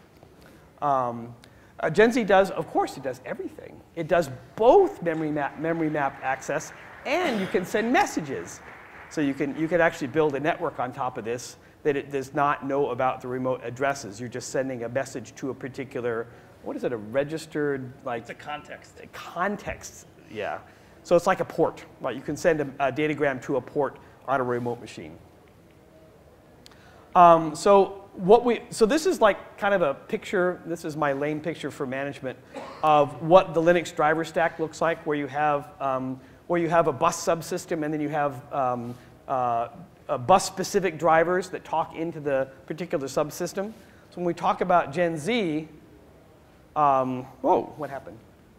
We talk about Gen Z, then we're talking about creating a Gen Z subsystem and then some Gen Z device drivers on top of that that, that plug into existing kernel infrastructures. So if you have, a, if you have a, a block device that's accessible over Gen Z, then you're going to write a Gen Z block device driver that sits on top of the Gen Z subsystem uh, that provides a block interface to the kernel. So I can, I can write a file, I can put a file system on that. Um, if you have a network, uh, an, uh, a network thing that you want to do over Gen Z, then I could create something that looked like a network device driver um, and, and plug that into the network subsystem. Um, and the other thing that I, the other thing we're going to expose here is this bus management driver, right? In, in PCIe or USB, that's all inside the kernel, right? When you talk about USB, uh, USB devices, uh, device IDs are assigned dynamically by the kernel. It's a pretty simple policy. The last device was number 10. The next device is going to be number 11. Uh, with Gen Z, because we want to we want to make this expo we want to expose this to user space, we're going to have to come up with an API between that bus management layer and user space because we're going to pump a bunch of that stuff up into user space. Um, and that means that Gen Z may not entirely come up without user space. Uh, so we're talking about, you know, right now it's pretty simple when you, when you have, a, when you have a, an initram FS. It's like, well, you could do a bunch of stuff in there to get the bus to talk to the rest of your peripherals. What if you're booting from Gen Z? What does that even mean? You know, can I, can I do that successfully? And the answer is, we don't know yet. That's a, but you know, if the BIOS can load an image over Gen Z into RAM, then I guess we're good. Yeah, and so just like, um, just like USB, where the BIOS often enumerates the USB devices and, and numbers them all and, and talks to them in, in, at, at boot time to get a boot image, and then the kernel comes along later and re-enumerates the entire bus. I imagine we're going to end up with something similar to that on Gen Z. I don't know how far out uh, the BIOS will end up enumerating Gen Z or if it does it at all. I have no idea. That's the BIOS person's problem. I'm not a BIOS engineer, and our team doesn't do BIOSes yet. Well, one comment. You have to, you have to understand that corporations involved in Gen Z are interested in having unmodified OSs, right? The current Red Hats and Windows. And so there's a big push to make sure un- unmodified OSs work. And so there's a big push in some parts of the consortium to put a lot of that stuff in the firmware, right? So that you don't have to change the kernel. Now, that's not what we're interested in. We're interested in changing the kernel. Right. So as I said, we, uh, we- we've been talking about this PCI emulation to make Gen Z look like PCI. And so it may be that all the BIOS, that the way that you boot off of Gen Z is by having the BIOS do PCI emulation, and we use the existing PCI stack in the BIOS. Who knows? Not our problem. Come on. So really simple plan, right? Create a new Gen Z bus subsystem. Uh, that's create, but kind of with a small c. Uh, because when we talk about creating a new bus subsystem, really what we're going to go do is steal code and ideas from existing bus subsystems. I've talked about how USB and, uh, and PCIe are, have a lot of uh, uh, commonality with Gen Z, and so we're going to go steal a bunch of that stuff. Um, and expose the management up to user space and hope it all works out. Uh, so we're hoping to have some, uh, oh, this presentation is really long. Uh, one of the things we're working on right now is a software simulation of Gen Z, so we can actually do a bunch of this development uh, with, with no hardware at all. Um, and we're, what we're doing is we're creating uh, multiple VMs on a, on a shared infrastructure and using inter-VM uh, messaging and inter-VM shared memory uh, to set up kind of a little virtual Gen Z bus. Um, and so we're hoping to be able to simulate Gen Z to the point where we can get all the management infrastructure, uh, demonstrate that on a laptop. You know, instead of having to have actual Gen Z hardware, so we can do a bunch of this development uh, in a pretty simple emulation environment. So are other, I mean, are there representatives of other people who are talking about Gen Z within their companies here? Who have experiences to share or? Awesome.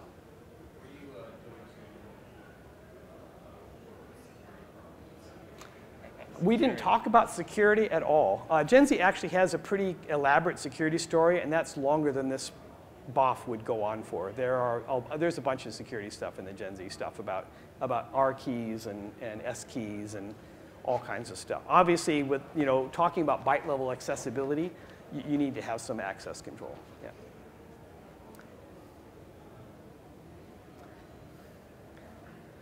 Uh, if there are other questions, we'll be around. Um, I'm afraid our, our BOF time is about up. Um, if you have questions, you know, I'll, I'll hang around. We have a break uh, right now. It's actually started about six minutes ago. Um, if you want to come up and chat with us uh, during the break, we'll be here. But otherwise, really, I really appreciate uh, everybody showing up and asking interesting questions and challenging our assumptions that Gen Z is going to be the best thing ever. And keep us honest as we implement code and submit patches because, you know, it's going to be a bunch of new code and it's going to be wrong the first several iterations because it always is. Uh, thanks so much, and uh, we'll be here. Uh, ask us questions. Thanks for coming up. Thanks for coming by.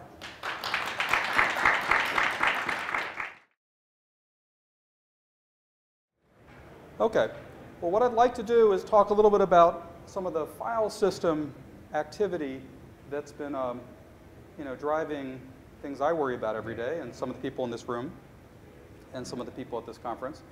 You know, if you picked up your phone and looked at FSDevel today, you know, if you look today, what would you see as things that are bugging people in file systems? What would you see in activity? You'd see things relating to, to file notify. You'd things splice, use after free and lock paths, lots of lock bugs forever for 20 years. And um, then some IO map issues, DAX issues. It's interesting. I think if you looked at the same list five years ago and 10 years ago, you'd see a lot of commonality. It's kind of interesting.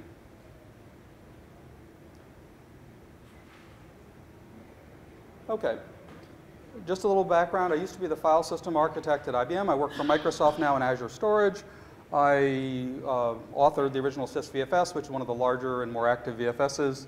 Um, former storage network working group chair, and um, I work in Azure storage now on the Linux side, and I think there's a number of Microsoft people here presenting, so it's kind of an interesting change for me to see Microsoft presenting on Linux, something I find fascinating. This is, as we saw here, this is not a Microsoft presentation, but I am intrigued uh, about all this recent change. Okay, so what are we going to talk about today? I'd like to talk about some general activity. I'd like to talk about some of the changes that have been going on. I want to talk about some of the things that are driving um, this activity. And, um, but let's start with some status updates. So what has, um, what's happened in the last 14 months? I think you, as you saw a few days ago, we released the People's Front, right? So actually, do it, does anybody know, is that a reference to Monty Python? Yes. Okay. Right. Okay, so there's two people fronts. Do you know which People's Front it is? Uh, it's probably the JPF. Okay, so it's probably the Judean People's Front. Could, could be the PFJ. Yeah. Anyway, I was curious about that. I, I had a vague memory from long ago. Um, That's the joke, is it? It's always yeah. So anyway, this is an interesting joke about the People's Front, but here we deal with uh, some really cool activity. Now, what's been driving the activity over the last, uh, well, actually for a long time? Well, Dave Howells and the new Mount API, a new FSInfo API, because every file system has different types of metadata to return. Uh, we have various security issues, security features. Um,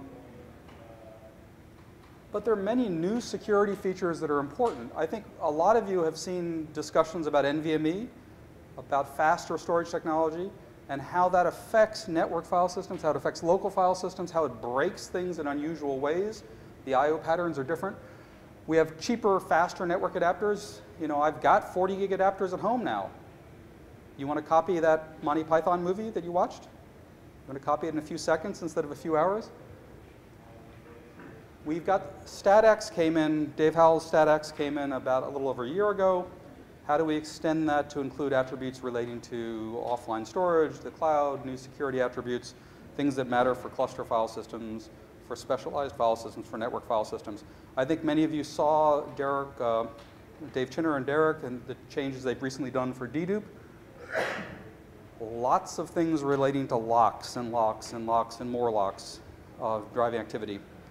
Now, if you look through the last week's activity, you'll still see things like XFS supporting larger block sizes than page size.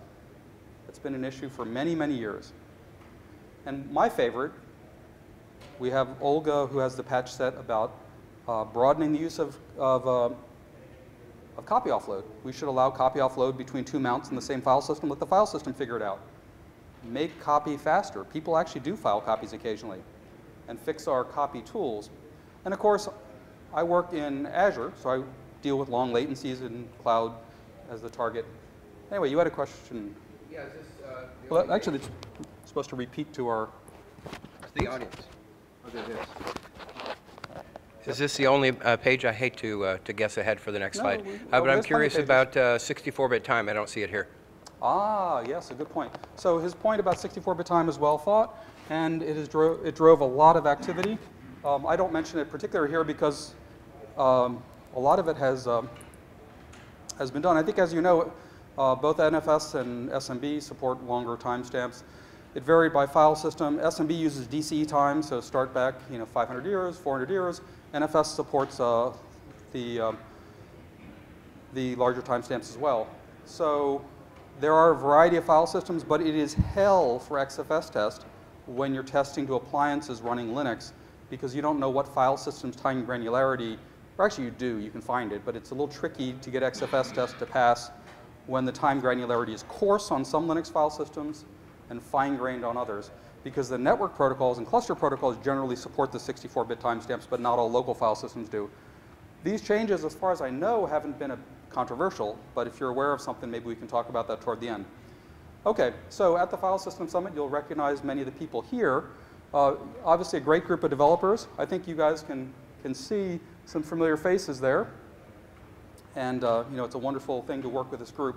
This was in uh, Park City, Utah this year.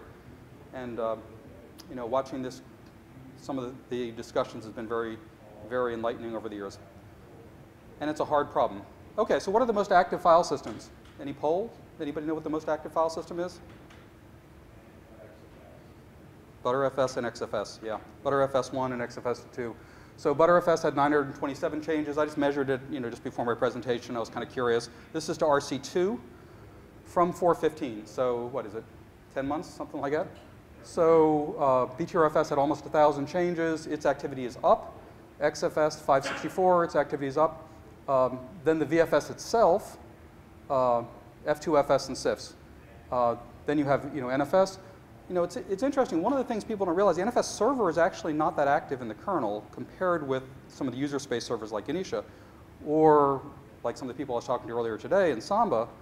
You know, Samba is, you know, 4,000 change sets per year, right? The, so user space servers are a lot bigger.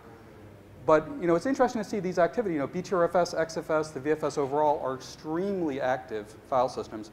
And, you know, you just look at the, remember I pulled up the mailing list just now You'll see Dave Chinner. You'll see a lot of really interesting patches. Uh, so this uh, is a fascinating time. Uh, I work on CIFS-KO. Our activity is up more than 100%. So it looks good. We're, I'm very pleased to see that activity coming from Red Hat, coming from SUSE, coming from over 20 companies. It's a lot of fun. Okay, so here's the myth. A lot of people think that we support POSIX. I mean, do we care? I mean, POSIX is pretty small compared to what we have to support in Linux. When you look at XFS test, half the tests are testing things that aren't even in POSIX, right? They're, they're, so, you know, let's look at this realistically. Our problem in file systems, we got 293 syscalls, maybe more now, but I, looked at this a few months ago. 293 syscalls, less than half of them are POSIX. So we got a lot of work as file system developers, and people think it's just POSIX. So what are the goals? We want to make Linux fast, right? We want to make it secure you know, if you're an NFS developer and you're trying to mount to some NetApp appliance, you want it secure and fast and stable, predictable. You want the app writers to not know they're running on a network file system or a block file system or cluster file system. You don't want them to worry about the timestamp granularity and something to break because of small, strange behavior changes among file systems.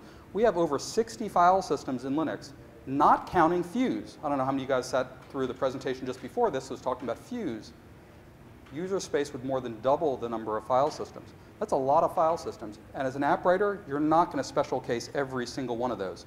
You might special case BTRFS.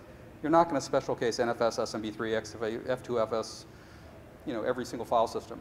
So we have to make it predictable for app writers. We have to make it secure and reliable and give them the integrity features they need. Okay, so what about presentations at this conference? Um, we've already had the one just before this, but look at the other seven or eight presentations just at this conference on various file system topics. Zero copy user mode, file name encoding, case insensitive file names. That's actually of significant interest to me because I have to deal with servers like uh, Windows that are mostly um, case insensitive. Um, I have to deal with both. Untrusted file system, ShiftFS, FS FS, checkpointing, um, and then of course we had this presentation on VirtIO, how do we optimize I.O. in cluster and network file system cases to take advantage of things like VirtIO and more and more, and I've left out some. Okay, so just before the call, I was talking to Jeremy Allison, the lead server developer for Samba. What are your favorite pain points? What do you love to hate about the kernel? And his first thing was, why don't we have NFS ACL support or rich ACL support or whatever you want to call it, or SMB ACL support? Why don't we have that? Because we have petabytes of data we cannot migrate to Linux without rich ACLs whether you call it NFS 4.1 ACLs, whether you call it ZFS ACLs, they already support all this stuff, right, in Samba. But you have petabytes worth of data that he was aware of that cannot be migrated because there are no deny ACEs. All of those models are close enough. But without this, so many things break.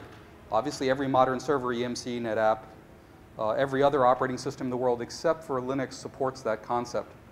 So that was his number one complaint. His second was an interesting security problem that I hadn't thought about. Oh no follow is useless. If you're a server developer and you're worried about somebody changing a path out from underneath you due to a symlink, you need the whole path to not to be oh no follow. Oh no follow is only the tail end of the path. So as a Samba developer, they're dealing with really hard security problems where nasty people are trying to get an Etsy password or some evil path by using symlinks. So how do we make it so oh no follow is over the whole path, not just the target? So that was an interesting thing. And of course, he has the various things about locking and performance and async I.O. and all that, but those were the top two, and they were kind of interesting. So we as file system developers, how do we fix this? Well, okay, what's my favorite problem? Copy. I was experimenting a little bit with uh, you know, various platforms, Windows, Mac, et cetera. And one of the things I noticed was that um, Robocopy, a common tool that Windows admins use, parallelizes I.O. Why does that matter? Well, when you do a, something simple, you take your laptop, mount to something, an NFS or SMB, you peg the CPU. Why are you pegging the CPU in some cases? Well, the answer is because depending on your network uh, copy offload and the adapter and such, your I.O. is not well parallelized. You're copying, you know, dozens of large files, but you're not issuing many copies in parallel like Robocopy would. You're not issuing lots of I.O. in parallel from different processes. So it tends to overuse one processor and peg. So performance is a lot worse than it should be for something as simple as copy. Okay, and then there's a really interesting discussion that's been going on. Um, it's close to merge ready, I think, but Olga was talking about NFS copy offload. Why can't we allow NFS to decide whether it can copy from mount A to mount B? SMB, same thing. Why can't we let SMB or cluster file system decide it can copy from A to B? Because we're going to copy it a lot faster than if you read every byte and write every byte. Right? That's very expensive. Letting the back end file system do the copy is much faster than having every page read in and every page read, written out. In many cases, this can be done in the back end literally a thousand times faster. So this copy parallelization, this allowing cross, or uh, cross mount copy from the same file system, letting the file system do what it does best, right? Let BTRFS or XFS or NFS or SMB figure out, or Gluster, let it figure out what it can do. Don't limit the local file system artificially. So we do too much sometimes in the VFS when a file system sometimes could do it more efficiently. And copy was just a blatant example of this. So a fascinating example to Azure. In many cluster file systems, in many cloud file systems, it's expensive to update metadata.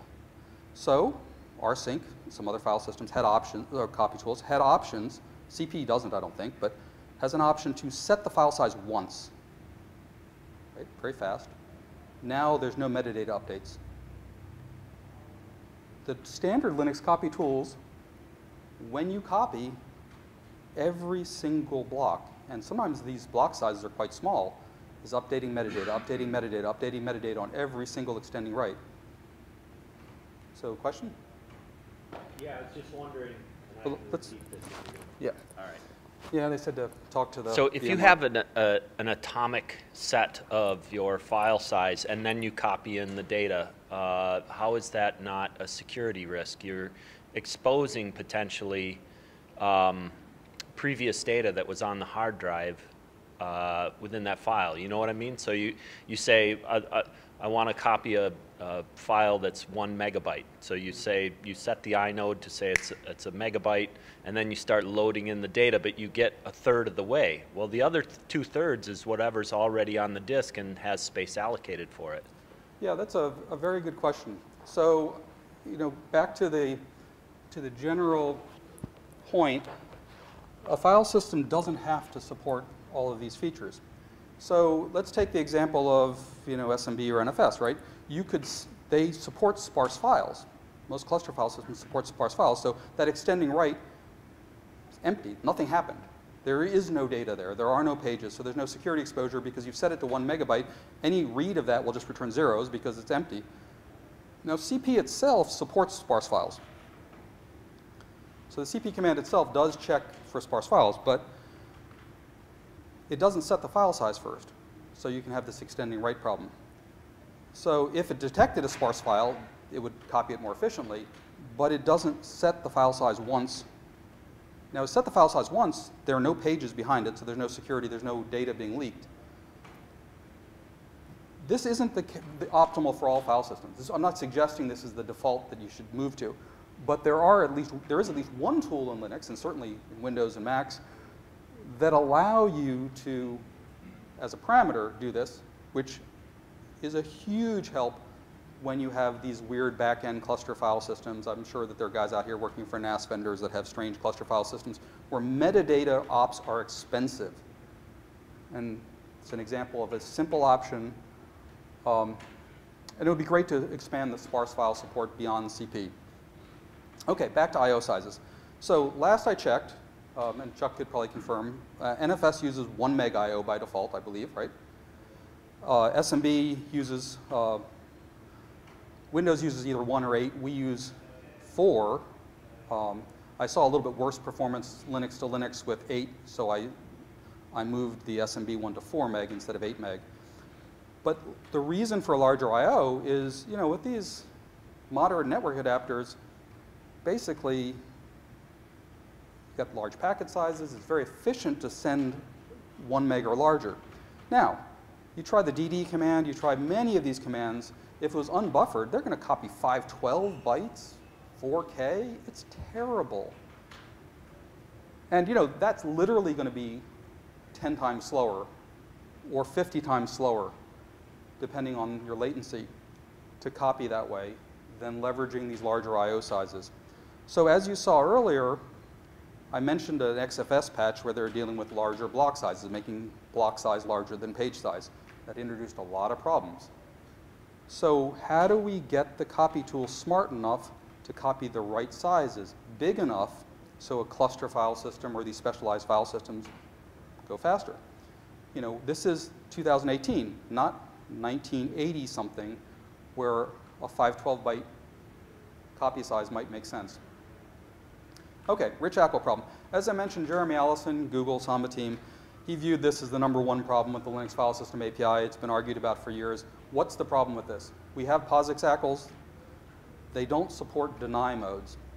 And unfortunately, with government regulations, European laws, privacy laws, HIPAA, there are so many cases where you need narrow deny ACEs and a more complicated model. Apache, many of these web services have gone to a model where they allow very intricate claims for allowing or denying access decisions. We have no such capability in Linux without some way of storing something that is richer than our current POSIX allow. And even worse, mode bits are somewhat painful to deal with. Now, what about metadata? Every file system has metadata.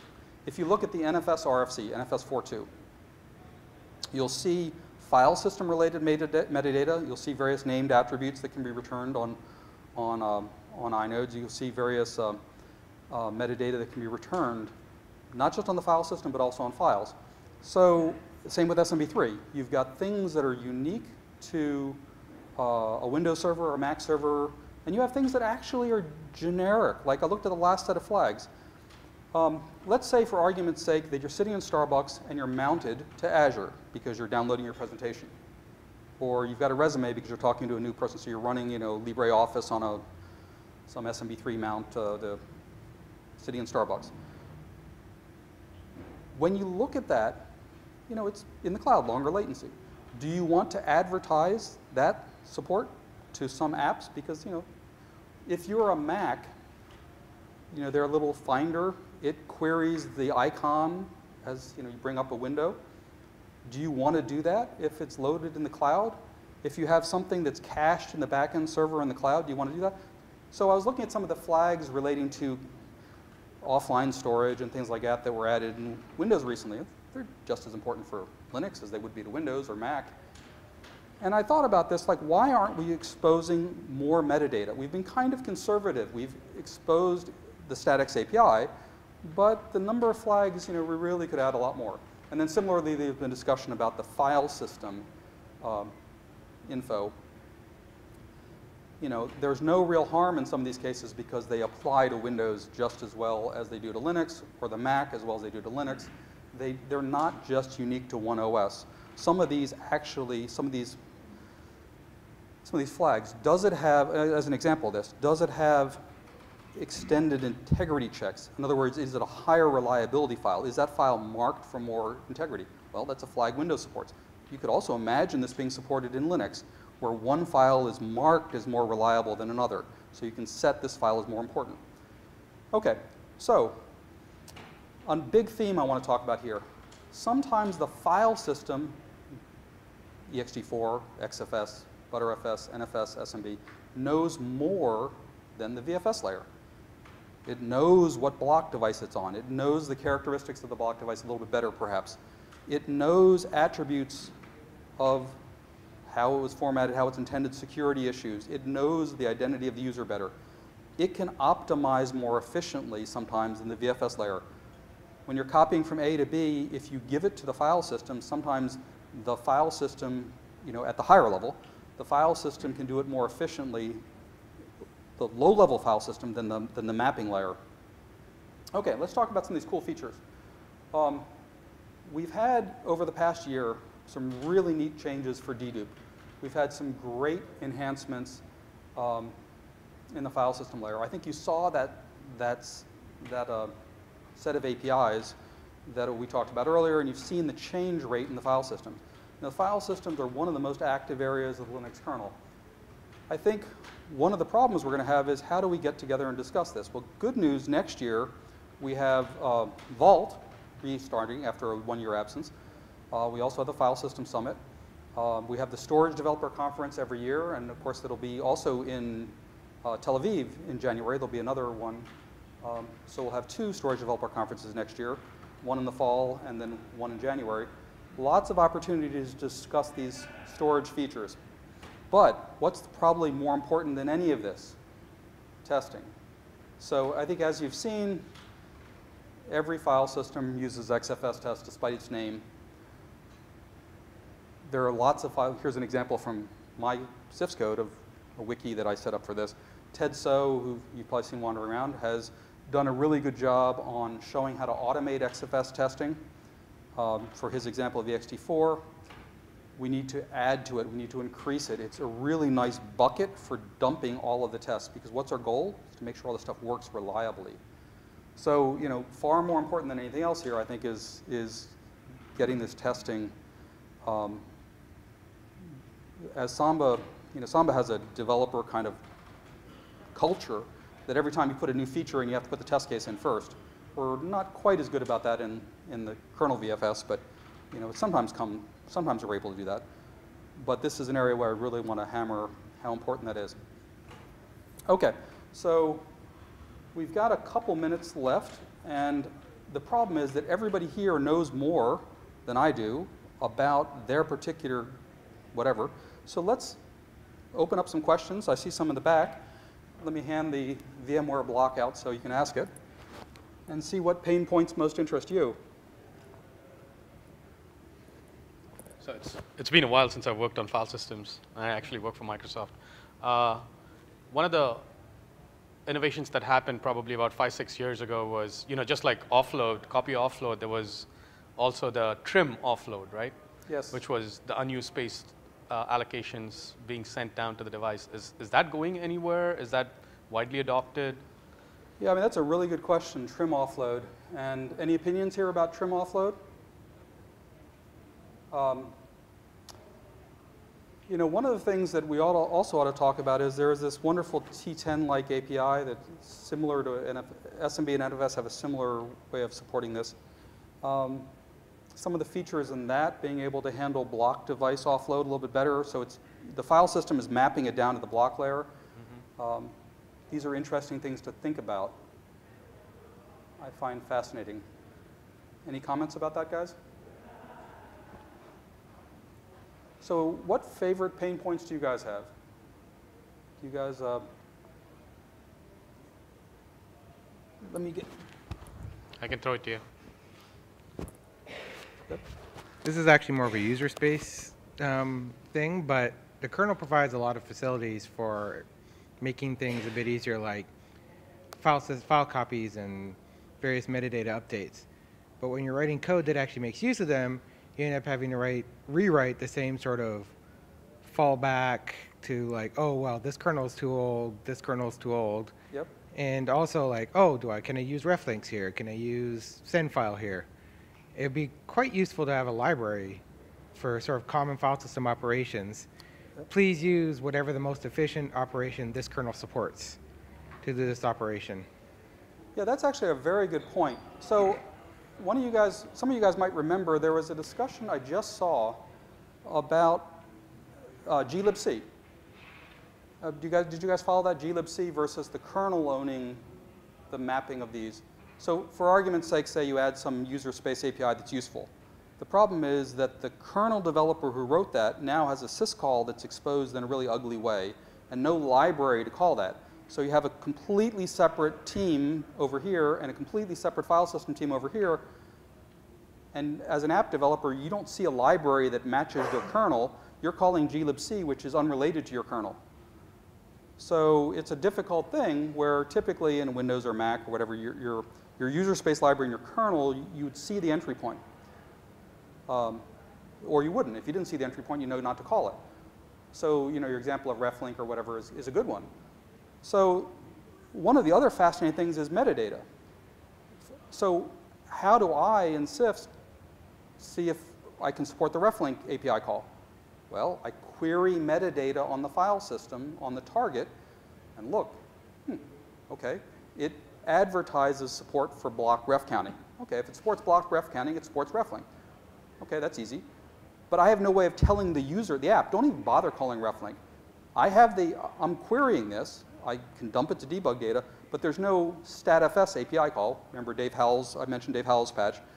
So your app could query, hmm, that file system doesn't support reflink. I mean, it would if you mounted to this server, but not this server. Or you would if you mounted here, but not here. I know that, and so I can return EOP not supported, but it would be nice in your app if you could query the statfs and get that back. And I think that was one of the intents of Dave Howells' patch to allow file systems to return more information.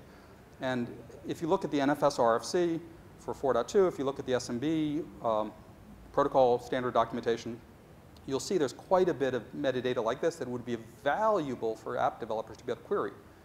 So they could make decisions about how to compensate in user space without going through really convoluted error paths.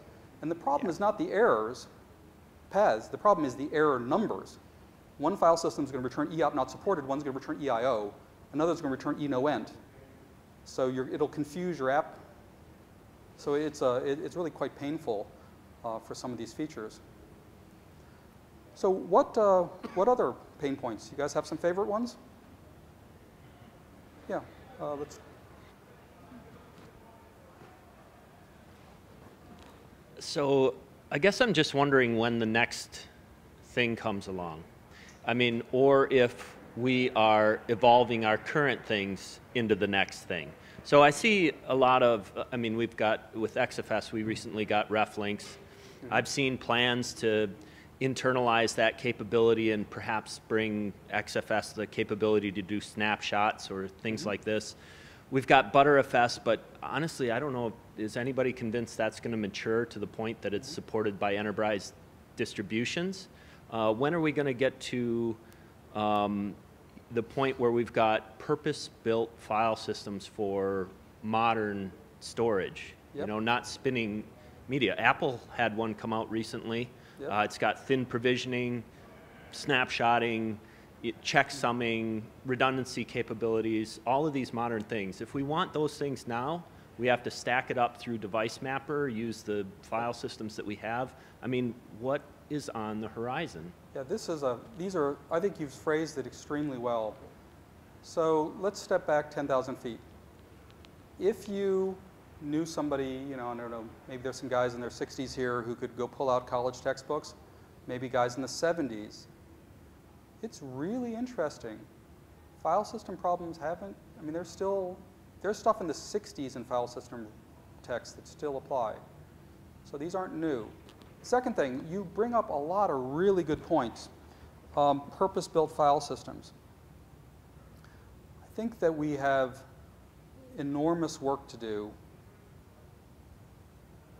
but it's focused largely on a few local file systems and then the cluster and network things, right? Because there aren't, I mean, if you look at the file system activity, it's really, for local file systems, it's maniacal focus on four or five file systems locally. That's it.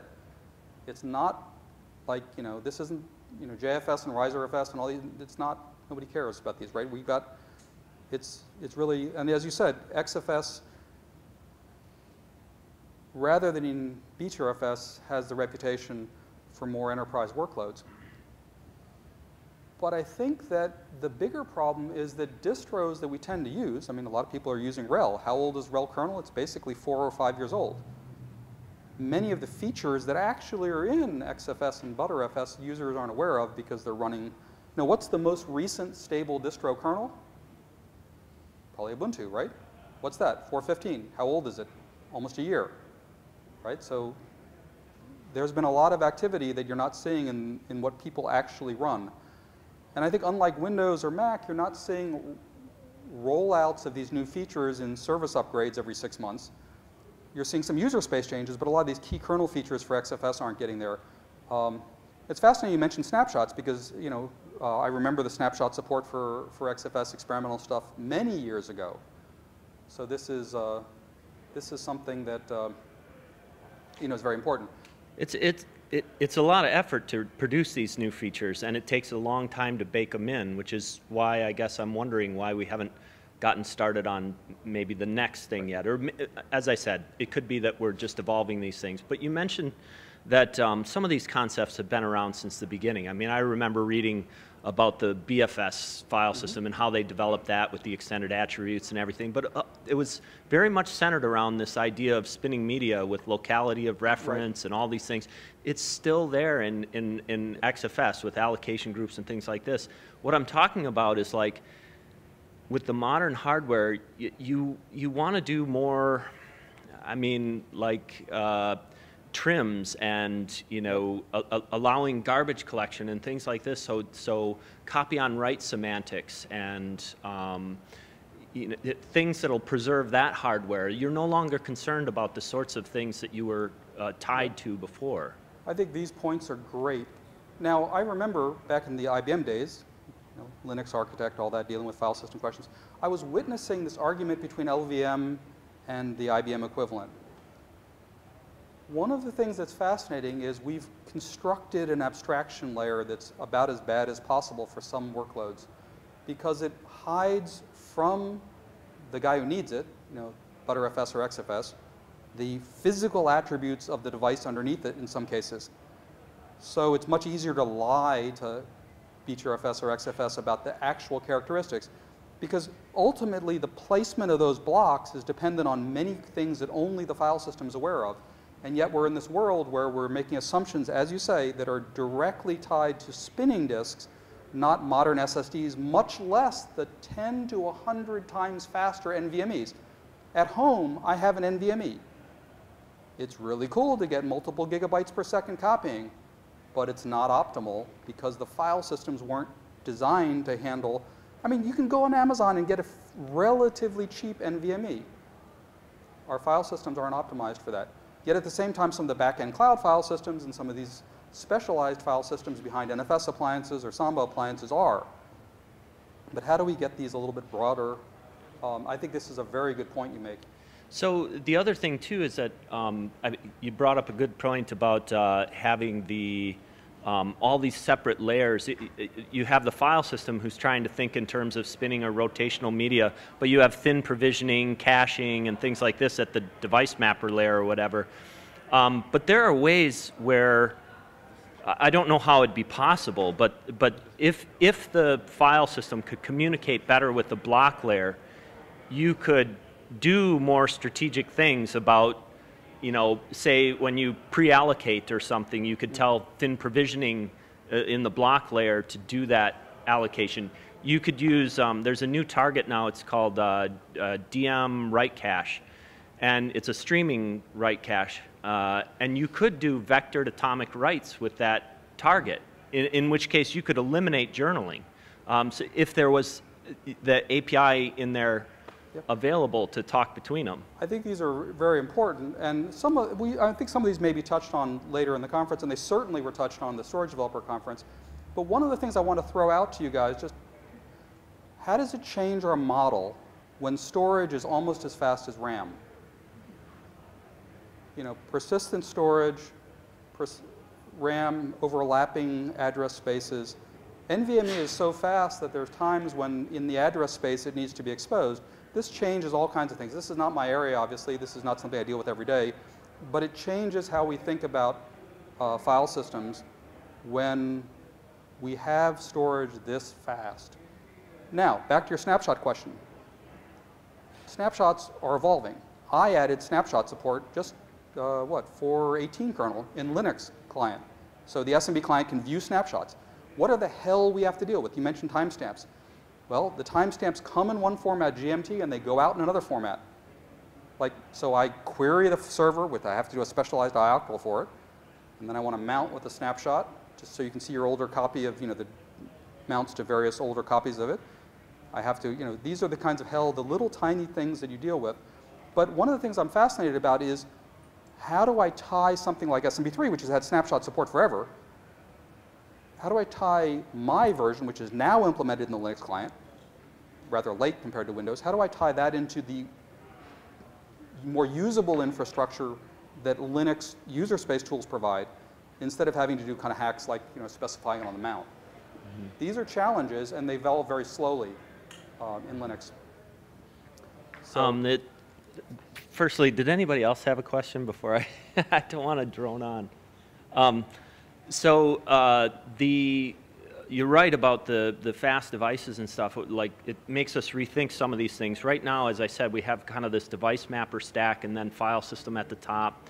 Um, I, I think about the next file system quite a lot because what it might look like because with NVMe, um, because the file system might be the place where you would want to know about snapshots and encryption and deduplication and all of these other modern things and then write it out once without it, it knows exactly where it's going in one shot.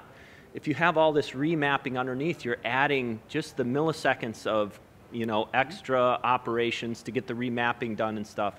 We recently did some work to try and future-proof ourselves a little bit against some of these things by speeding up device mapper a bit, but yeah, it, I, I you know. That, I think that, that layering does add latency. The latency matters. I mean, we're dealing with stuff with insanely fast latencies with NVMe today. But also, we're dealing with NFS and SMB running over RDMA, so the network connection to that backend storage is insanely low latency. And yet we're adding all these layers in the backend that are defeating a lot of the, the value we have there. So I think that, that being able to expose this to Btrfs or XFS to your local file system is very important. But I want to give you another example why. Today on a file system, you might have a, a movie that you're editing. It might have an index that's more important quality, so you might want to mark it for higher integrity. Btrfs could do that, or XFS could do that, where it marked one file with different attributes than another based on some I.O. pattern, based on an owner, based on security, based on the app saying this matters more. Block device doesn't know anything about this. So how do you do this in a way so Btrfs and XFS can expose real workloads where one file matters a thousand times more than another? There was a wonderful storage developer conference presentation I recommend going back years if you can find it, where they showed how data integrity um, matters now in a world where the, I, the uh, sizes are going from, you know, megabytes to gigabytes to petabytes, right? We're now the error rate is similar to what it was 20 years ago. But the data sets are so much bigger. So with the data set so much bigger, but the error rate's the same, we have an impossible problem to solve, right? We are creating sort of a, we are going to die. We're all going to blow up in some horrible accident because data rates, sorry, data sizes are so big and those bit flips are now happening far more often just simply because of the math. We now have bigger sets of data. So, fascinating thing. One of the videos I thought, guy was screaming at his disk drive stack and watching the error rates change as he screamed at his disk. Of course, this wouldn't be a factor with SSD, but I thought it was fascinating to look at that something as simple as yelling at your rack of disks actually, and it was a great video, um, could affect the, the error rate. So we, we have to think about integrity end to end. That means from the NFS or SMB client or cluster client all the way down through the, the XFS file system, all the way down to the block layer, all the way down. This is a end-to-end integrity problem that we have to solve, and it's getting worse. So I, I was fascinated by that, uh, by that problem. But I do recommend if you go to the Storage Developer Conference, there's some wonderful uh, um, presentations in past years on some of these topics. Okay, uh, I think we're running out of time, right? Uh, thank you guys for your time. There are lots of file system developers lurking around here, so um, you know, obviously bring forth your questions. And Linux FS Devel is a great place to ask these kind of questions. And once again, please send patches and test cases. Okay, thank you guys.